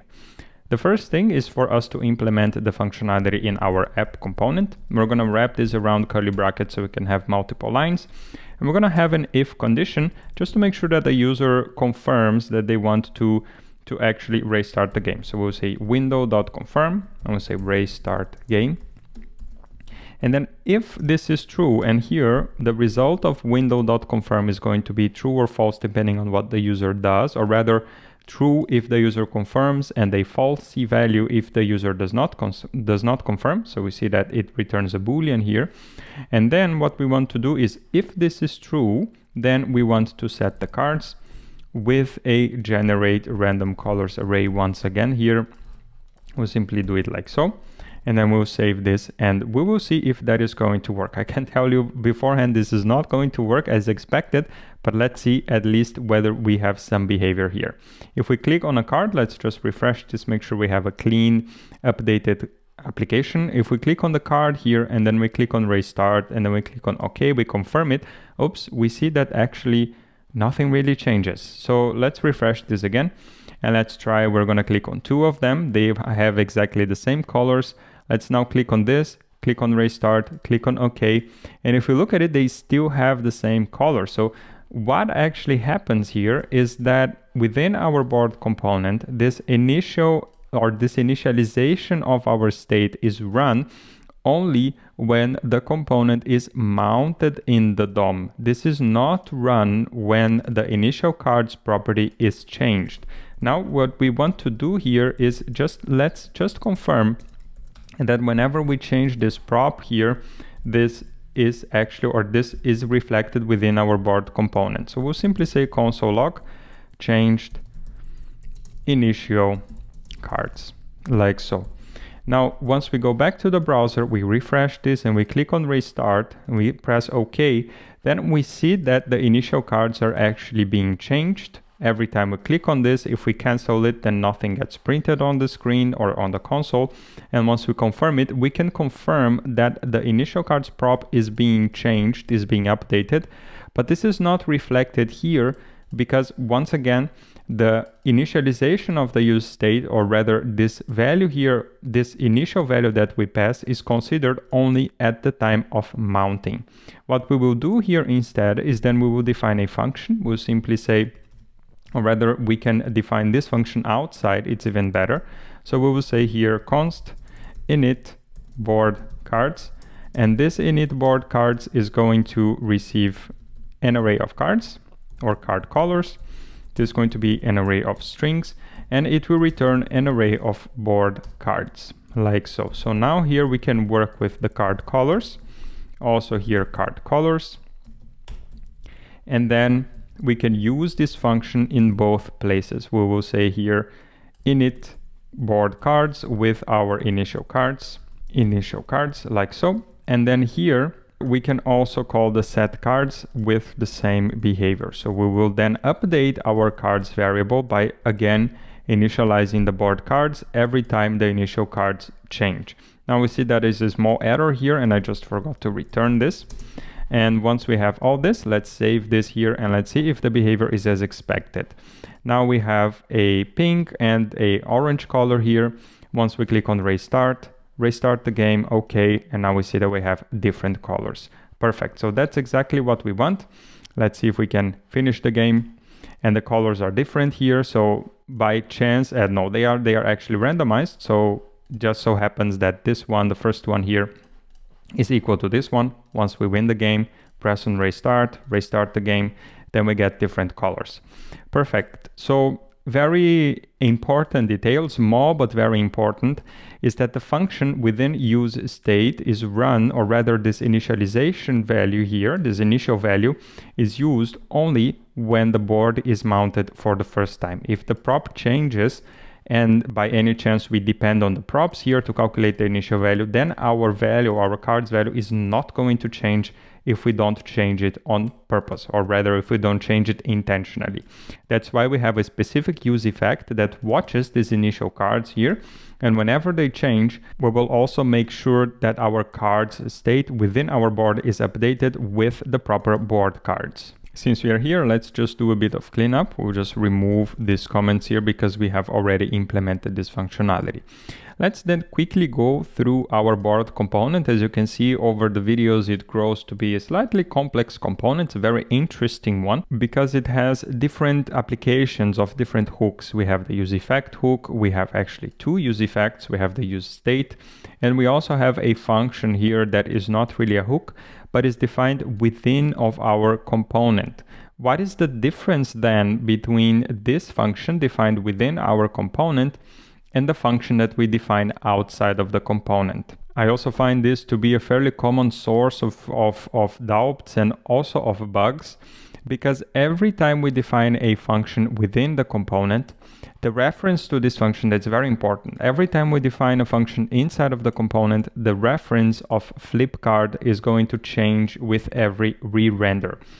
This will be initialized with every re-rendered and the reference to the flip card is going to change. That means if we play, if we pass flipcard as a prop to any of the children components of our of our board component, then this flip card is going to change with every re-render. And if we use it inside of the card, we have maybe a use effect or something that depends on this flip card. This will be triggered at every re-render.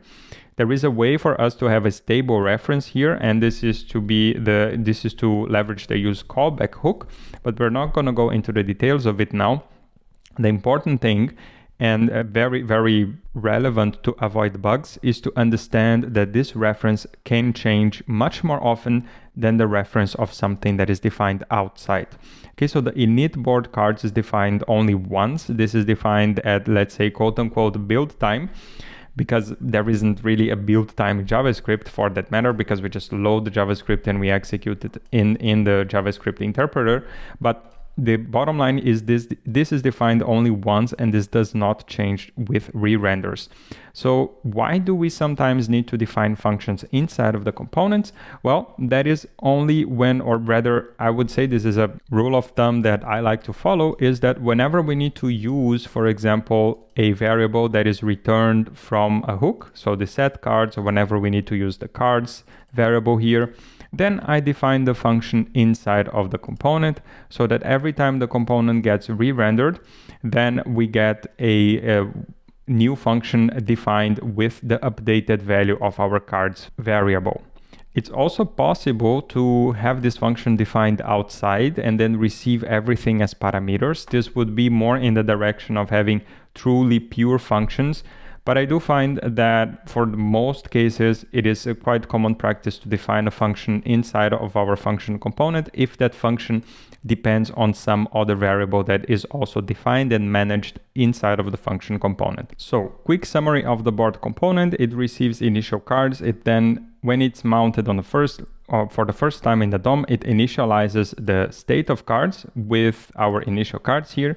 And then every time they update, we use this use effect hook to update also the value of our internal cards here. We then have another use effect here, which depends on our internal cards. And this use effect is responsible for checking whether we have won the game or whether we need to unflip the cards. If there are two flipped cards, then we're gonna do this check. Otherwise, this use effect is just not gonna do anything. Then we have a function defined within our function component, flip card, which depends on our internal cards as well as on the set cards function. And what this function does, it, it, just flips a card on the screen. It receives an index. And if there are less than two flipped cards, it's going to flip that card.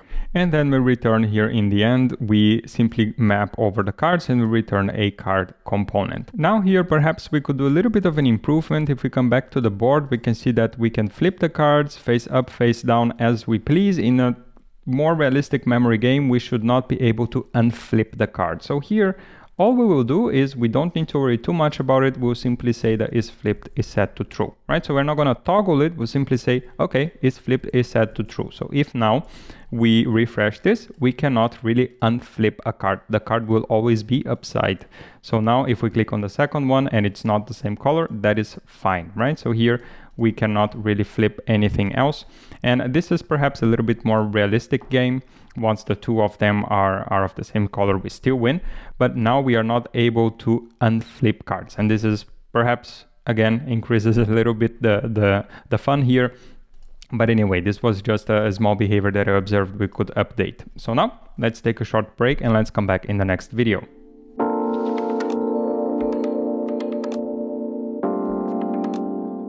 React Context provides a way for us to access information from a certain place, from a certain provider, without having to pass it directly via props. The value contained in a React context is available to every child component of the respective provider. So on the left example here, we have a context.provider. This is what is meant by provider.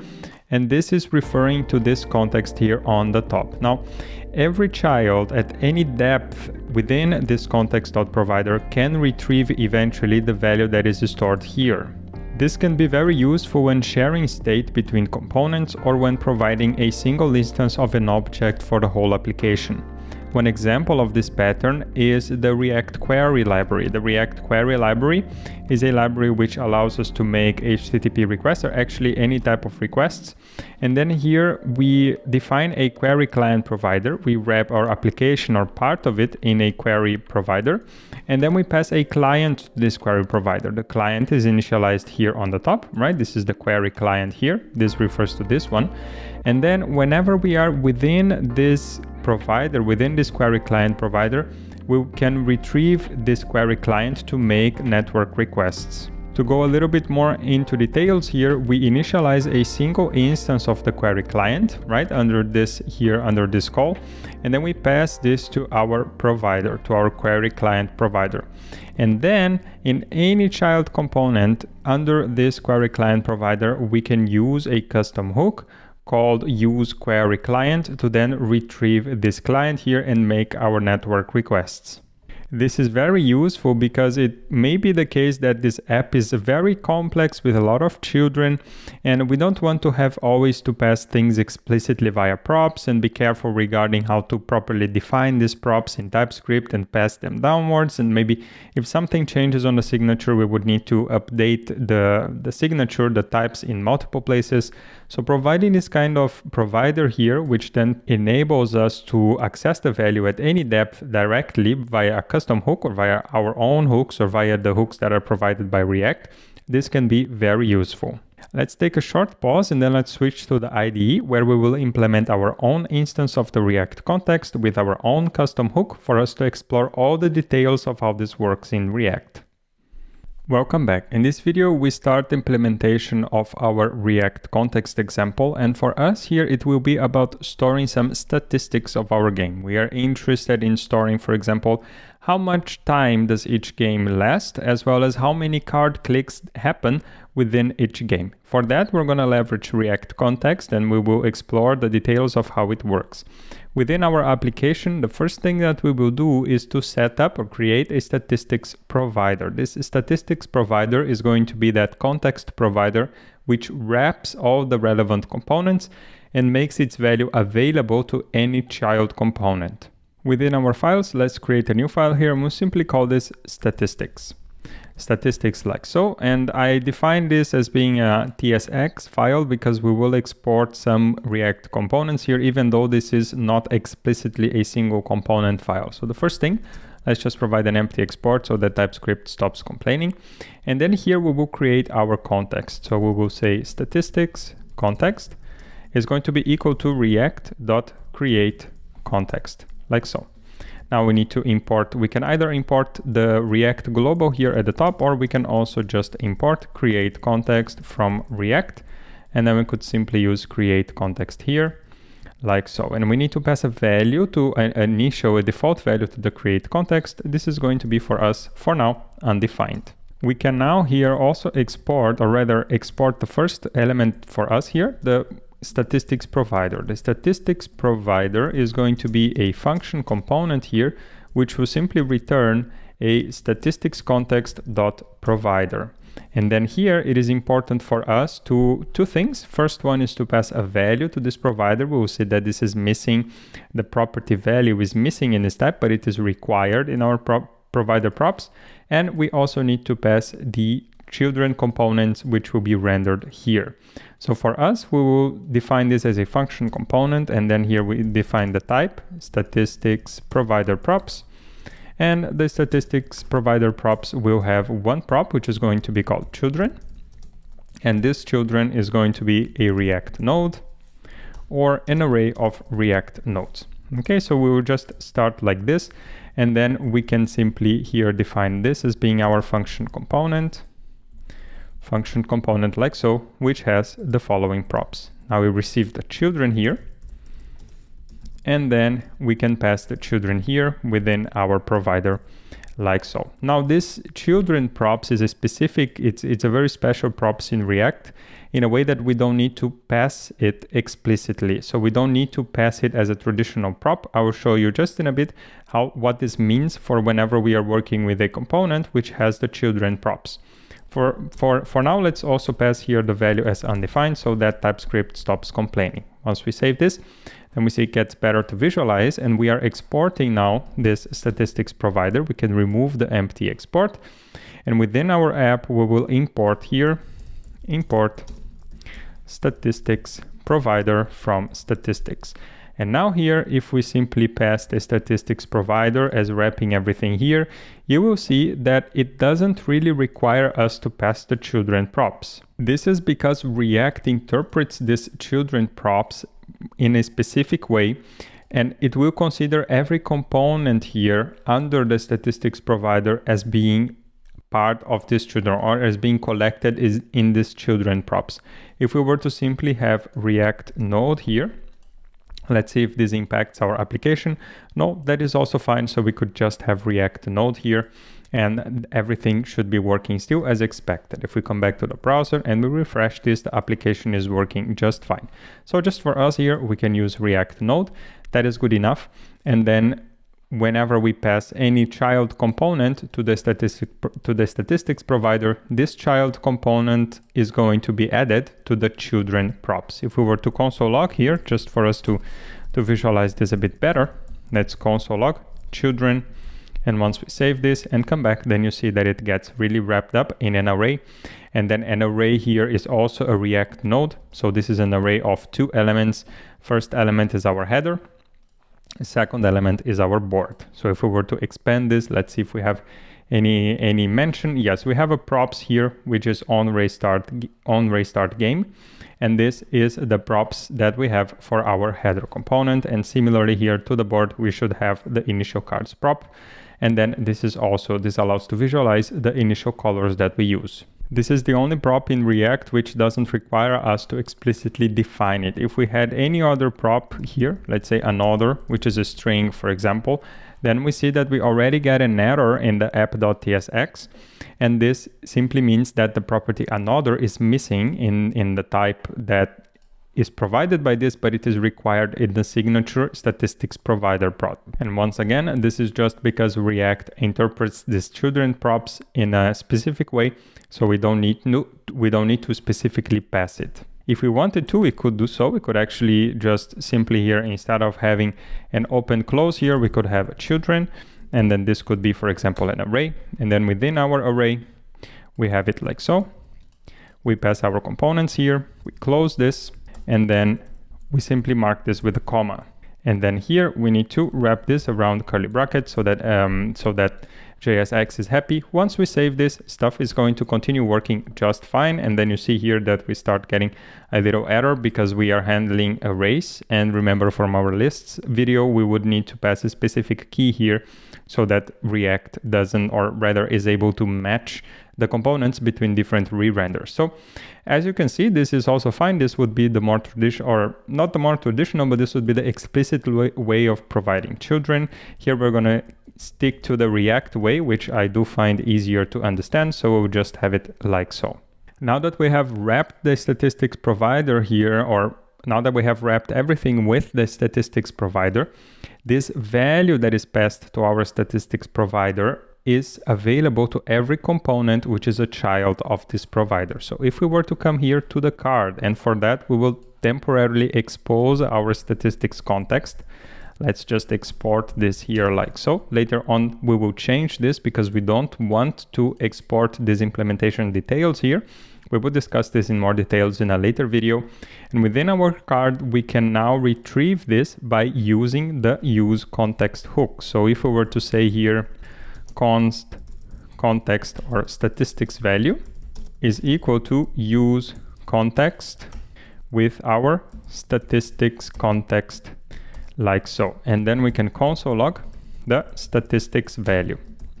Now I'm going to save this and for the sake of demonstration, let's use an array or rather a string here. So our value is going to be from the statistics context. And now back in our application, I'm just gonna refresh this. And then you will see that we have a bunch of console logs here.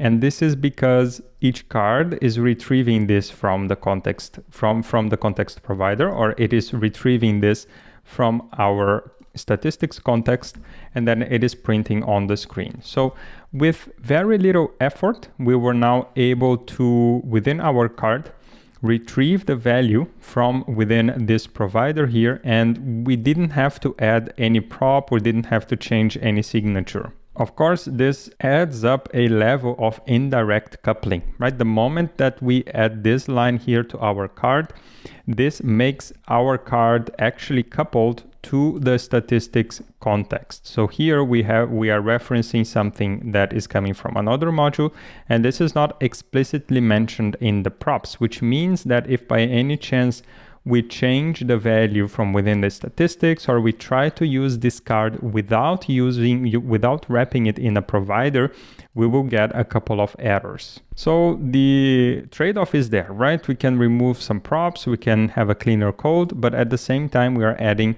a level or a layer of indirect coupling. That's why i'm also always careful regarding using the context API in React and I have to have a good use case to use it instead of using the props directly because the props allow us to actually see the information that a component is dependent on. The React context makes this information less straightforward to see, so it's perhaps a little bit more complex to maintain. That being said, there are use cases for React context and the one that we are implementing here is one of them where we want to have a statistics provider that wraps the whole application and then we want to collect information at the different levels of the application and then aggregate everything in one place.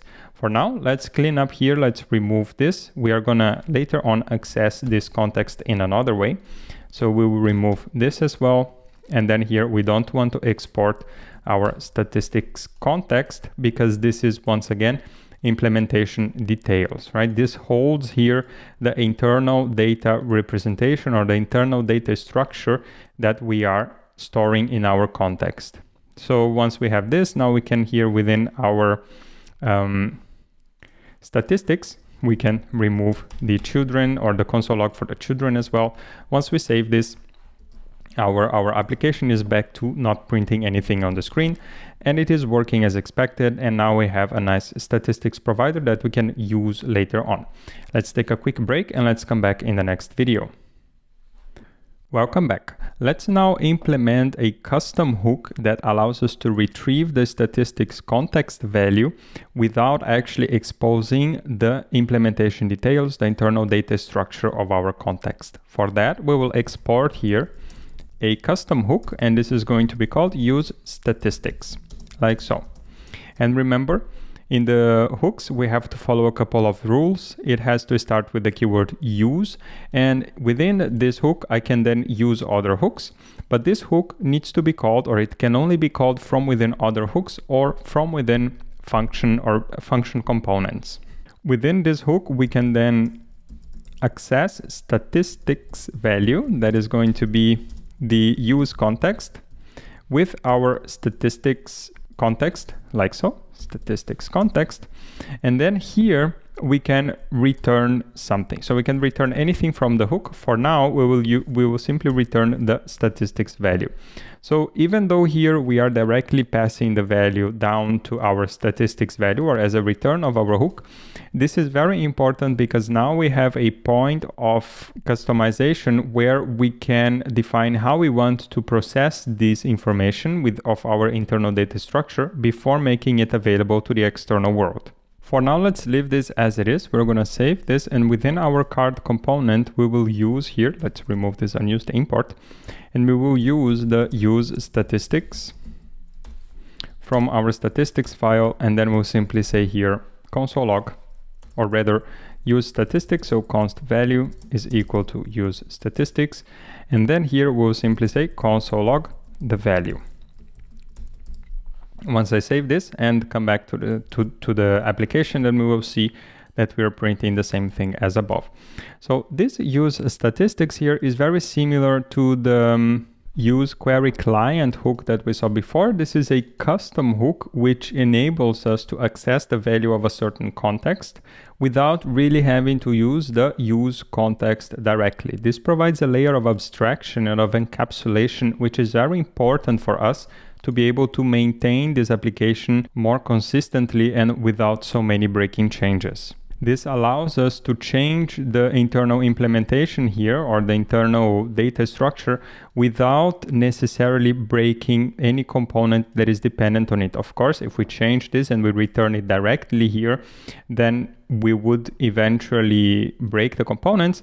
But if we have some logic here in the middle that makes sure that the new data structure is transformed into the old or rather into the into the signature. But if we have some logic here in the middle between retrieving the value and returning it, which transforms this internal data structure into a stable interface, then we will not break any component that is dependent on it. So always recommendable to have this layer of abstraction and encapsulation by defining a custom hook which retrieves the value of the context for us and if necessary does some processing and then it returns a stable interface for any component that want to use it.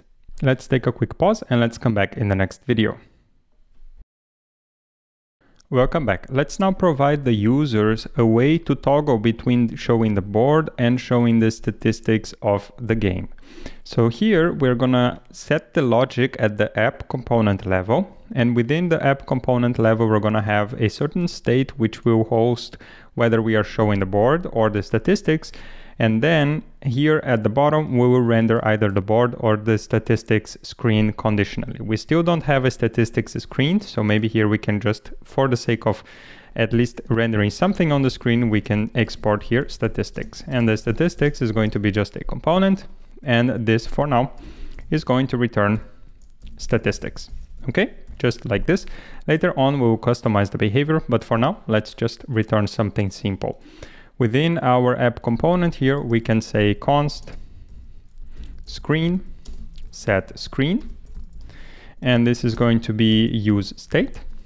And this use state is going to have two options, okay? This is again TypeScript. So here we can say it's gonna be, it's gonna host the value either of board or of statistics. And we will initialize this with board. Okay, so now if I try to set anything other than board or statistics, you see that we start getting an error. This or here allows us to specify all the values that this use state can ever assume. So it has to assume either one of these, either board or statistics. We're gonna hold it, we're, we're gonna set it to board for now. And then here we will say if the screen, right? If the screen is board, so screen is equal to board and the board component like so. And now here, if the screen is equal to, if the screen is equal to statistics, we'll simply render the statistics component like so. We are getting an error here because we are actually returning a string. So let's just wrap this in a div for now so that we return a valid React node. If we use it like so, then the, the TypeScript error here should go. And we should here still see our board component. So these are the console logs from our card component. And now let's provide a way here on the on the header to actually alternate between the board and the statistics screen within our header.tsx, let's extend this to being a, something, or let's add another prop here that's going to be on select screen. And the on select screen is going to be a function that will receive the screen here. The screen is again either board or it's either board or it is um, statistics. And this will return void. Right, so now here we have a we have a header and then within the header, we would like to put um, another here, another element on the other side of the screen. So let's just write here, I'm on the other side and see how this looks like, oops, and see how this looks like on the screen. So now if I come back to the to the application, you see that we are getting some errors here. That is because we are not passing this function here. So we will say on select screen, that will just be nothing, right? We do nothing here, we just return undefined, we save this, we come back, and then we see that the text here is on the other side. That's how we intended here when we earlier on, we selected here in our header container to have a display of flex and to justify the content with a space in between. Now here, the only thing that we need to do at the header level is to receive here the screen, and then we will simply call set screen for the screen that we receive. Okay, now this is already fine here. If we hover over, you see that this is already correctly identifying that the screen is going to be either of bo type board or statistics. And this is coming from the type definition here in our header props. If we were to say, for example, BOAD here, then you will see that we get an error in our app component because the screen here is going to be is, is not going to match the type that we are defining here in our use state. So we cannot really use this function here. You will see that this argument of this type is not assignable to the parameter of the type set state action with statistics or board. So that's again another very nice way of using TypeScript to make sure that we are matching the types here between the components.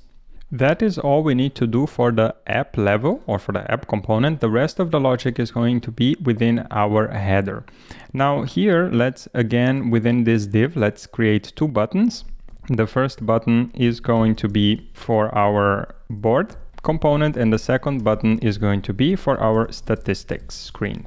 So now if we were to say here on click, we will then simply call this um, on and then here we need to actually access the, the prop here, the on select screen. And then we'll say here simply on select screen with the board value. Now here you see that we also get a nice um, auto completion, which comes from the fact that we have defined these two variants or these two possibilities here on the top. So this is going to be the on select screen for the board. And the one at the bottom is going to be the on select screen for the statistics screen like so. Now once we save this and come back to the browser, we should see a button here that allows us to alternate between the board and the statistics component. Very important here, the moment that we are alternating between these components, the board and the statistics components, we are causing a full mount and unmount of these components because we are mounting only the one component that matches the screen. So if the screen is board, we are mounting only the board component, otherwise we are mounting only the statistics component. Then when we select statistics here, we are unmounting the board component from the screen. If we were to come to the board component here and add a lifecycle method, let's use here within our board, I'm going to simply say use effect and we will directly return a function here like so. So we return a function that simply says console log unmounting and we can pass an empty array here of dependencies and we save this. Now we will see that once we refresh this, we start with the board, but once we click on the statistics, we actually print the unmounting on the console, which means that the board component is being unmounted every time we toggle between our board and our statistics. And the same thing for the statistics component. Why is this important? We can remove this here, but this is important because every time a component gets unmounted and remounted to the DOM, the state is going to be reset, okay? So here, if we have a board and we turn a couple of cards, we go to the statistics and we come back to the board, you will see that these cards are different. So it is very important for us to actually be aware of this behavior here. We will simply prevent, or rather let's give a, a little warning to the user here. Okay, so we'll say within our on select screen, we'll say if window.confirm right? So we could say here screen is the board. So if our screen is equal to board, then we want to confirm whether the user wants to, to switch the screen because this is where the danger is that the user may lose their state. So this will reset the game. Okay, and then if the user confirms this, then we will set the screen to the new screen. So I'm gonna save this and now back here, let's have a look again. We have blue and, and purple here. We come to the statistics and nothing happens because this is the shouldn't be the board. It should be the statistics here because we are on the board screen and we are trying to set the screen to statistics. So if we click on statistics here it will say this will reset the game. If we cancel it it stays on the board. So let's revisit this. Okay we have again blue and purple. We go to statistics we cancel it we still have blue and purple so nothing changes. But now if we want to come to statistics we press ok and then we come back to the board here and we just need to have here else set screen to make sure that everything works fine, right? Otherwise we'll set the screen only when the screen is statistics. So now when we come back to the board, we will see that we have a different state here. We still have the same colors. Yeah, this is important for us to realize. We still have the same colors. This is our blue And let's see if we can find our purple. Maybe this is purple. Okay, here is our purple. So we still have our blue and purple here. The colors are the same because they are set at the parent component, the app component, but they're getting reshuffled every time we render the board component because we're entering into this initial state setting here very nice way of visualizing the effects of rendering things conditionally. This is not a bug, this is not a problem, this is the intended behavior of React. You just need to be aware of it and be careful whether this will generate any side effects in your application that you are trying to avoid. For us, this is fine for now as a behavior, so let's take a short break and let's come back in the next video. Welcome back. Let's start working towards storing some actual statistics about our game here. We will start by returning a couple of functions from our use statistics hook. So instead of directly returning the value, let's come back to the card here. Before we do that, let's remove this again so that we don't have any problems with the signature. Let's return here an object. This object is going to contain three keys. The first key is statistics and this is going to be just an empty object for now. And then the second key is going to be start new game. And this is going to be a function. This will, for now, simply return starting new game. And the third value here, the third element of our object is going to be end current game. Okay, like so. And then here we'll simply say ending current game. Now the start new game function is going to be called from within our app.tsx or rather from within our on restart game function. This start a new game here, what it will do is it will, so let's say start new game, will one, close current game and current game and start and two, start new game. And the end current game will simply end current game will simply end the current game. Okay? And the statistics here is going to contain a bunch of information about our individual games. Once we return this, we can actually access the start new game and the end current game functions from, again, every child component from within our um, from within our statistics provider. So here within the header, we can actually come here and we can say here const and then we can use an object. We say use statistics and then we need to import this, I believe. We will import use statistics from our statistics file. And now here we'll simply say start new game like so. And then the start new game function is going to be called here together with the on restart game like so. And then here we call this function and we also call here start new game. Now if we save this and come back to the to the application, let's click on the restart here, restart game, and nothing prints on the console because of course we are not printing anything, we're just returning a string. So now here let's wrap this up in a console log. Right, so now if we save this and we come back here and click on the restart, then you will see that we get this starting new game here. Now, as you can see here, once we click on the restart, we are actually triggering this console log before we actually restart the game. And I'm not really satisfied with this, so let's change a bit the behavior here. We are not gonna use this inside of the header. We will actually use this inside of our app.tsx and we will see what we need to change here to actually be able to use this. So now if we were to try to simply import this here and use it here, and then call the start new game here because that's what we want, right? Now we want to start the new game if the user confirms. That's the only place, that's the only moment we want to restart the game. We can remove this from here. We can undo all our changes. Let's just pass again as we had before here on restart game.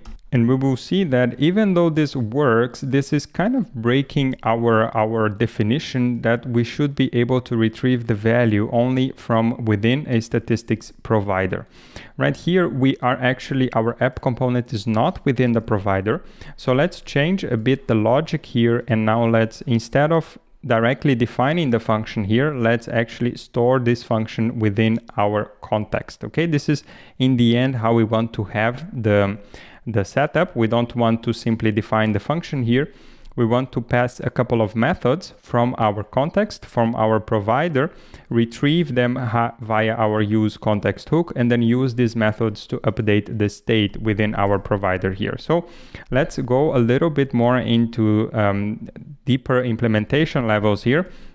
And we will say const, just for the sake of having, of having a certain, um, let's say game ID here, and set game ID for example, this is going to be a use state with uh, just a math dot random. Okay, so for now, we're just going to generate something random here. Let's import the use state from our React here use state. And then here from within our provider we actually want to provide the value that is going to provide a couple of functions that we want to retrieve here. So this is getting a little bit complicated in terms of uh, the flow of the program. Hold on and we will then revise everything once again once it's completed so that we fully understand it. Now here we want to define a function start new game for example.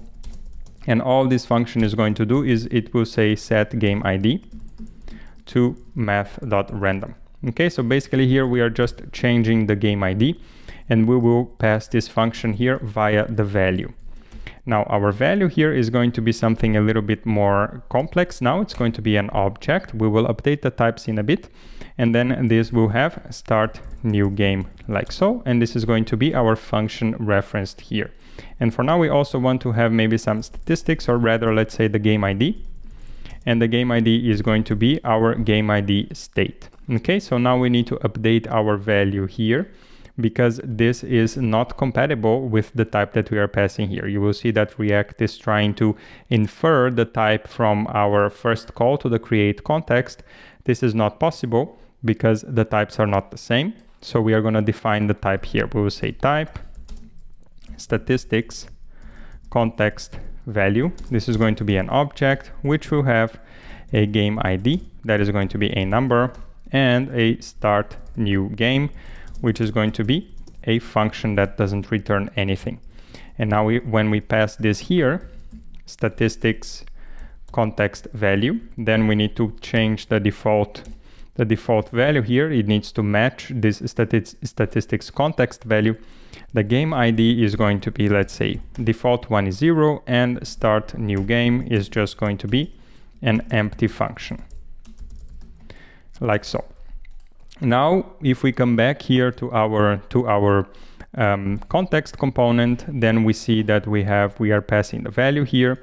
It has the game ID that's coming from this place, and it has the start new game that is coming from this place. So every child of this provider should be able to retrieve this value by using our use statistics hook. Now we can do that here. We can do is this via the use context hook and we will retrieve our game ID and our start new game like so. So now the start new game will come here and for the statistics we'll simply give back the game ID. Just for now, that is going to be the behavior that we have. Once we come back to the browser, then everything is still working, or at least there are no errors here on the console. But if we were to get the game ID here as well, which we can do so, or rather the statistics, which we can do so, and console log, the statistics, we will see that what we get here is actually zero. Okay, now this is a, this is a very subtle but again very important behavior here because what we are returning is not the actual value of our React context. What we are returning here is the default value that we are passing here. If we were to say this start new game, it's just going to console log. I'm the default function okay then you see that once we click on restart here and we press ok we are printing the default function. We are not printing the start new game that we have here. We are not executing this behavior of changing the game id very important realization here. That's why this was a, a lengthier path for us to walk but to realize that we are using this use statistics outside of our provider. Our provider is actually within the app component. So the app component itself does not have access to the use statistics or to the statistics context. Very important here is that we need to move this statistics provider one level up. This is here to our index.tsx and we will wrap our app component in our statistics provider so that the use statistics can also retrieve the value from the provider. I'm gonna cut this and remove this from here. And within our app, or rather within our index.tsx, we're to wrap the app component with our statistics provider.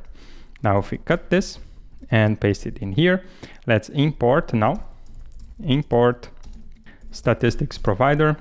Once we save this and come back to the screen, Ah, perfect. Now we see that we have some actual random ID generated. Once we click on restart and we restart the game, then we have another ID. Perfect. So now we are able to retrieve the value from within our app component and we are able to also start a new game from the perspective of the statistics context.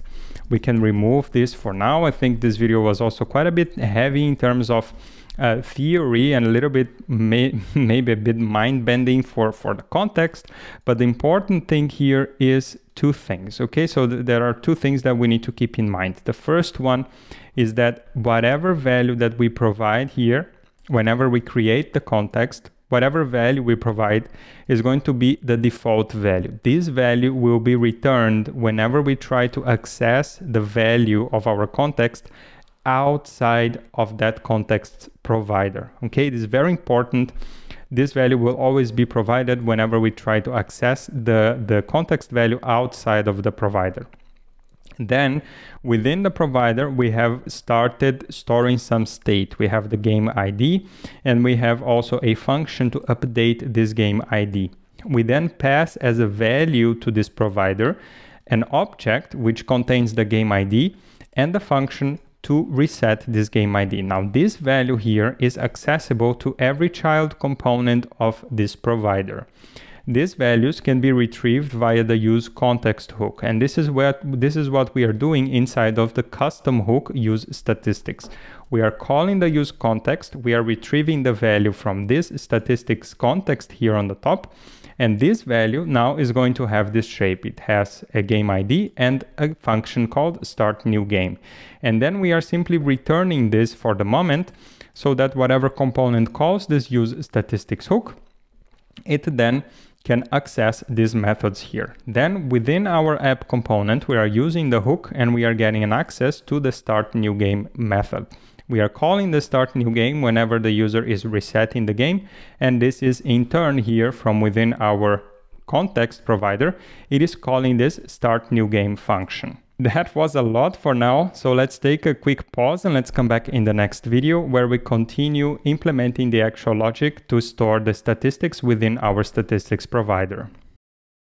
Welcome back. Let's continue with the implementation of our statistics provider. The first thing that we want to do here is to generate a unique ID. For now, we are simply using math.random, but maybe we can do something a little bit better. We can actually use a UUID, which is a universally unique identifier. And for that, we will install a small library. It's called npm install UUID, and we're going to install the version 9.0.0. I will also write here save exact so that we save the exact version in our package.json file.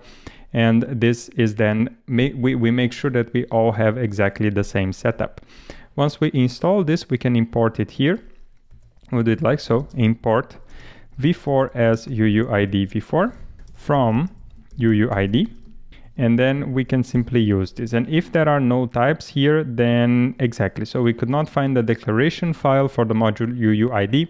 We can simply install this as npm suggests. We can install the types UUID. So we would just install it. It is a dev dependency. It is used only by TypeScript. And now once we install it, then this message should go away. Perfect. So now we can actually generate here a v4 or UUID v4 like so. And then we can also use it here. Now this is a string, it is not a number. So we need to update here on the top our declaration, which says that the game ID is a number. So that should be a string. And now here, if we flip back to zero, then everything should be working fine. What we will now do is start storing information about different games here. So basically now we can install only one game ID, but actually as we would like to store it, the, the object has the following shape. So we will simply create a type here again, just for us to understand. This is going to be games. And the games is going to be a record where the key is going to be a string and the right side is going to be an object. We don't know yet how this object is going to look like, but we will define this in a bit. So the games here is simply a map. It is an object where we have a string as a key. And then on the right side, we have an unknown or a value of an unknown type.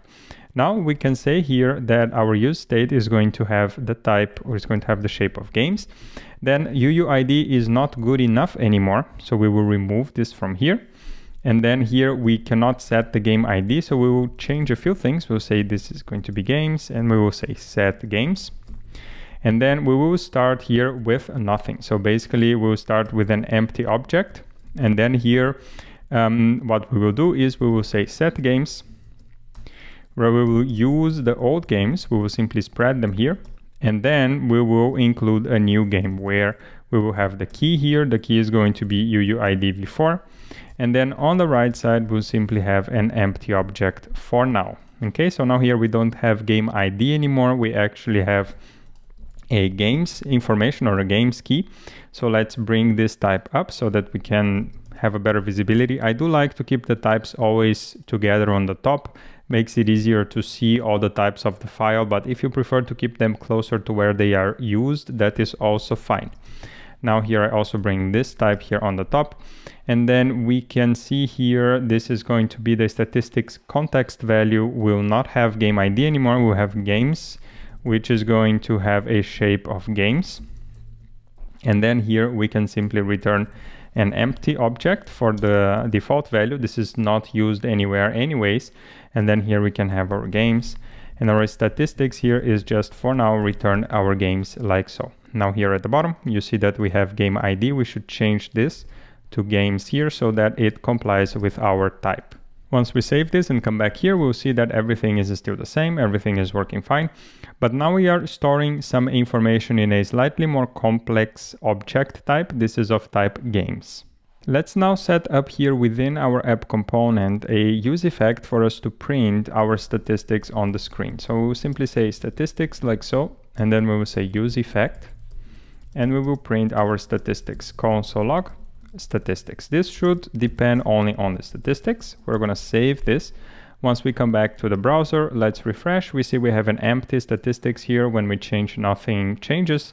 But when we click on restart and we press OK, then we actually get a new game added here. Now this game is the game that is created from within our from within our statistics file here from within our statistics provider where the game is initialized.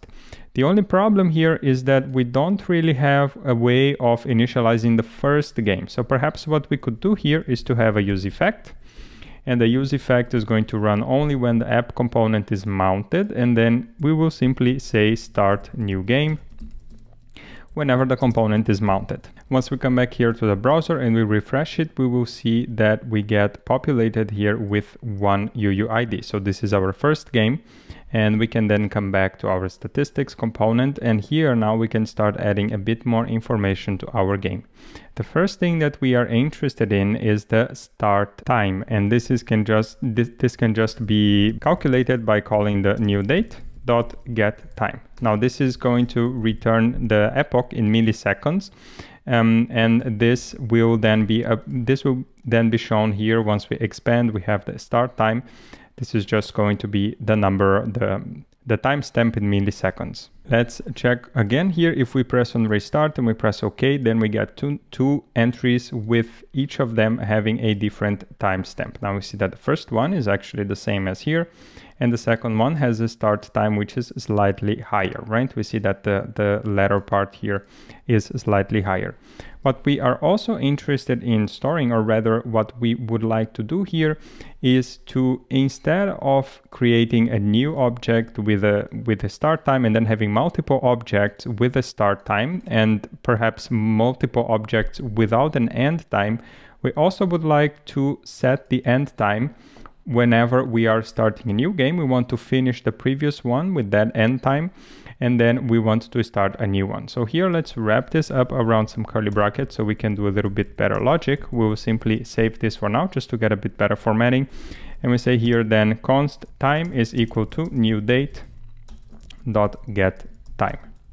And now what we will do here, the start time is of this one is going to be time. For us to define or for us to set the end time of the currently existing game, we first need to identify this game here by finding whatever game within our object that does not have an end time. For us to work a little bit better here, let's define these types instead of using unknown at the top. Otherwise, when we start using the, the filter functions, the map functions, and so on, they will get pretty confusing. So it's better if we just define a type here. We'll simply say um, single game is going to have, or rather we could say like game statistics, is going to have a start time which is of type number. It's going to have an end time, which is of type number.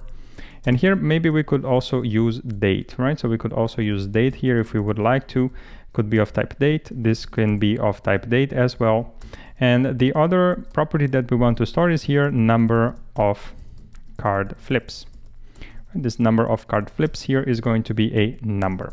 Okay, so now we can use this game statistics within our record here. And now we know that here on the right side, we have a start time, we have an end time, and we have a number of card flips. And here you see that this is not assignable because the time is in is in numbers here. So let's just remove this. And now the problem is that it's missing a couple of information. It's missing a couple of keys here for us. So the first one is the end time, which we want to make alternative. So not alternative, but not mandatory.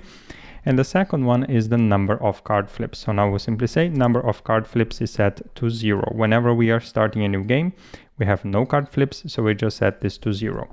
Now here we are better equipped to actually check within our array of games which array or which object and that's not really an array. So within our games object which of the objects does not have an end time? For that we're going to do a little bit of javascript here and we'll say open game. And the open game for us to identify it we will iterate over the entries of our games object. And the entries they return here for us. So here let me just write a comment. The dot entries they return an array of tuples where the first element of the tuple or of each tuple is the key of our object and the second is the value. So we would have an array of key value pairs here like so. So we would say key 1 value 1 for example, key 2 value 2 and so on and so forth. So here after we call the entries we can actually iterate over this and we can filter based on either the key or the value. For us here, the interesting part is the value. So we simply say key value. We will ignore the key for now. And then we will say no v dot end time. Okay, so if there is no end time, this will be kept here in our array. Otherwise, it will be simply removed from the filtered array. And then we want to return only the key of this object. So now we will look only at the key and then here we'll simply return the key. The key is going to be a string. And as a result here, if we look over the map, we see that we get in the end an array of strings. So if there is an open game, meaning if this filter here keeps one element for us, then we want to take the first of this. If there is no open game, then this open game is going to be set to undefined. Now what we want to do is we also want to copy our games object. So we'll say games copy and then this is simply the spread operator for the games object that we currently have. Now, if open games is, or rather if open game is defined, meaning if open game is truthy here, it's not undefined, we could also say boolean for the sake of, of being a bit more clear, then we want to set our games copy at the open game to be equal to spreading of the games at the open game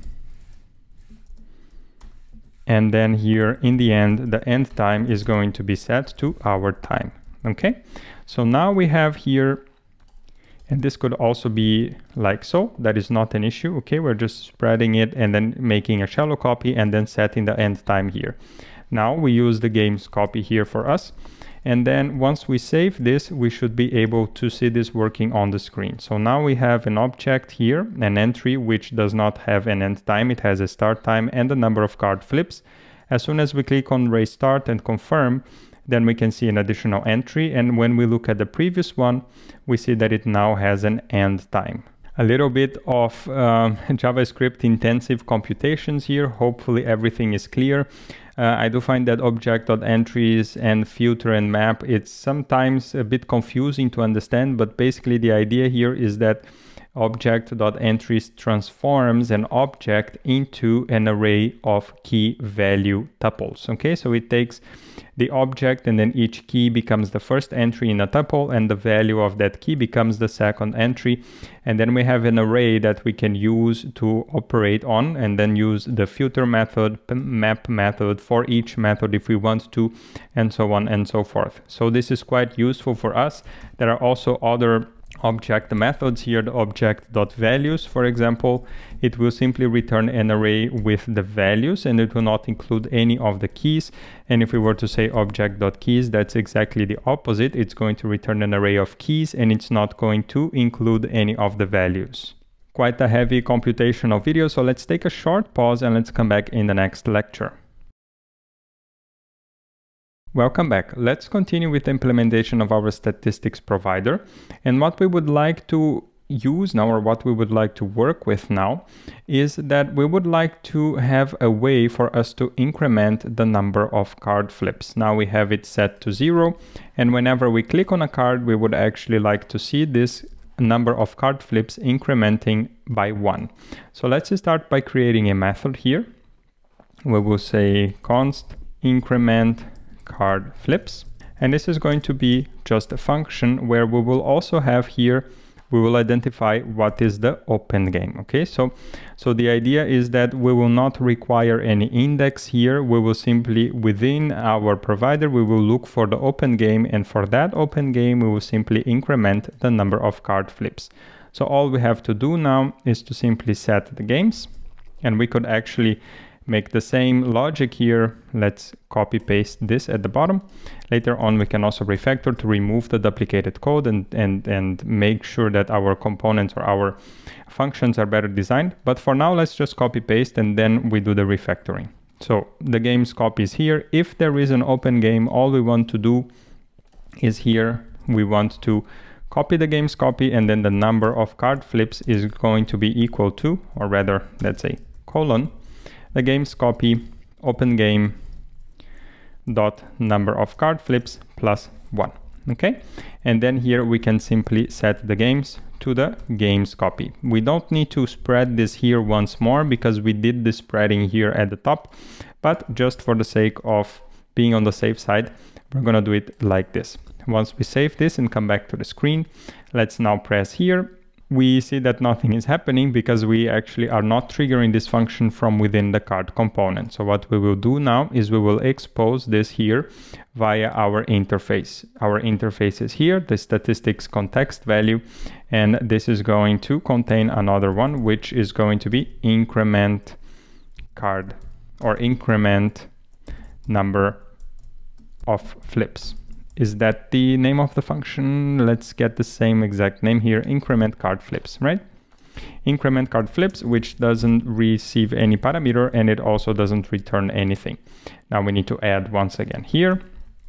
And just for the sake of being a bit cleaner, I'll just return an undefined and I will also return an undefined here. Now at the bottom, we can use the same function here, increment card flips.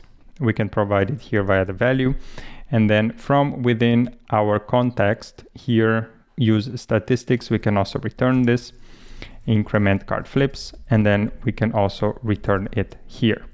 Okay, we still have the end current game that we would like to implement. We will implement that in a later lecture. For now, let's just have the increment card flips. And then we can retrieve these increment card flips from within our card component because that is where we want to actually flip the card. So, or rather we could also do this on the board whenever we have on the flipped cards here, right? Because it's actually a bit better to do it from within the board because the board has a bit more validation logic here.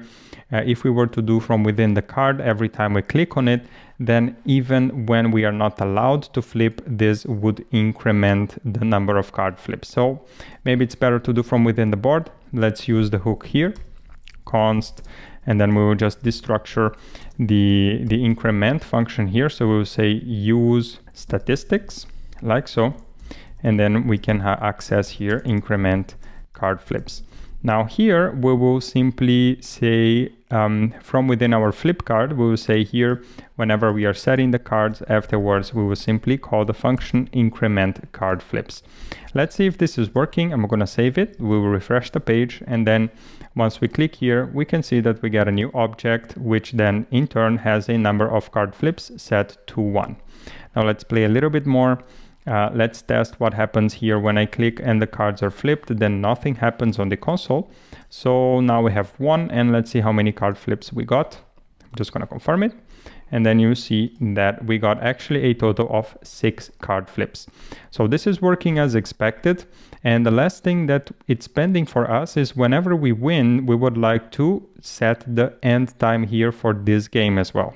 This will also be done from within the board component because the board component is the place where we, where we decide when a game is won.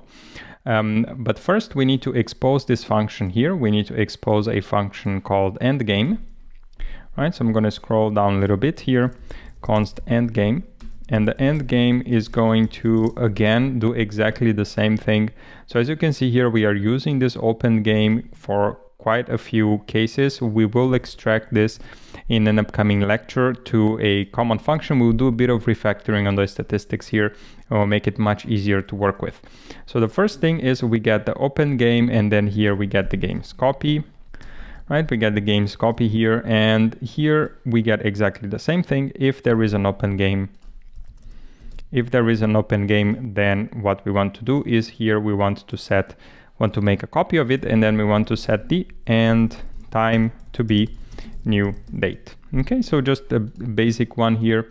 We're just storing the date in the end time and then we want to call again the set games with the games copy. So within our end game function here.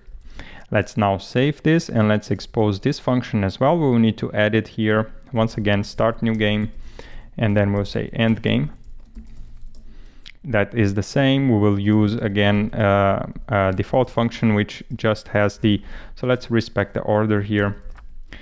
It just has an, a return of undefined, so it doesn't do anything in practice. And then here we can expose the endgame function here. Endgame like so. We can then retrieve this function from within our, our use statistic hooks and then return it here as well with the end game. Okay, so once we have this, now we can remove the, the, comments here.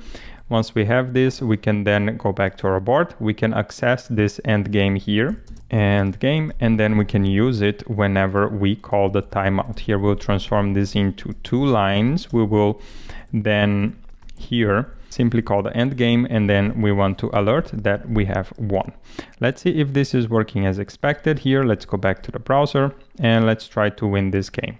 So now you see that every time we click on something, it prints again. And then here, once we press OK, we have a last print here, which is going to show that we have an end time, right? So now here we are at the state that if we click on restart, we then should see it printed again.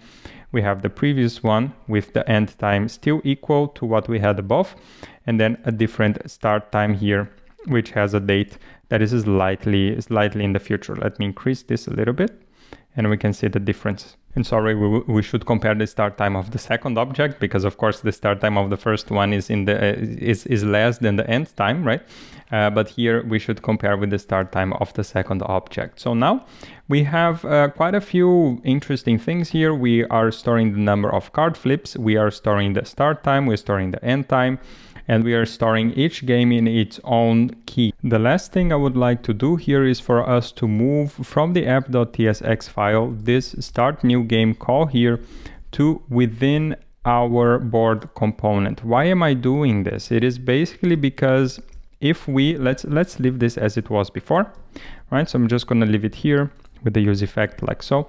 Let's come back here, let's refresh, let's switch to the statistics. Once we switch to statistics and we switch back to the board, um, this resets the game, or rather it restarts the game because we have the message here also that this will reset the game, right? Um, when we come back to the board, this resets the game, but because the overall, the wrapping app component is not re-rendered, we are not triggering that use effect that we would like to trigger. So, and actually here we are triggering the use effect on the app component only on the first render of the whole thing.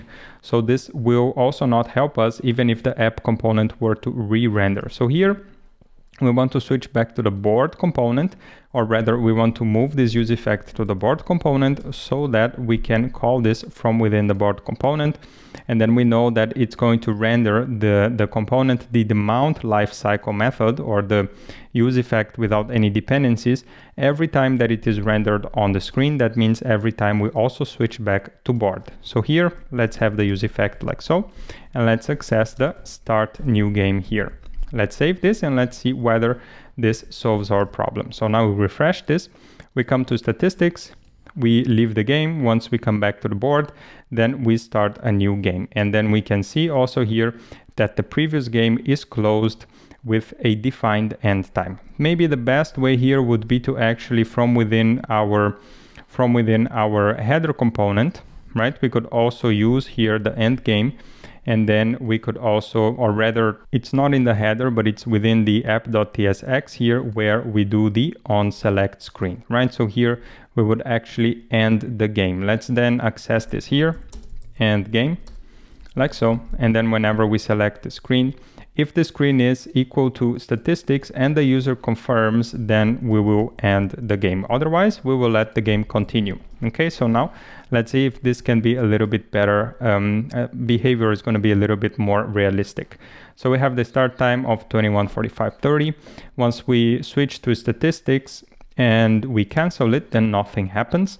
But once we switch again to statistics here, then we immediately get the, the updated object, which then has an end time, which is slightly further into the future. Now, when we come back to the board, we get the updated object, which contains a new entry, this 6C1 here, and this has, again, just the start time. So this is the behavior that we want.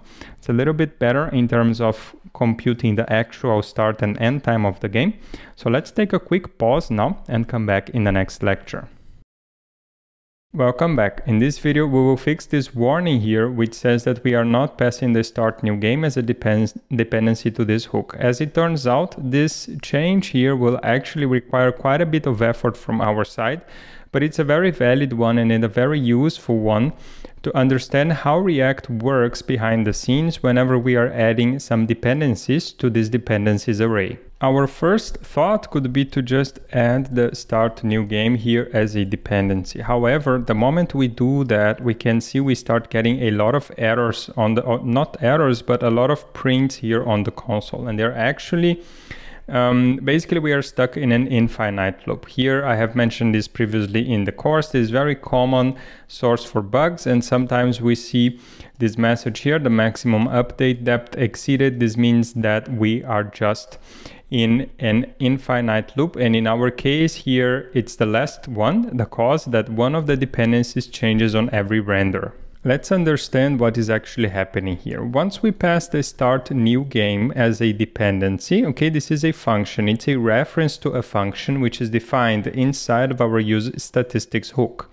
If we come here to our use statistics hook on the top, it simply takes the reference from our context, the function start new game, and the function is here then defined inside of our context. Now this is a reference which is assigned to this start new game variable. From within our start new game variable, we are setting the game's state. There is this games here and there's set games and then we are setting the state here for a new object, which means that the game's object here, the reference, its value and its reference changes, which triggers a re-render of this entire component here. Remember, changes in state are one of the reasons for components to, re to re-render. Now, once this re-renders, the start new game function is redefined. Here, this, this function is defined once again, and the reference stored in the start new game variable changes as well. That means that this start new game here, it's actually triggering a function within our statistics context which changes the start new game itself. This might sound a little bit crazy at, at, at first, but it's actually very common behavior here because it's a very common use case to set the state from within a certain function in the component. And once we have this, that the state is set here, this will trigger a re-render, an update of this component, which will then redefine the reference to this, to this function here. So how do we fix that? Well, one possible solution would be for us to really try to do a lot of work here to keep this reference outside of the component so that the reference doesn't change itself. But honestly, I find it, it, it will lead to a much harder to understand code. So what we will do here instead is we will create a function or rather we will use another hook that is provided by React for us to be able to have a stable reference here for our start new game. And this hook is called use callback. Okay, so use callback is another hook from React. And what use callback does is it provides a stable reference for a certain function. So the use callback, here it takes as a first argument the function, and as a second argument an array of dependencies okay so here once we use the use callback like so, it will provide a stable reference to this function here defined on inside as a first parameter. And it will change the reference only when the dependency array changes or rather not when the dependency array changes, but when any of the dependencies mentioned inside of the dependency array change. Here we will not have to define any dependency. You see that it says that React hook callback has a missing dependency games, but instead of actually passing the game's dependency here, because this would even this would also create an infinite loop if we just pass the games here and we come back, we see that we still have the infinite loop because the games also changes with this call to the set games, right? So instead of passing games here as a reference or as a dependency, we will use the version that we have already seen that we pass a function here to our set games function call. So we will pass a function where the first element is the games element and this is the previous games state and then here we will return a new object. We simply return a new object here, which is going to be our new games value, like so. So now we need to do a few changes here to make sure that we have everything in order. So let's keep it like so. And now we need to move the things from within our and I just saved this to, to format it a little bit better, but now we need to move the logic here from outside of the set games function to within the function. So I'll just copy paste this here like so. And then I don't need to define, you can see that the warning here simply disappears and I don't need to define the games dependency anymore. This is because games is coming here from the first parameter of this function that we are passing to set games. You might be asking yourself, why don't we need to pass the set games here as a dependency to the dependencies array? And this is because dispatcher functions, if we hover here over the set games, we can see react.dispatch. So functions or values of this type of react.dispatch, they are by default stable, so they don't change between re-renders. We could still add this to our to our array here. And this is not going to make any difference. We could also remove it and then that would be already good enough. Once we save this and come back to the browser then we can see that the infinite loop actually stopped. So we were able to address this problem of infinite loop here or, or the constant re-rendering by instead of redefining the function in every render or in every re-render, in every update of our component, by using the use callback hook, which then provides a stable reference. This start new game is going to have a stable reference except when any of its dependencies change. Since there are no dependencies here and the set state we don't need to pass as a dependency because it is stable by default. So since there are no dependencies here, then this reference to this function will not change. For the sake of consistency, we will use the same principle here for endgame and also for increment the card flips, right? Since because they all work with the game's object and they don't depend on anything else other than the game's object. We will use the same principle to make sure that these functions here don't eventually lead to unwanted infinite loops. So we will use the use callback and here we will pass again no dependencies. We will then within our set games pass the games object here as the first parameter and now here we can return again our games copy. Like so and now we can copy and paste this logic here or rather cut and paste inside the, of the function that we pass to the set games function. The same thing for the increment card flips. Use callback. And here we will now instead of having directly a function we will wrap it on the use callback hook. And then inside of set games once again games we will cut and paste this code inside like so. And then here we will return the games copy. Okay so once we do that then we are good to go. Here I can remove this and we are missing just one curly brackets. Once I save this, then the code gets a little bit better formatted and we are safe now that our functions will not retrigger or they will not be redefined. Their, their references will not change between re-renders, which means they will not lead to this infinite loops.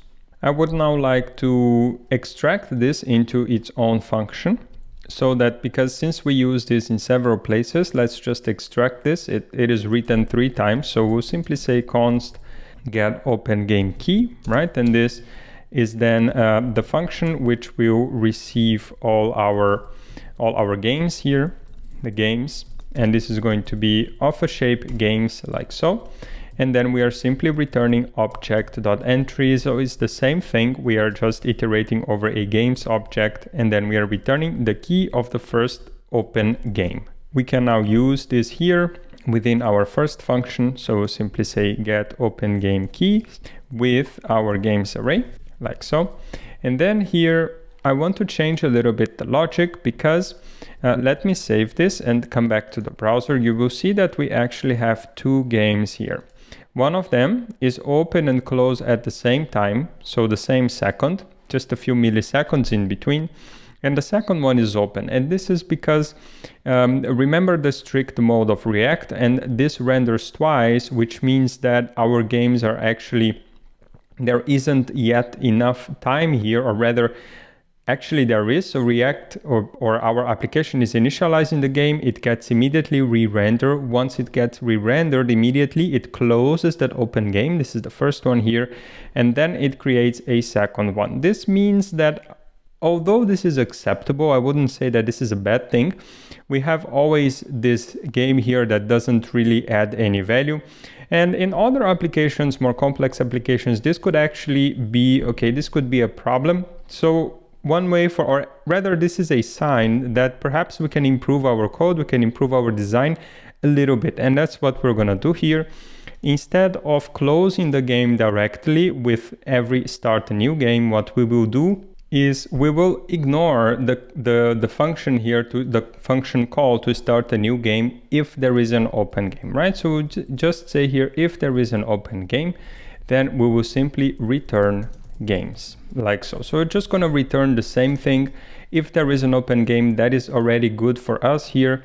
Um, and we don't need to start another game. That's the logic here. So basically, if we want to start something and there is something already running, then it doesn't make sense to stop what we are running so we will assume that the call to the start new game is not responsible for closing any of the open games and then whoever is using this function call here to start a new game has to first close the previous game if they want to. Okay, so this is going to reduce a little bit the scope of this function even though this has some advantages. For example, now when we are re-rendering our, our application, it's not gonna open and close a game immediately.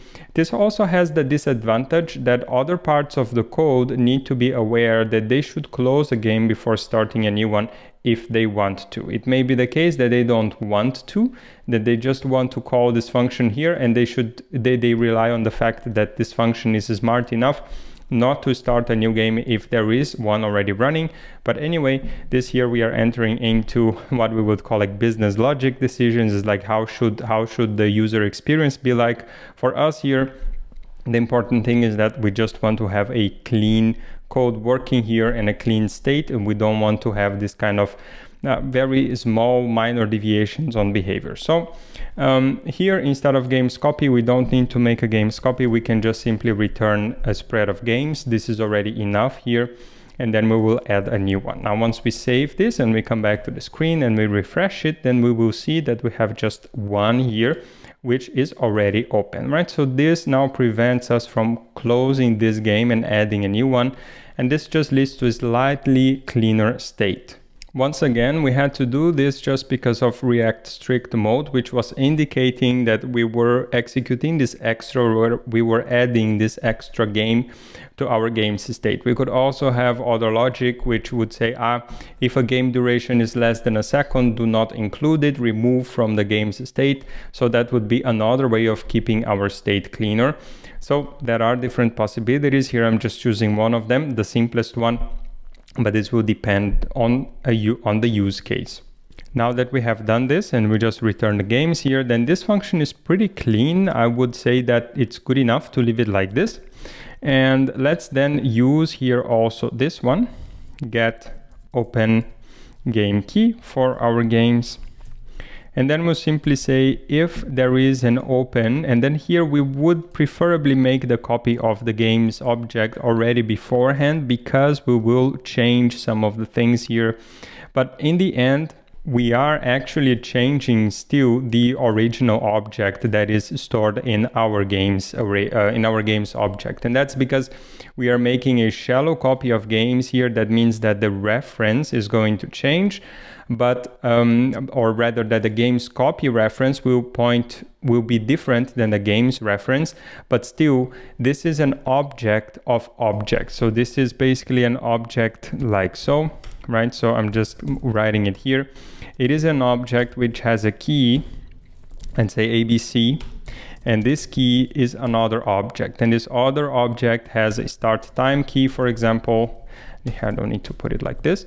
It has a start time in, and which has some value and it has an end time or rather here not no but number for example of card flipped and flipped and so on. So um, when we do a shallow copy like this then the reference that is stored by games copy is different than the one that games is pointing to but the underlying references so the reference to this object here is still the same. So in the end if we are modifying a certain object that is stored in games copy, we are also modifying the underlying games object. So here it wouldn't make a lot of difference, it wouldn't make a big difference here if we were to make this copy.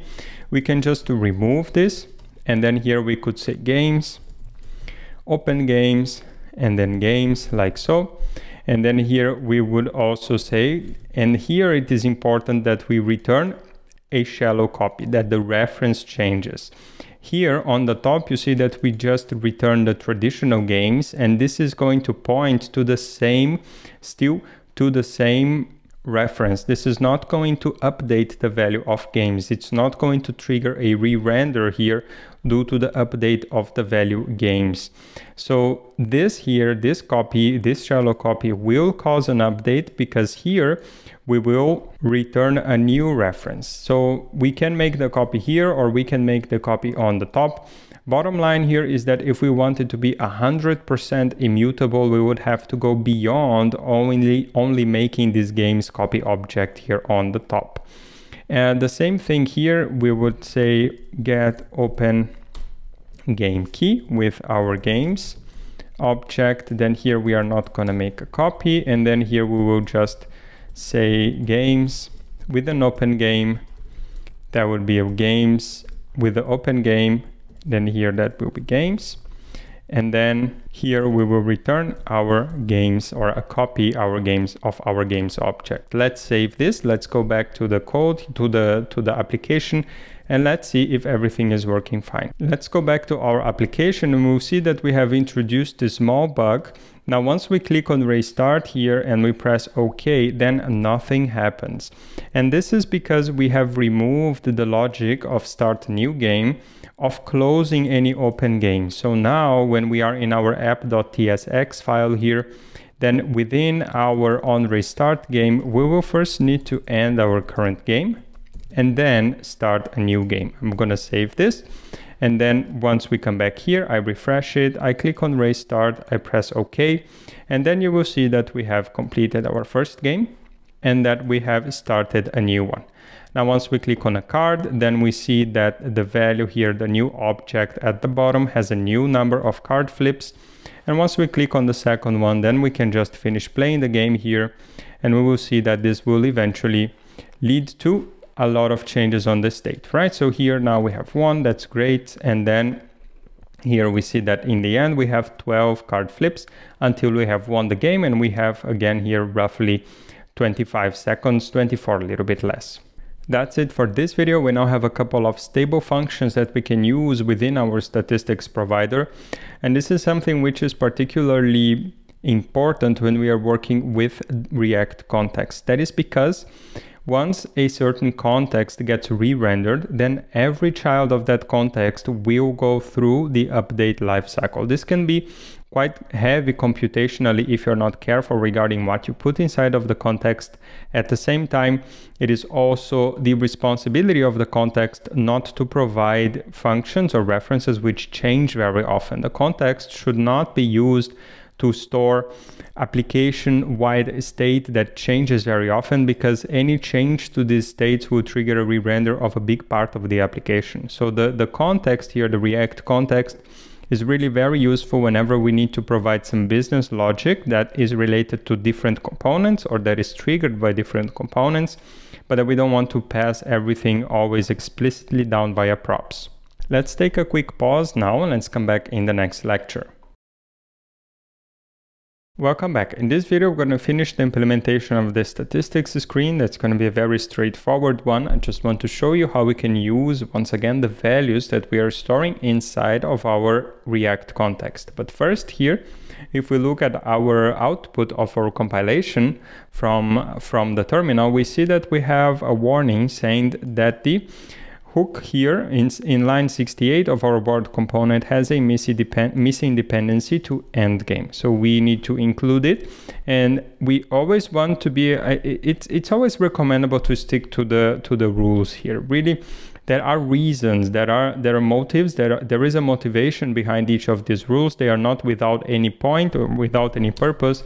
So let's just simply add our end game here. And if it is hard to add these dependencies without really tr triggering infinite re-renderers or without leading to bugs in the application then it, the problem is not in the rule really. The problem is on the design of the application. There is something there that needs to be fixed okay? So the rules are here to help us.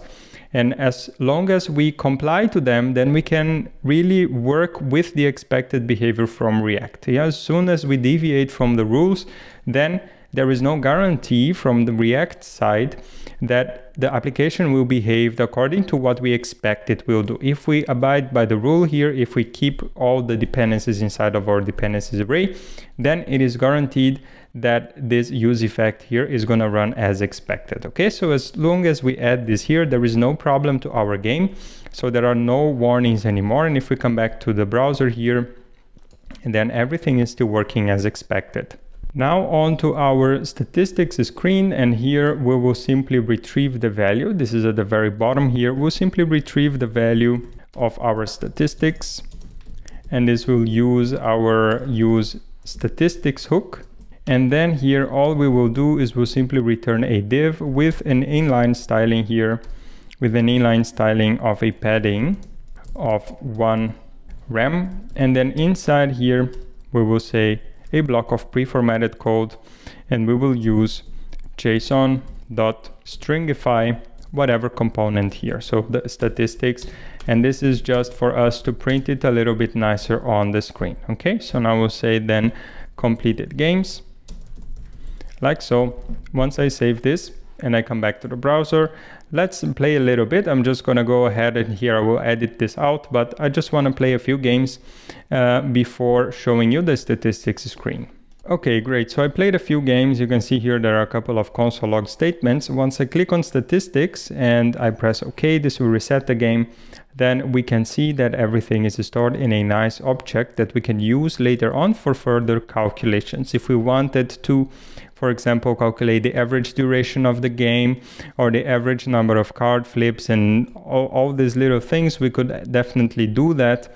And here I'm just showing you how we could retrieve this value that is stored inside of our React context, inside of our statistics provider for usage in any other components that are under our statistics provider wrapper component. Great, so this wraps up our discussion on React context. This was a long one, but very, very important one because this is something, this, this touches on a lot of different things, a lot of different behaviors of React, especially regarding what happens when state changes and also when function references or when object references change during re-renders. Let's take a quick pause now and let's come back in the next lecture.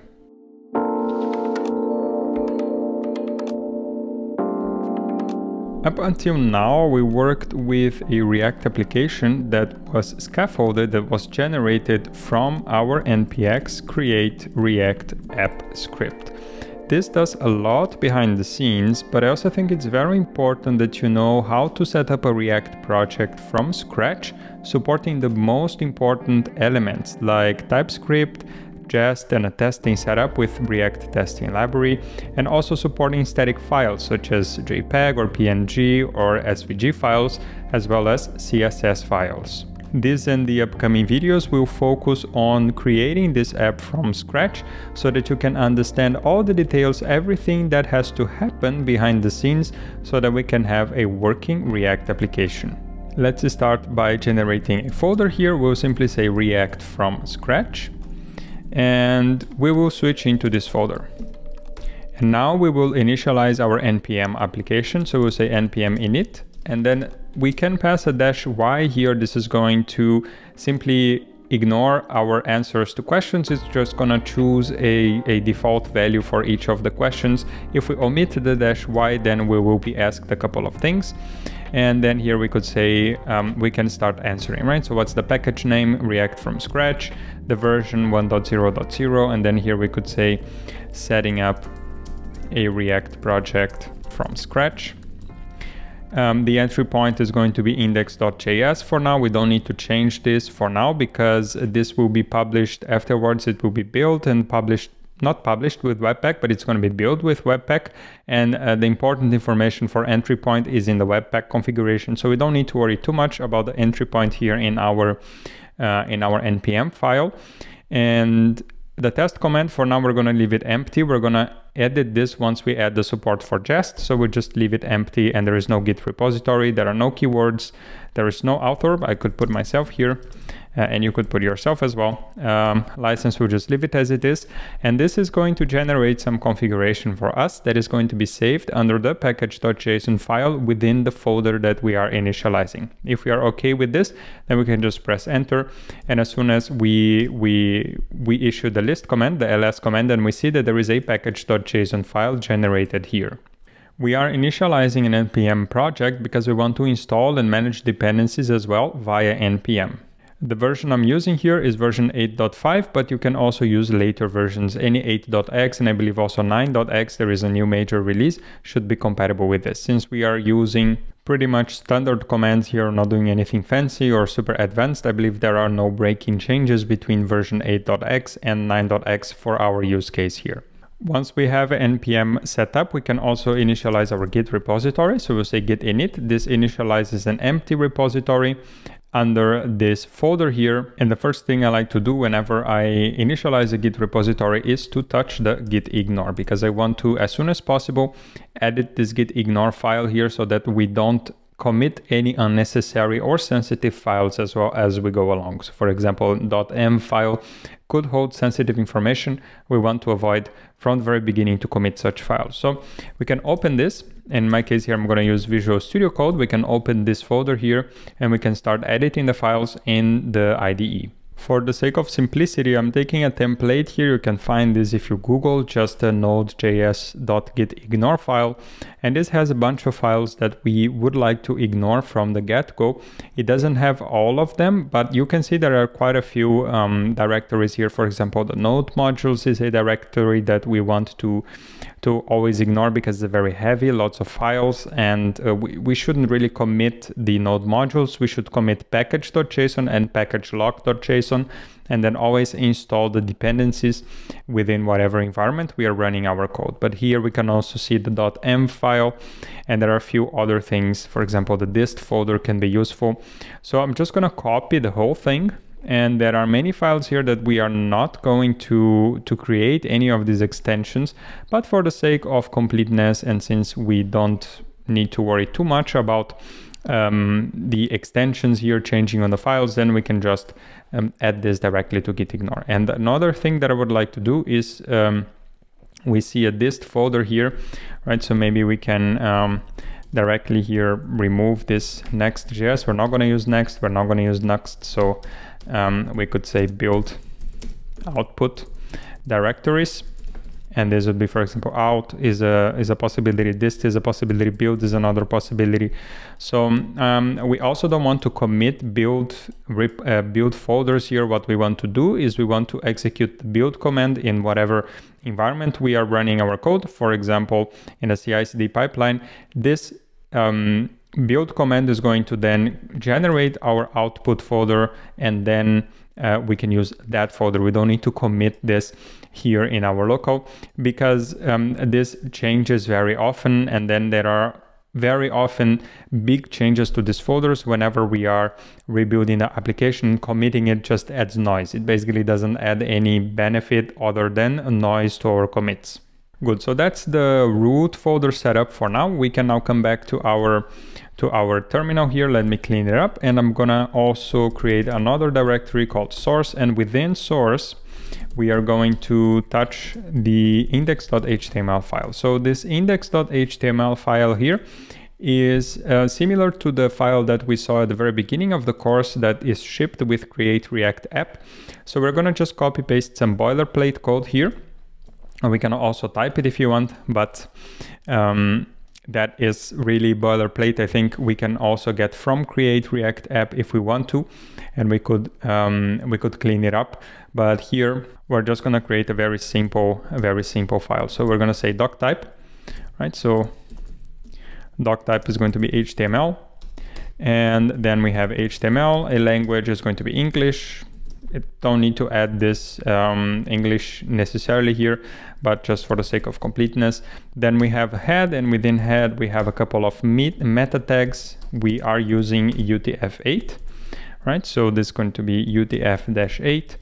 Uh, this is a self-closing tag, so meta you can just self-close, and then a few other important informations here for the viewport, viewport, and then we have some um, more information here. The content is going to be width is equal to device width. The initial here, the initial scale is going to be to one, set to one, and we will say that no, we don't want to shrink to fit. Right? So shrink to fit here is just going to be set to no.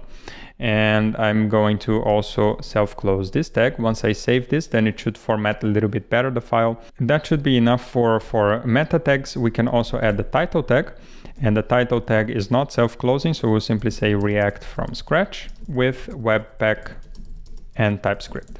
Yeah, so that's just um, everything that we're gonna set up. I mean, we could use Webpack, Babel, Jest, and so on and so forth, but just um, we could maybe just leave React from scratch like so.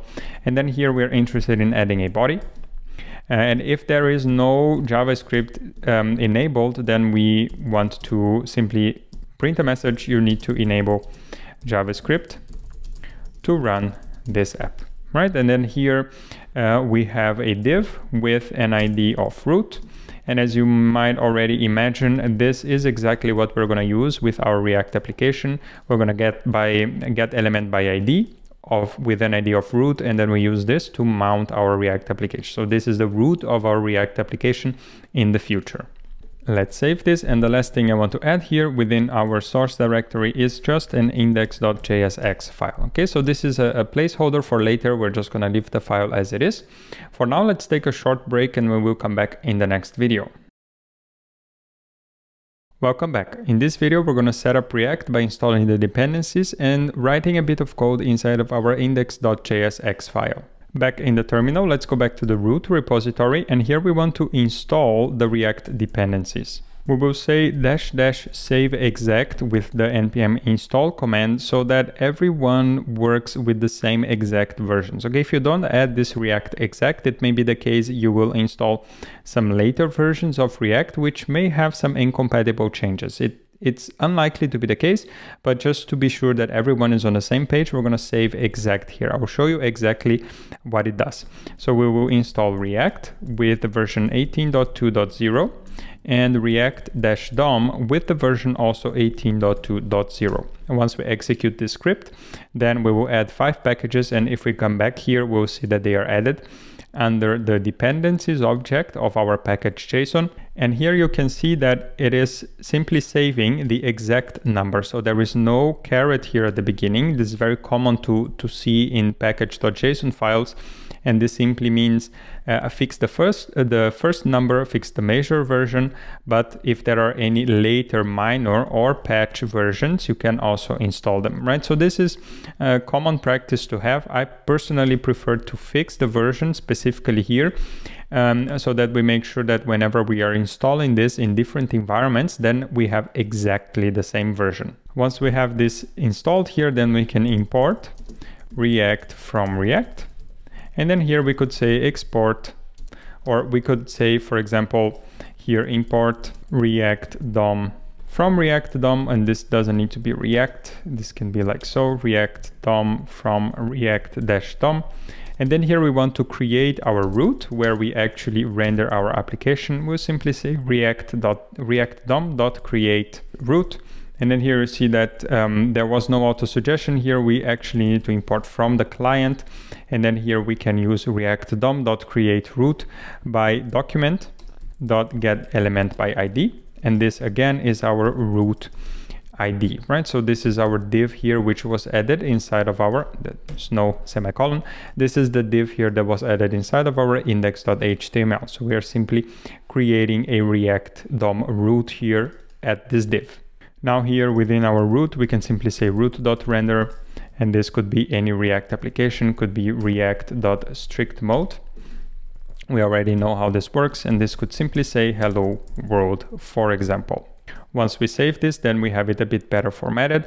Um, the problem here is that even though we have this set up, we have absolutely no way of compiling this application into a standard JavaScript application. Here we have JSX, and JSX is simply not understood by the browser. So we need a way of compiling this React application into an actual HTML plus JavaScript application. And this is done via majorly two tools, Webpack and Babel. So let's take a quick pause here and in the next video we will start with the setup of Webpack. Welcome back. Let's start with the setup of Webpack in this video. We come to the terminal here and we would like to install a couple of dependencies for Webpack. So install and once again we will use the save exact. We will install Webpack and the version we will use here is 5.75.0. We'll then install also the Webpack CLI with a version of 5.0.1, we will install the Webpack dev server so that we can develop locally and have a um, dev server with quite a few good and important functionalities. This is going to be the version 4.11.1 and then we'll also install the HTML Webpack plugin here and this is going to be with the version 5.5.0. This is going to give the foundation for us to work with Webpack. Later on, we will see how we can extend the functionality and add more features to our Webpack configuration by installing, by adding modules. Also within our root directory, we will touch the file webpack, we will create the file webpack.config.js. And this is the main file where we're going to configure all our webpack application. We can have multiple files and use different configuration files depending on the environment that we are in. But for the sake of simplicity here, we're going to just work with one webpack config file back in our back in our IDE. Let's open it and we will the first thing is we will require a couple of necessary dependencies. We will require path and we will also require the HTML Webpack plugin. And this is going to be require HTML Webpack plugin like so. Now here, what we need to do is we just need to export here module.exports is equal to an object and this object contains the Webpack configuration. The first key is going to be called entry and the entry here establishes what is the entry point for Webpack to start the compilation process. So this is going to be path.join and here we'll simply pass a special variable, dirname, and we'll say source and then the final part of the path is index.jsx.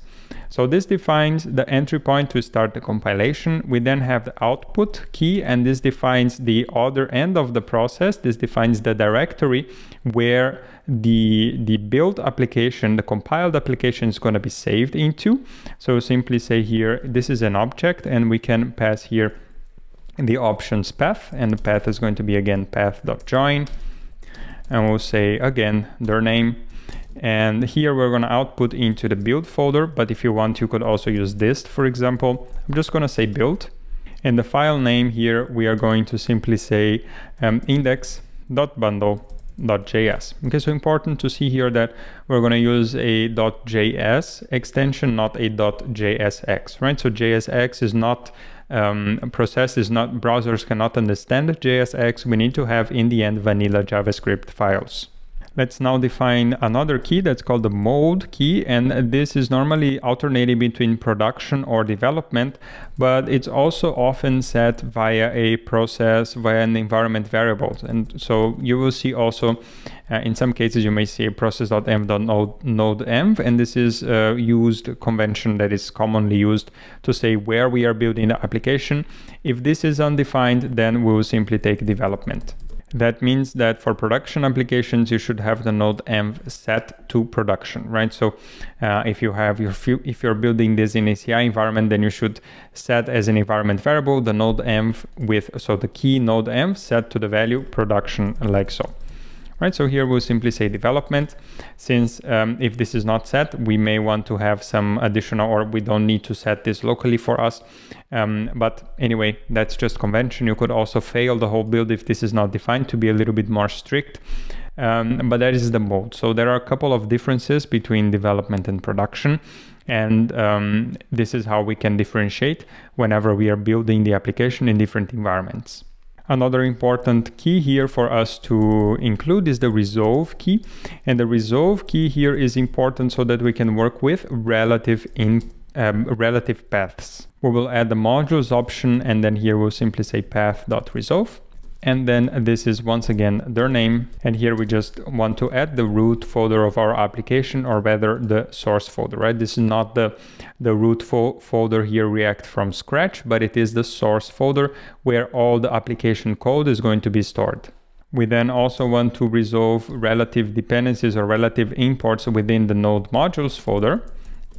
So we will add this here to the array after we add the the first option then we have another option which is important for our local development server and that is the dev server here. And we can pass again another object here. We'll say static and static is going to be path.join and this is just going to be once again dirname and source. Okay, so this is uh, simply saying the the um, folder which needs to be served as static files in our dev server. This can be our directly our source folder uh, but it can also be a source forward slash or source public, for example, right? This is also common practice where we put uh, static assets within a public folder within our source directory, and then we should update the configuration here. For now, for the sake of simplicity, let's just leave source. Um, and here we add a final, a final um, option, which is the plugins plugins option and the first one that we're going to use is simply say new HTML web plugin and here we'll say template. And template is going to be path.join once again dirname source and then our index.html file. What does this HTML Webpack plugin does is it takes this file, this index.html file, and as it is building our application, it makes sure that we are injecting this index.bundle.js file into our into our index.html file. So it makes uh, sure that we connect the index.html to the index.bundle.js file so that the JS file is actually loaded once we open the HTML file. Another change that we can do here is we can come to package.json and we can add a couple of scripts under our scripts key. So if we say uh, build, for example, this will simply be webpack. And this is going to invoke the webpack CLI behind the scenes. Uh, and this will look into the webpack.config.js and it's going to build our application. And we can also add a dev option here and the dev is going to be webpack serve. Now webpack serve is going to look into the webpack CLI and once it sees the serve option, it's going to look into our webpack dev server package and then this is going to start our local development server. In our terminal, we can try to run npm run build, for example, um, but this is unlikely to work and that's exactly because uh, it, it has an unexpected token here. You see that it doesn't know how to handle this react.strict mode and this is because it doesn't know how to handle JSX files. Now remember, JSX is not vanilla JavaScript. It is it needs to be transpiled into JavaScript after, uh, in the end. So this transpilation process, this this trans translation between JSX and a vanilla JavaScript needs to be done outside of Webpack. This is where Babel comes in. Babel does this transpilation between JSX and JavaScript, and that's what we're gonna set up in the next video. So let's take a short pause and come back in the next lecture. Welcome back. In this video, we continue with the setup from our React from scratch application and we will work towards fixing this Webpack error by installing and properly configuring our Babel configuration. Let's start by installing the dependencies and these dependencies we can save as development dependencies that because they are not needed in production, they are needed just for the building of the code. So we're going to save dev and we'll also save exec and perhaps here I can actually just clean the screen so that we have a um, better overview. We will start installing the Babel core dependency and the version that we will use here is 7.20.12. We'll then also install Babel forward slash preset env and this version is going to be 7.20.2. The preset env is used for whenever we are trying to transpile JavaScript and add polyfill to so that more modern JavaScript is too compatible with older versions of the browser. So not every web API is available in older browsers. And the preset env from Babel can help polyfilling the most common web APIs by either providing a mock or stub implementation, but at least making sure that the application doesn't break in older browsers. We also want to install here Babel forward slash preset React, and this is going to be version 7.18.6. And finally, we want to install the Babel loader. This is for Webpack, so that Webpack doesn't doesn't throw the errors that it has been throwing us. And it's going to be version 9.1.2. Once we have installed the dependencies, we can then create the file .babelrc. There are also possibilities to use a babel.config.js, but here we'll just use babelrc. And then here in our IDE, we can simply use curly brackets, we'll say presets, and then this is going to contain two values. The first one is going to be at babel forward slash env, and the second one is going to be at babel forward slash react, like so. Now, once we save this and we try to, to execute our code, let's see if everything is working. We will run the build command and let's see, we still get the error because we forgot to add the Babel loader to our Webpack configuration. So here under module.exports, we can create a new entry that's going to be called module. And then here we have an entry which is called rules. And then rules is an array And here we will pass multiple tests that we can execute depending on the file extensions. The first file extensions that we are interested in are the, and here I'm just gonna add this as a new line, that is going to be and here I'm using a regular expression. So we'll simply say dot and here let's say JSX and the X here can be optional. So we'll simply do it like so. And then we can say this is going to be the end of our file name. Now we can close the regular expression. And here we can say, can also exclude the node modules just for the sake of completeness. So we exclude node modules. And then here we will add use loader Babel loader, like so. One more thing that we can add here within our options is we can say that this is going to use a certain preset, presets, and this is going to be our at Babel forward slash preset dash env, like so. Now we'll save this and let's try to run this uh, command npm run build again. And now as you can see, everything was executed successfully. If we open our IDE, we will see that there is a new build folder here. And here you can see the index.html file as well as the index.bundle.js that we have indicated here within our Webpack configuration, right? So this here was the file that was generated as an output of our compilation process. If we were now to come here with our index.html and then right click and then say go live or open with a live server, then let's see that should already give us, perfect, that gives us the page here. So as you can see, this hello world is the value that comes from our index.jsx, right? So this here is already being shown on the screen. It's already served, which means that this application within our build folder already it, it has a basic structure that can already work in modern and also in older browsers because we are using this polyfilling functionality from Babel. We can also try to run our dev command and then as you can see here this is going to initialize a webpack server. And let's now change a little bit here. You see that the webpack server is running on port 8080 okay? This is a live server that is basically compiling the files and then serving them so we can come here to the browser and let's leave the 5500 port open here in one tab and let's open the localhost colon 8080 in another. Now you see here that we also have the hello world. This is a little bit bigger because the browser has some, some zoom. Once I reset it, everything will be fine. Now the difference here is that when we run the Webpack dev server, this will auto reload. This will hot reload whenever we make changes to a file. So if we say goodbye, right? So goodbye world, we save this and we scroll down, you see that it gets again recompiled here. And if we come back to the browser page, then now the 8080 says goodbye world, but the 5500 still says hello world. So the 5500 contains a list of static assets that is a result of our Webpack compilation, but it's not actively looking at the code and it's not updating its contents. If we want to do that, we would need to, within a terminal, run the build command again. And this build command simply outputs the files. And then if we were to come back here and refresh it then you can see that it already has the new value. So this is the difference between the webpack dev server. It is something that automatically reloads whenever we make a change to the code.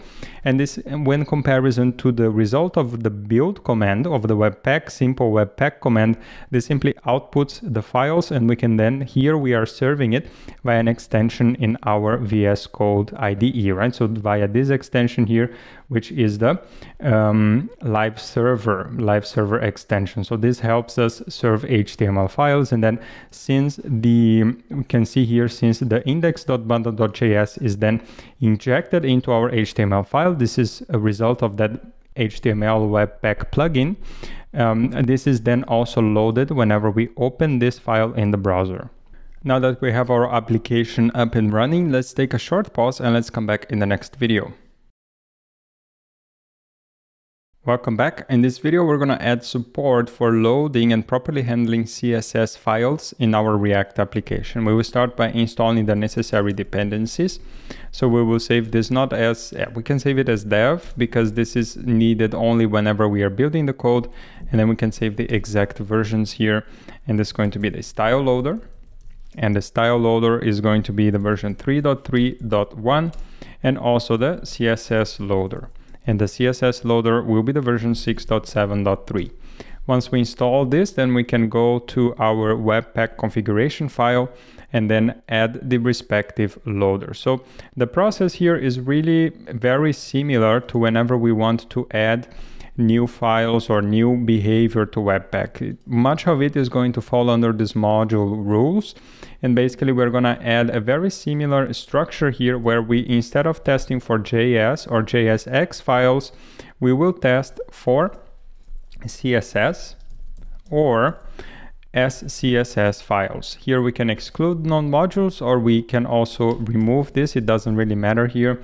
And then we want to use, instead of passing an object, there is a um, slightly cleaner version or rather uh, more concise version where we don't need to pass the whole object here. We can simply pass an array of the loaders that we want to use. So we want to use first the style loader and then we want to use the CSS loader. Now this is okay when we are fine with going with the default options here, but whenever we want to customize something, then we would also pass an object with a loader key. This is going to indicate the loader and also some additional options here whenever needed. Now here within our source directory, let's add a new file. We're going to call this index.css and we'll simply say dot red text like so and this is just going to have a color of red. Right so nothing fancy here. We just want to make sure that this is working as expected. Now within our index.jsx file here we can wrap this goodbye world in, uh, in between divs. So we're just going to put div and div and then here we can say class name that's simply going to be red text. Now i'm going to copy paste this here. And once we start our development server, let's try here again, we should see on the screen that this is going to have a red text. So within our, not the 5500, but the 8080, let's refresh this. And of course, I'm missing a very small detail here is that we need to actually import the files somewhere in our JavaScript code. So here it can be like so index.css. Once we save this, then we will see the styles that are applied. So this file here is necessary for us to add at any point in our application, but ideally at the root level to make sure that it's always loaded, because otherwise Webpack doesn't know that it needs to load this CSS file. So we always have to add it here and then Webpack is going to do the job of loading the file. If we had multiple files and in different JSX files we wanted to import these different CSS files, that's also possible and Webpack will make sure to take care of it for us. We are now able to import and handle CSS files, but there are also other types of static files that we want to be able to handle with Webpack. We're going to cover that in our next lecture, but for now let's take a short break. Welcome back. In this video, we're going to see how we can load additional static files or how we can handle additional static files with Webpack. We're going to cover JPEG, we're going to cover PNG and GIF files. And SVG we will cover in a later video since there are a few additional things that we can do with, with SVG or additional libraries that we can use. But for now, let's focus on these files here. I have a nice picture of a code here, very nice code, easy to read. Um, we will import this within our index.jsx and we would like to show that on the screen. So let's just try to import the um, code here, code image from dot forward slash code.jpg. And once we try to use that, let's see what's going to happen. So we will create an image with a source that is going to be our code image. And then we're going to save this. We have our we have our server running here, but as you can see, then immediately we get an error from Webpack. Webpack doesn't know how to handle JPEG. It doesn't know how to handle this extension, so it just throws us an error. As you might expect, the process for handling it is quite similar to what we have done so far. We are going to use a module that is built in in Webpack 5 and later versions. And if you are using an older version of Webpack, then we will cover this on the second part of this lecture. So for now, let's just immediately, or actually let's not start the, the dev server because whenever we change the Webpack configuration, we need to restart the server. So let's first change the configuration here and we will use a test. And the test here, we would like to test for a couple of extensions. So let me just do it like this first so that now we can focus on adding the extensions. It's going to be the JPEG extension, it's going to be the JPEG like so. It's going to be the PNG extension and also the GIF extension. Now, whenever we are, whenever Webpack is, is facing or is meeting one of these files here, then we would like to use here, we would like to use simply the asset forward slash resource. And here it's not used, it's a small difference. Now, whenever we, we are using a built-in module from Webpack, then we can simply indicate that this type here is going to be an, a resource, right? So this here behind the scenes, Webpack is going to evaluate what's the best way of loading and handling these images. And then in the end, it's going to generate and handle everything for us. Once we save this and come back here to our to our IDE to our terminal and then we simply run the dev server. Now we should be able to see everything compiled correctly here. And if we come back to the browser, and refresh the page, then we see a very, very big code image here. So this is the basic principle for handling static assets with Webpack 5 or a greater version. Now, you will also come across a, another approach, which is by, again, using a loader, okay? And the, the loader that is used here, let's come back to our, to our terminal. The loader that is used here is called a file loader. So we're gonna save dev again, save exact and that's going to be file dash loader at 6.2.0. Okay, once we install this, we can then add this loader here instead of type, we'll say use, and then very simply here, once again, an array, file dash loader. We're gonna save this back here in the terminal. Let's run dev and we should see exactly the same result on the browser. Everything is successfully compiled. And once we come back here, we see exactly the same behavior. If we open the Webpack page for file loader, you see here at the very top uh, a warning saying that this has been deprecated for version 5. Please consider migrating to asset modules. And once we open this, then we have exactly the same that we were using here, asset resource, asset inline, asset source, and asset. Uh, there are different ways that this is handled by Webpack behind the scenes. We're, gonna, we're not going to go into the details here, but in case you would like to to read this in details and I highly recommend you do so. There are lots of very good um, documentation here, especially regarding the loaders. If you come back, then you see all the different loaders that are supported by Webpack. You have documentation on how to install and how to configure them. And you already know the principle. The principle is simply we need to install the loader via npm and then add the loader with the respective file extensions to our Webpack configuration here and then configure the loader whenever needed. Within our Webpack config, let's revert this to using the native module since the file loader is deprecated. We're going to stop this and we will uninstall uninstall the file loader here just to be on the safe side. We don't need to have unnecessary dependencies installed in our in our local environment. So let's just uninstall it. Now we are able to handle JPEG and other static assets, other images. So let's take a short break and let's come back in the next lecture. Welcome back. In this video, we're going to go through different approaches how we can handle SVG files in a React application. The SVG files are slightly harder to handle than actual just image files, and that's because they have this XML format. However, this XML format is not JSX. Okay, this is pure XML SVG format. This is not really HTML, it's also not really JSX. So whenever we try to import something like this here, let's say that we want to import, we want to import the logo, right? So maybe if you are already familiar with with uh, with React and the way that we do things, then we, you could probably say, okay, actually this is this looks like a JSX. Maybe I could just import logo from um, dot logo svg like so and then just try to use this in here in our code, right? So we could simply try to say logo like so. This is how we import React components and this is how we use them here in our code.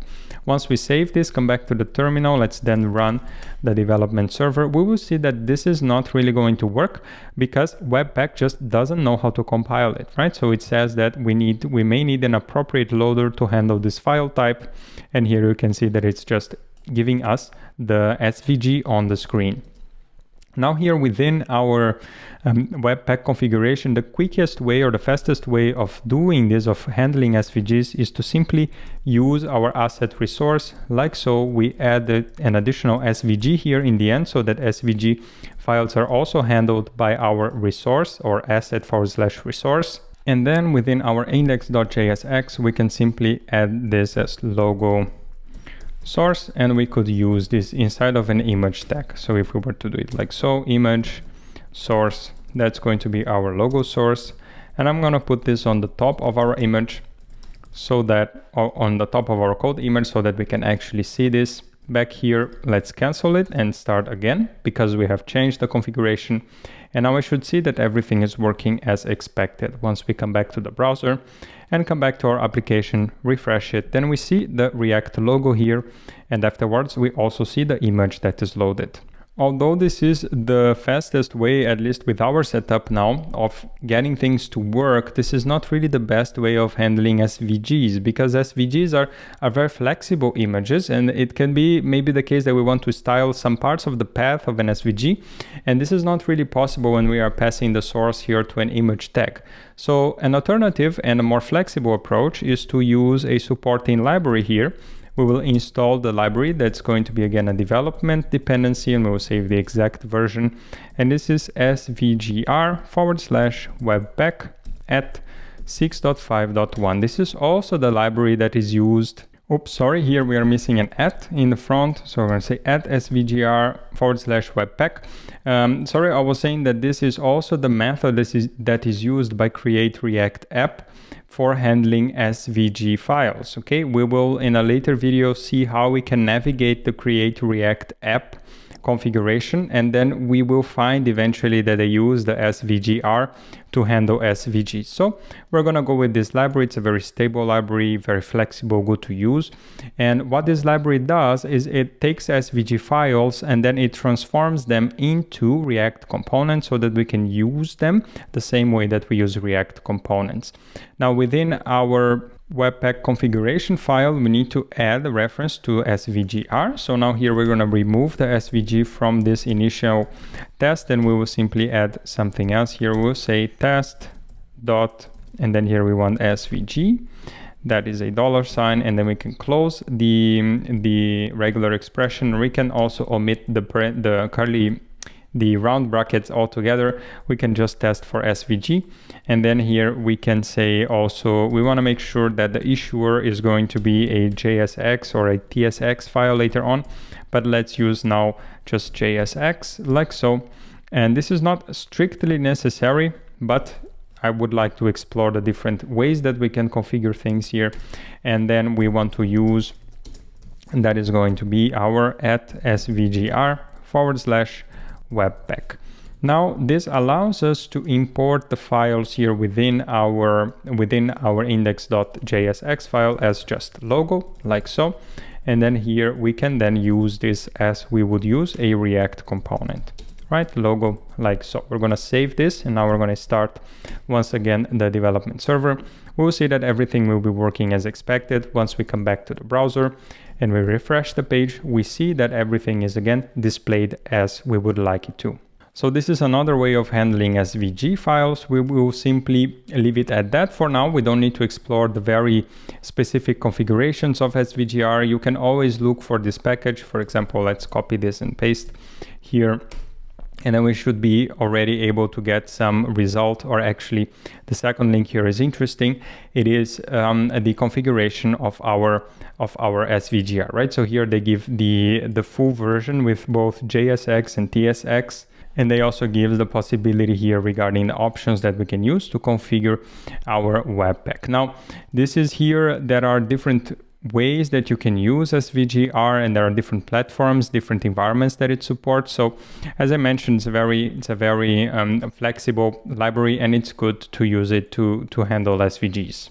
As with everything that we're exploring here, I would definitely recommend reading the documentation, going through the different pages, Webpack, Babel, SVGR, and any other loaders that we are using here, so that you get a good understanding of the scope of these loaders and also how the whole system works together, how everything comes together to generate in the end the static files, the static assets that we serve as a web application.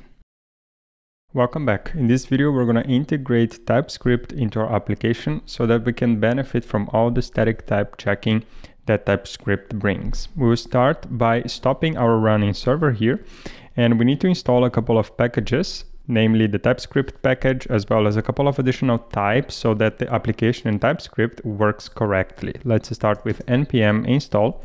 We're going to say save exact and save dev since TypeScript is going to be used only during development. In the end, Webpack is going to build the final code, which is purely JavaScript. There will be no TypeScript in the final code, so TypeScript is used only during development.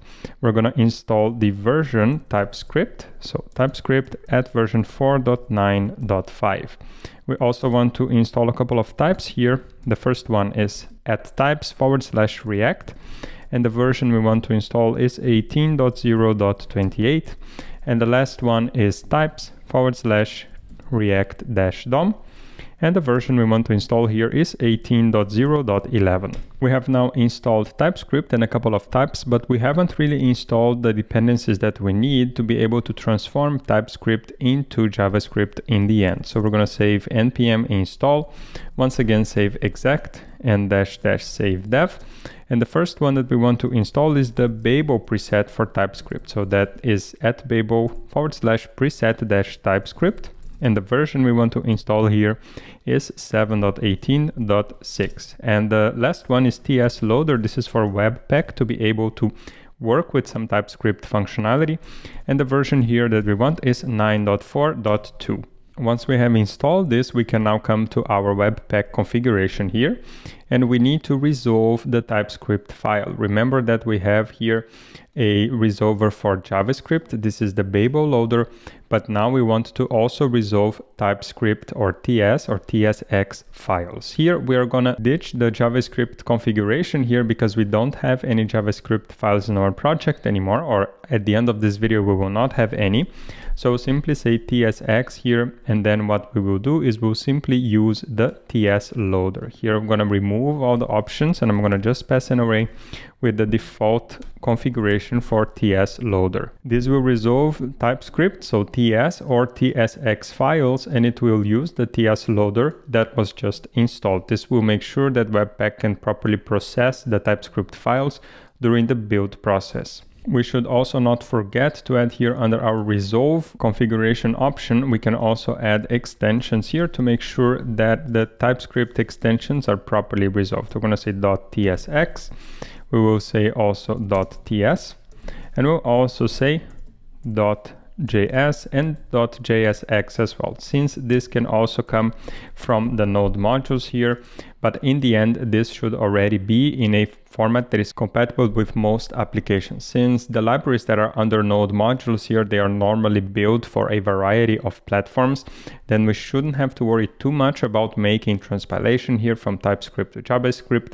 But nonetheless, just to be on the safe side, since there may be some JSX or JS files coming from node modules that we may have to do a little bit of, not us actually, but Webpack to do a little bit of work there, we're just going to make sure to inc to include also the JSX and the JS extensions here. That's just a um, um, safety net since in our projects we will be working mostly or solely with TSX and TS files. If you are introducing TypeScript into an existing JavaScript project, then this will also look like this because you will have JSX and JS files existing already. But in addition to them, you would also like to resolve TSX and TS files. Now that we have included the necessary changes here in our configuration, we can come back to the terminal and there is a command that is recommended that we run. And this is npx tsc dash dash init. This will generate a TypeScript configuration you will see that it says created a new tsconfig.json file. And if we open here our IDE, you will see the tsconfig.json. There are many, many different options here. Most of them are commented out because the default values are the ones that TypeScript will suggest. But here we would like to check a couple of these uh, options to make sure that everything is in order. The configuration is compatible with a React application. The first one is the target and the target one is ES 2016. And here if you need to support older browsers, you perhaps want to set the ES5 as the target uh, since this is a standard from 2009 that is implemented by pretty much every browser out there, or at least every browser that is currently in usage. Perhaps this is a, a safer option here but nonetheless ES 2016 should also work fairly well. The next option that we can customize here is the lib and the library here. You can see in the comments is very nice. It also specifies or it, it describes every individual variable here, every individual configuration and what's its purpose. So the lib is going to set um, specify a set of bound, uh, bundled library declaration files that describe the target runtime environment, right? So for example, here, one important library is the DOM library and also the DOM.iterable library. Um, here we could say DOM like so, just to be consistent. And then we may also say ES next here in case we want to make sure that we include ES next features in our application. Um, then we have the allow.js and allow.js here allow.js it allows you it enables typescript or rather it allows javascript files in typescript projects you see that the default here is to true that means if you have javascript project uh, javascript files in your project then you will want to set this to true. If you set this to false it's going to be more strict. Another interesting comment here is that there is another option the check.js option that you can use to get errors from JavaScript files. Even without having them in a TypeScript format, you could check these two and set them to true in case you want to be on the safer side. We're gonna set, we're gonna leave them to true. It doesn't matter if we uncomment it since the default value is already true. We, the next one that we want to check is skip lib check. And this is set to true here. We will leave this set to true because it might be the case that some of the files that are served in our node modules are not 100% compatible. There may be some TypeScript errors there, and we don't want to prevent our project from compiling, from building, if there are errors in the installed modules, in the installed libraries, because we have very little control over these errors. Sure, best would be that there are no errors here, but there may be cases where we just have no control over it and the TypeScript errors from the node modules should not prevent us from building the application. We will leave this then to true and the next one that we want to check is the ES module interoper interoperability. That's a hard, hard word to say. Uh, this is basically um, to allow us to, to import CommonJS modules via, via the import keyword in TypeScript. And this is very useful because then we can use this without creating, for example, MJS files or CJS files and so on and so forth. We can just use import and then TypeScript is going to handle this behind the scenes. We then have the also allow synthetic this one allows synthetic default imports, and this is exactly what I was just saying, import X from Y when a module doesn't have a default export. Right, so this is uh, just for the sake of better development experience, we can uncomment this and set to true. And the other one that we also want to set to true is isolated modules. We then have a very important option here. It's called strict option. This is already set to true. And this is basically um, way more strict type checking behavior from TypeScript. If we remove this, then we can we have a bunch of options here at the bottom that we could use to customize the type checking behavior. But we want to be as strict as possible because the more strict we are here, the more bugs that we can catch due to type mismatch and the more bugs we can avoid at runtime. Within our module option here, we can set ES next, that will work just fine. And then the module resolution, we will use the node module resolution. Here there is a small comment about it, uh, but if you are curious and interested about how the different module resolution strategies work, then um, you can find all the possible options here for TypeScript. If you click on this link, that is going to open a link on the browser and that will explain all the different module resolution strategies. As you can see here, um, the, the Node 16 is a very new one. It's from TypeScript 4.7 onwards, so the Node one is the most widespread one and the most used. We're going to leave that as Node.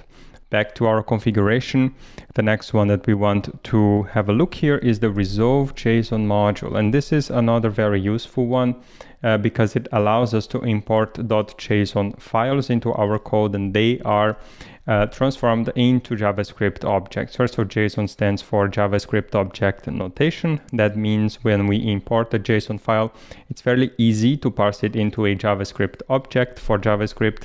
So when we are able to import these JSON files, we may also import, for example, configuration files into our application.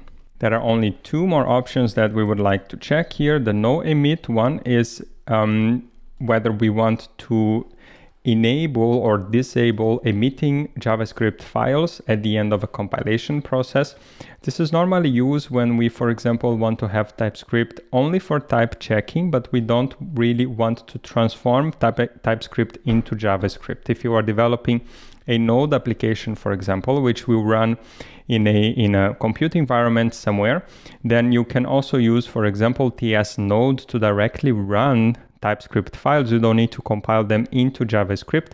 So the no emit here could be set to true, for example, and then you would just run the TypeScript command to make sure that there are no errors, but you don't need to generate JavaScript files.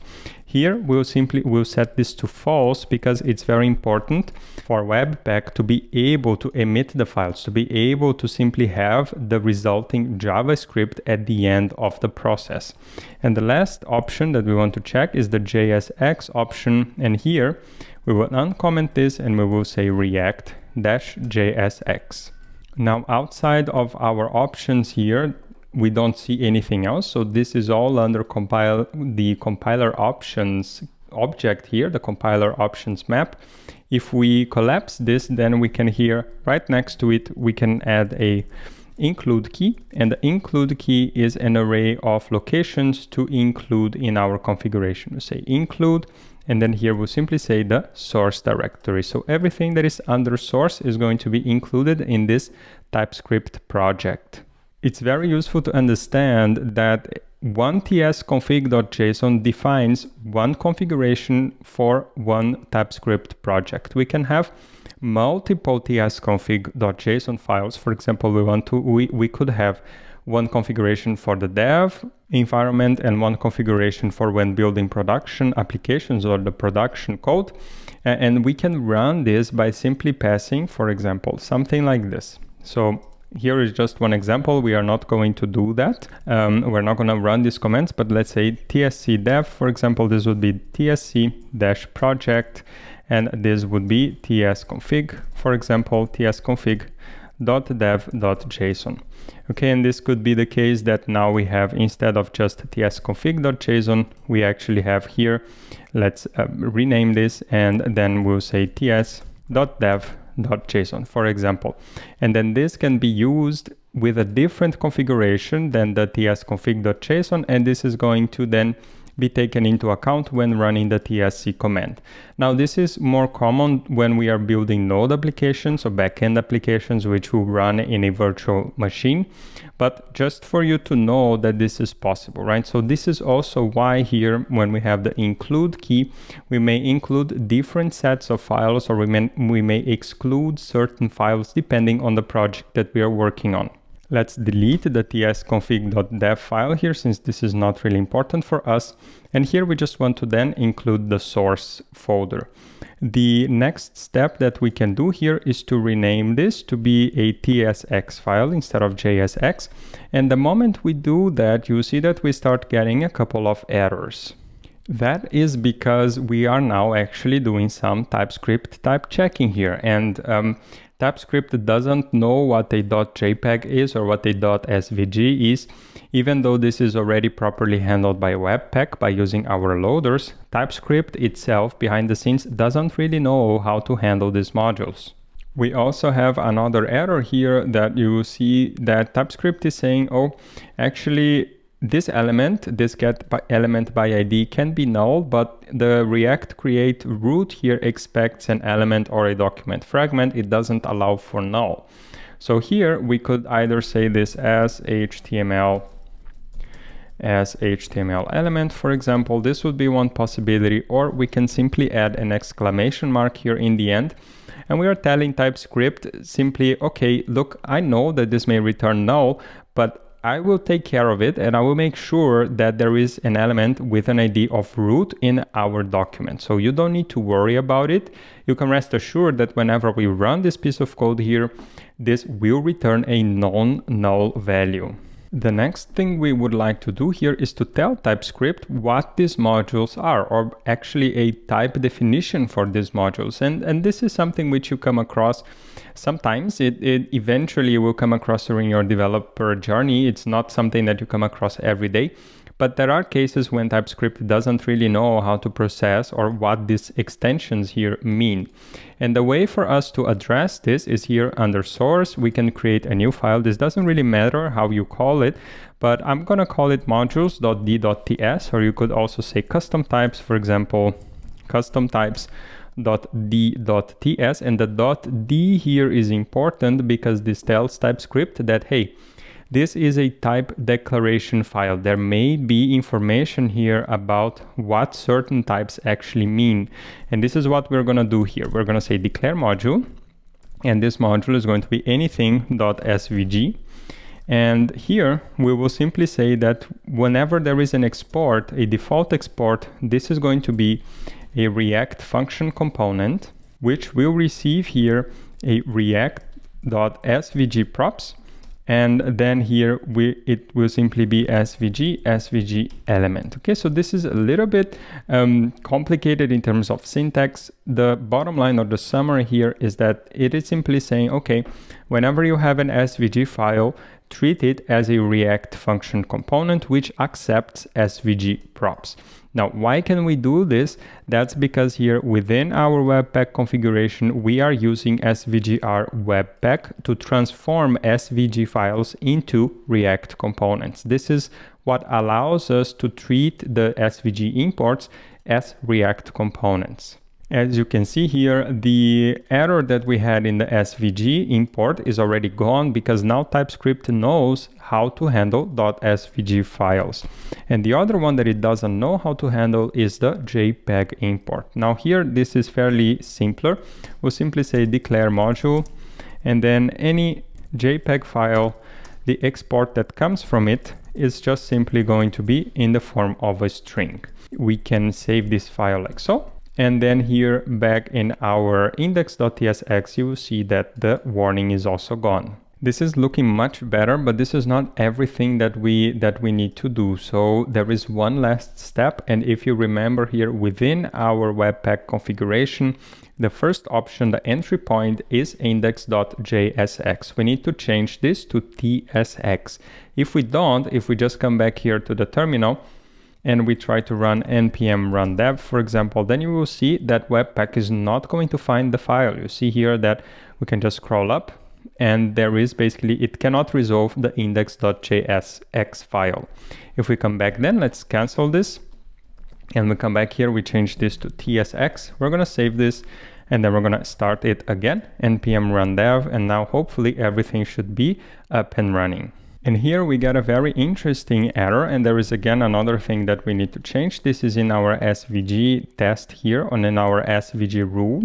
And this we are looking only at JSX files, right? So one way here for us to do that or to make an alternative is either JS or JSX or TS or TSX files. We're gonna save this and now back here, let's stop it. Let's clean the screen and let's try to run it again. Let's see if that error is gone. Perfect. The error is gone. Everything is compiled successfully. Once again, since we were just looking at JS or JSX issuers here, then Webpack was not really properly transforming the SVG file when it was imported by a TSX or within a TSX file.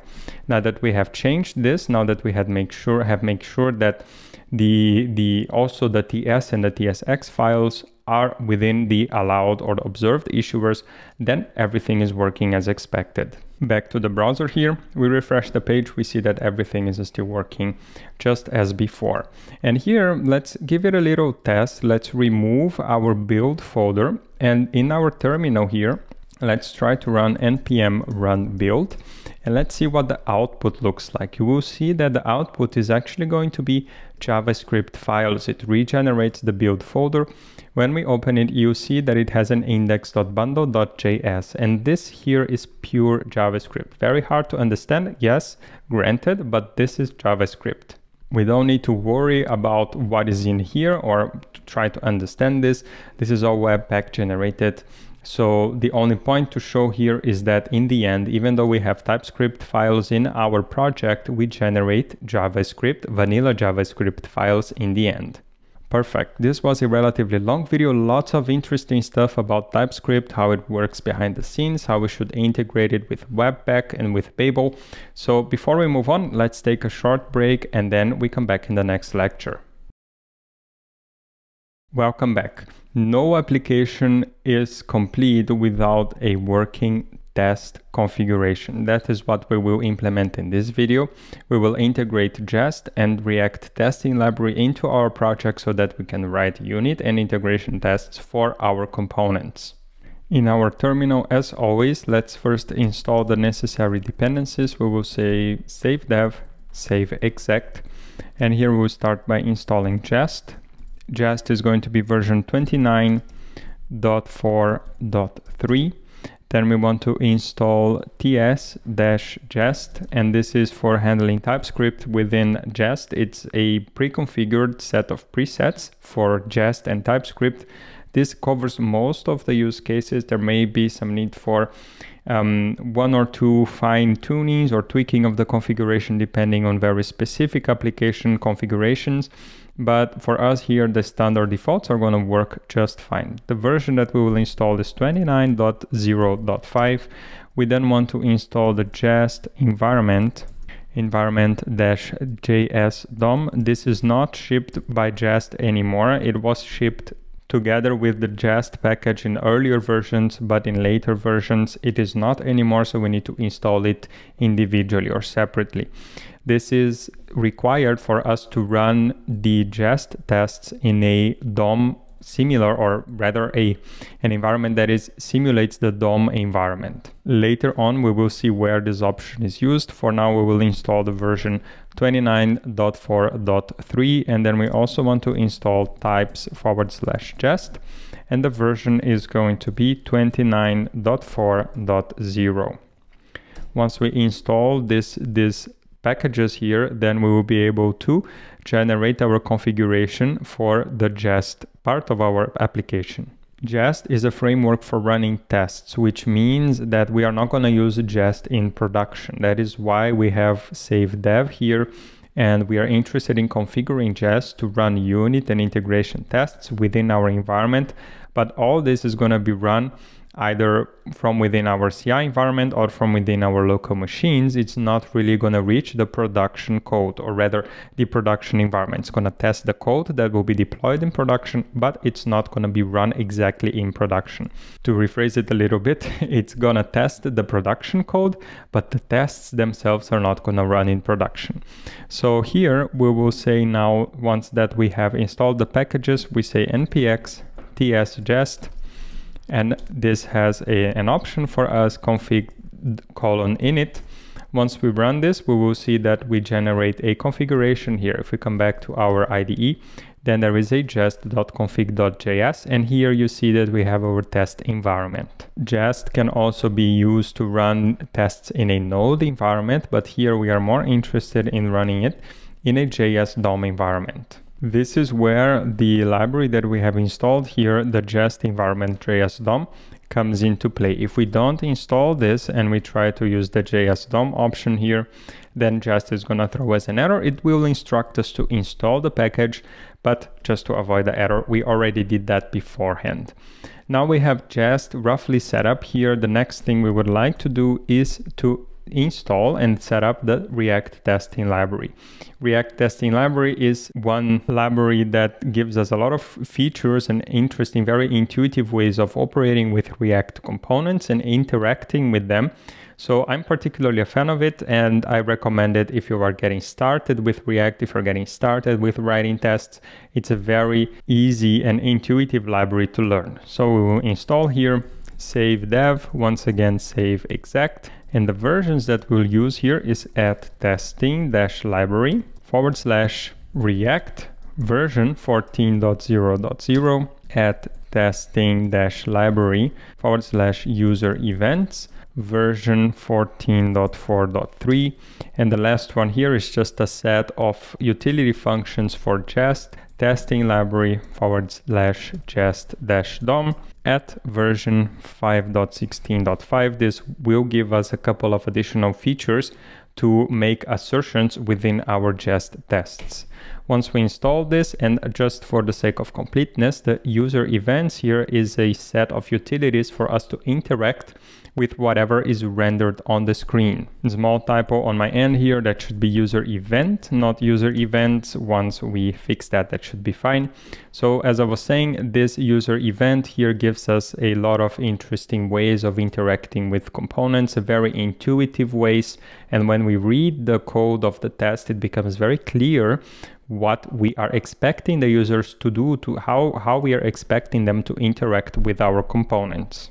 We don't need to do any additional configuration for testing library. We just need to import and use it. Now I'm going to clear the console. Let's go back to the IDE. And here within our package.json, we can then finally configure our test command. We will simply say jest like so.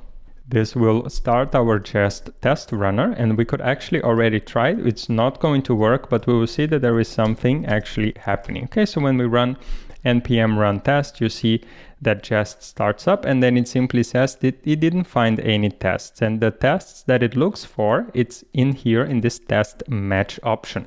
We can customize this within our jest.config.js file but basically anything inside of a double underscore tests double underscore folder or anything that ends with either .spec.tsx or .spec.ts or .test.ts so we are going to start developing our first test. And for us to do that, instead of using directly root.render here, we're going to create a new file within our source folder. This is going to be an app.tsx file, and we will create the equivalent of a test file app.test.tsx. And then within our app.tsx, we will simply export this whole thing here. So I'm going to cut this. I'm going to add app and then our already closed tag here, I will import app from forward slash app like so. And then here, and we could actually also make this a named export. So simply say here, export const app that is going to be equal to a functional component, which will just return for us a React fragment with everything that we had in the previous file. Now we are missing the logo and the image. So that's what we're gonna cut and paste from this file here within our app.tsx. Once we put it here, and then we could also have the index.css imported by, by the, or imported within the app file. Perhaps we could do that. Let's do it here, just so that we can see one more behavior of jest that we need to configure. But once we have this, we save this and back to our terminal. Let's first make sure that the development code is working as expected, that nothing was broken with the imports. Although the code is properly compiled here on the top, we have this TypeScript error that says that whenever we have a file, an empty file here, it cannot be compiled under the isolated modules option. So all we need to do is here we can simply add an export like so, just for TypeScript to stop complaining. Once we stop this and start it again, then we should see that everything is up and running. Perfect. So our changes didn't break anything in our configuration. We can stop this now and we could try to run here or rather create our first test. So we will describe, and this is the structure of Jest. Jest provides a, a wrapper describe, which allows us to, for example, write something like this app component tests and then this receives a description in the first argument and then a function as the second argument and then within our describe we can then add an it and this could say for example renders goodbye text on the screen. Same principle here, it receives a description as a first argument and as a second argument a function that will be executed by jest. Now here this is where we can then import render from our testing library at testing library forward slash react like so and we can also import our app from the app file.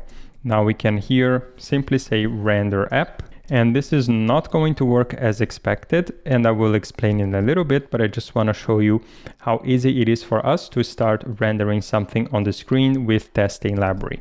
Now that we are trying to render the app here and we have a test within our .test.tsx file then we can try to run npm run test and let's see what comes out on the screen. Perfect. So that's the expected error that I wanted to see here. Uh, you see that there is a lot of descriptions and the first one is, or rather uh, a, a, a, useful one is this import line here that is highlighting, oh, hold on a second, I don't know how to handle the index.css file. If we were to come back to the IDE and open the index.css, the first thing is a dot, and then that's what Jest is telling us. Um, wait, I didn't expect to actually see a dot. I was expecting some JavaScript or some TypeScript file here that I could handle.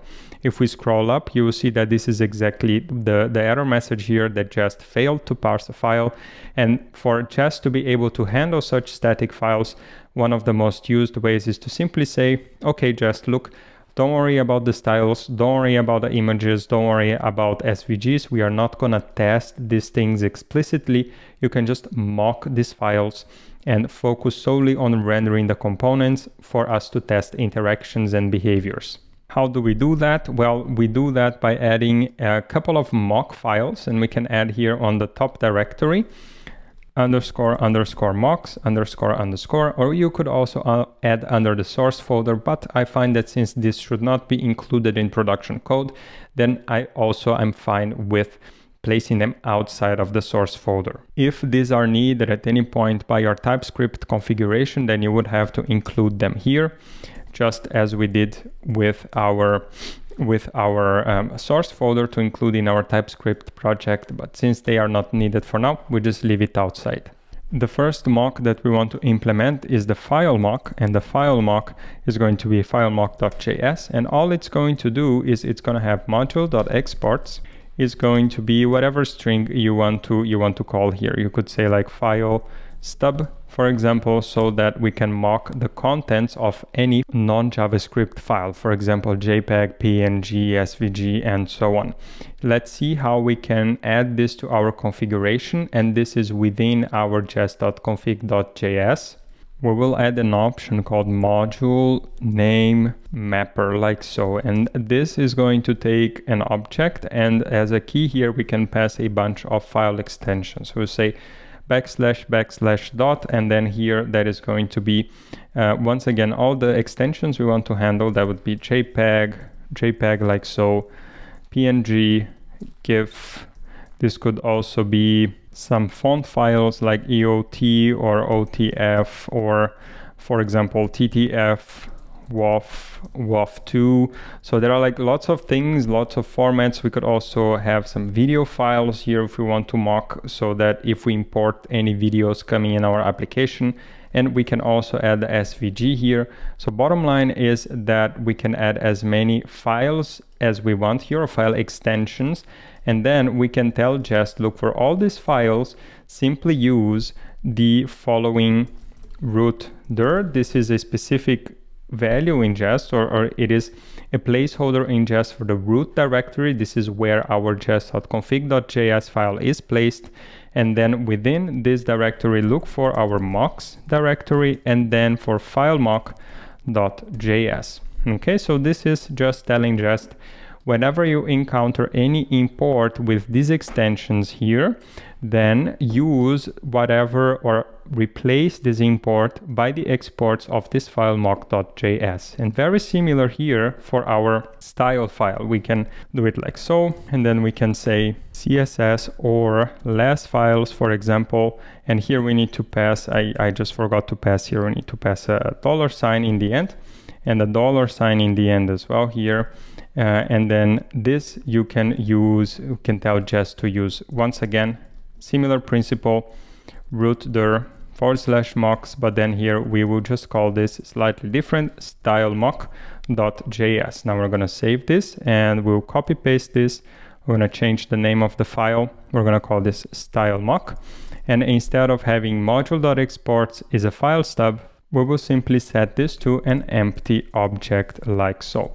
Now we're gonna save this and back to our terminal, clear the terminal and try to run our tests again. And as you can see, the tests are passing successfully. So now whenever Jest is encountering any imports here within our files, let's open it again, source app.tsx, whenever Jest comes across a .svg or a .jpeg here, or a .css, it is not going to try to import the actual contents of the file. What it will do is it will look into the mock files that we have provided and it will import whatever is exported from these files. Now within our test, we can wrap, we can finish the test by expecting or by telling Jest that it should expect something to happen, right? So here, after it renders the app on the screen, what it should happen is that we should expect the screen dot get by text like so with a let's say a goodbye right? So goodbye here and I'm making the the typo on the letter here the cap the the the first letter I'm putting it small cap instead of uppercase and here that's just to show that we will get an error the test will fail and in the end we will see how to fix that. So we expect the screen whenever we are looking whenever we are trying to find an element with this text we would expect this to be in the document. Now this to be in the document is not going to work just yet. We're going to save this. Let's try to run our test once again and we will see that to be in the document is not going to be defined. And here you see that first of all, it's not finding anything, anything. So let's fix that. And here we can just say, for example, we can pass a, a regular expression like so with case insensitive. And once we save this and try to run this again, uh, then we should see that the to be in the document is not found. But here it's very interesting. You see that it already renders the elements that we are rendering here on the screen, right? So now at the end here, you see that it says that the to be in the document is not a function. And this is where our our library testing library forward slash jest DOM comes in handy. So this provides a bunch of functions like this one I find that the to be in the document is the one that's used the most often. Once we save this and then we try to run the, the, the tests again, then we should see that everything is passing. Perfect. So everything is green as we want it to. And here, just a small comment, you would have to import this testing library forward slash jest DOM in every test file. There is a better way of doing that. Of course, if you want to, you can come here to the root directory and you could add a new folder and say test setup, for example. And then within the test setup, you could say setup after env.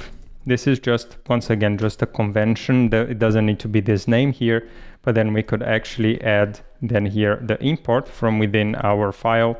Instead of doing it there, we can do that in the setup after env, and we can customize our jest.config to say here setup files after env and we need to pass here an array of files the um, it's going to be pretty much the same um, pattern as above so root directory forward slash and here the name is test setup test dash setup forward slash setup after env.js like so once we save this come back to the terminal clear it and try to run the test again then We still need to make a little change here. I forgot that since we are not really transforming this file um, into CommonJS, then Jest may run into problems here. This is a very well-known issue when we have imports Jest doesn't handle them very well yet despite this problem being like a couple years old so if we just use require here that should be everything that we have to do. This is a common js import syntax.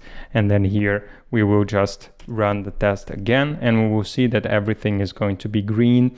Important thing is that we then don't need to import this testing library forward slash jest DOM before each and every test or within each and every test file. For now, we can take a short break. We have done a lot here. We have integrated Jest into our application and we can now write unit tests whenever we want to. Ideally, before we write any of our components, but here it's important that we have a working setup.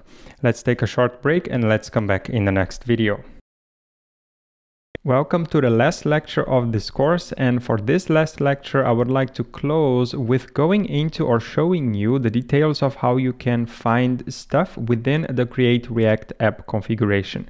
For the majority of this course, we have worked with a Create React app based application.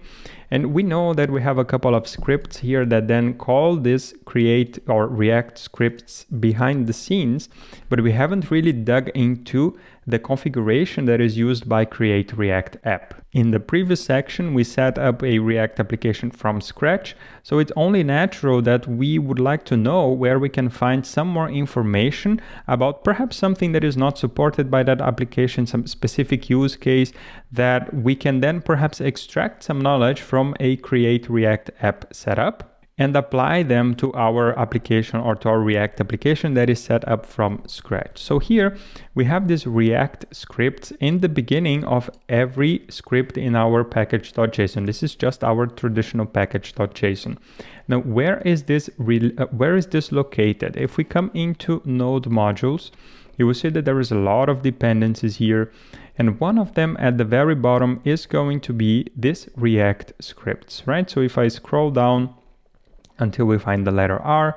Then we will eventually come into this React scripts package. This is a package that is published and it is installed as a dependency. And if we click here in the package.json of the React scripts component, then you will see all of the dependencies that it has. It has a lot of dependencies here and then we start seeing all the indirect, the transitive dependencies that we are installing in our project when we use create react app.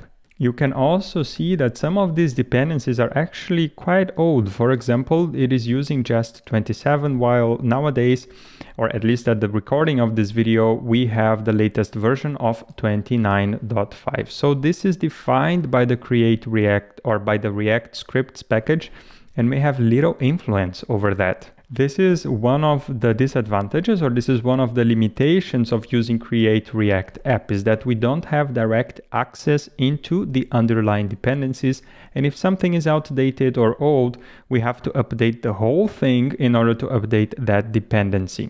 At the same time, just make sure that the dependencies are compatible with each other, but from my perspective, it pays off, it is better in the long term for production projects to have direct access to these dependencies. And then whenever we are updating any of them, we should have a testing setup that will inform us in case something breaks. This is then the first aspect or this is the first place where we can find dependencies, where we can find useful information regarding which dependencies are installed and required by Create React app. The second place is inside of this config folder. And when you open the config folder, you start coming across things which are familiar to us after setting up the React application from scratch. For example, we have a Jest configuration, we have a Webpack configuration, and then you can see that here we have, for example, a Webpack config.js, and when we open it, it is a very, very, very big file. It has a lot of dependencies here at the top and it does a lot for us behind the scenes. It is almost a thousand lines long, so this is very useful as well. If you want to understand how create React app handles certain assets. For example, if you want to see how CSS files are handled, then you can search for CSS and there will be a few things here, but eventually we will find the, the rules where we handle CSS. So here you can see that we are starting to see something we are familiar with, the loader, some options, and as well as here, the CSS loader, as well as some CSS options. And here you see that this is going to be for the environment production, while this is not going to be included into dev or non-production environments, right? So here we also have a post CSS loader and we have a lot of different things that we can examine in detail so that we can get this knowledge and use it in our actual, in our own applications. Another useful section inside of the Webpack config is the optimization section. If you want to optimize or minimize your code for production, for example, this gives us a few clues of what is being done by Create React App. So first of all, it uses the Terser plugin to minimize our JavaScript code. And secondly, it uses a CSS minimizer plugin. So these are the two plugins that are used for optimization in React. And if we want to use the same configuration, then we can transfer much of the knowledge from here. Another very interesting folder that I recommend exploring is the scripts folder. This is where our individual scripts that are used in the package.json for our project. I scroll down here. So this package.json file the React scripts, we have the start, build, test, and eject scripts, and these are the ones which are mentioned here, right? We see that there is a build, an eject, a start, and a test script.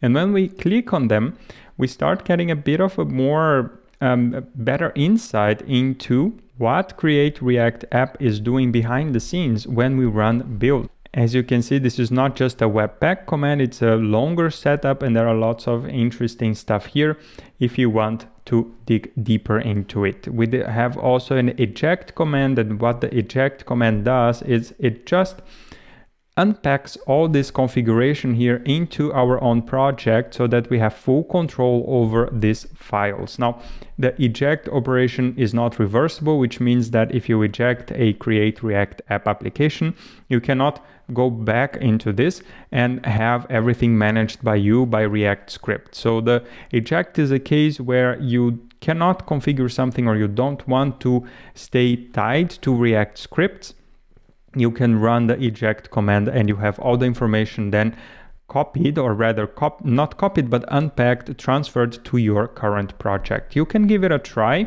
I definitely recommend setting up a create react app from from zero and then just running the eject command to see the difference between the two versions the one that is managed by react scripts and the other one that is managed by yourself you also have a start and a test command here or the the scripts and another important aspect is the create jest configuration file. And here you can see that there are a few limitations. So, so uh, Create React App is already setting up a lot of configuration keys for us here. And then in the end, it gives us the possibility of overriding just a few of these keys. So if we scroll down, you will see that it says out of the box create react app only supports overriding this jest option so it does not provide full control over the jest configuration. And this is also one of the limitations. Perhaps if your application requires a specific testing setup it might not be possible to directly override it with create react app Lots of interesting stuff here. I definitely recommend digging deeper into the React scripts package that is installed in Create React app applications so that you get a very good and solid understanding of all the configuration that is done behind the scenes for you.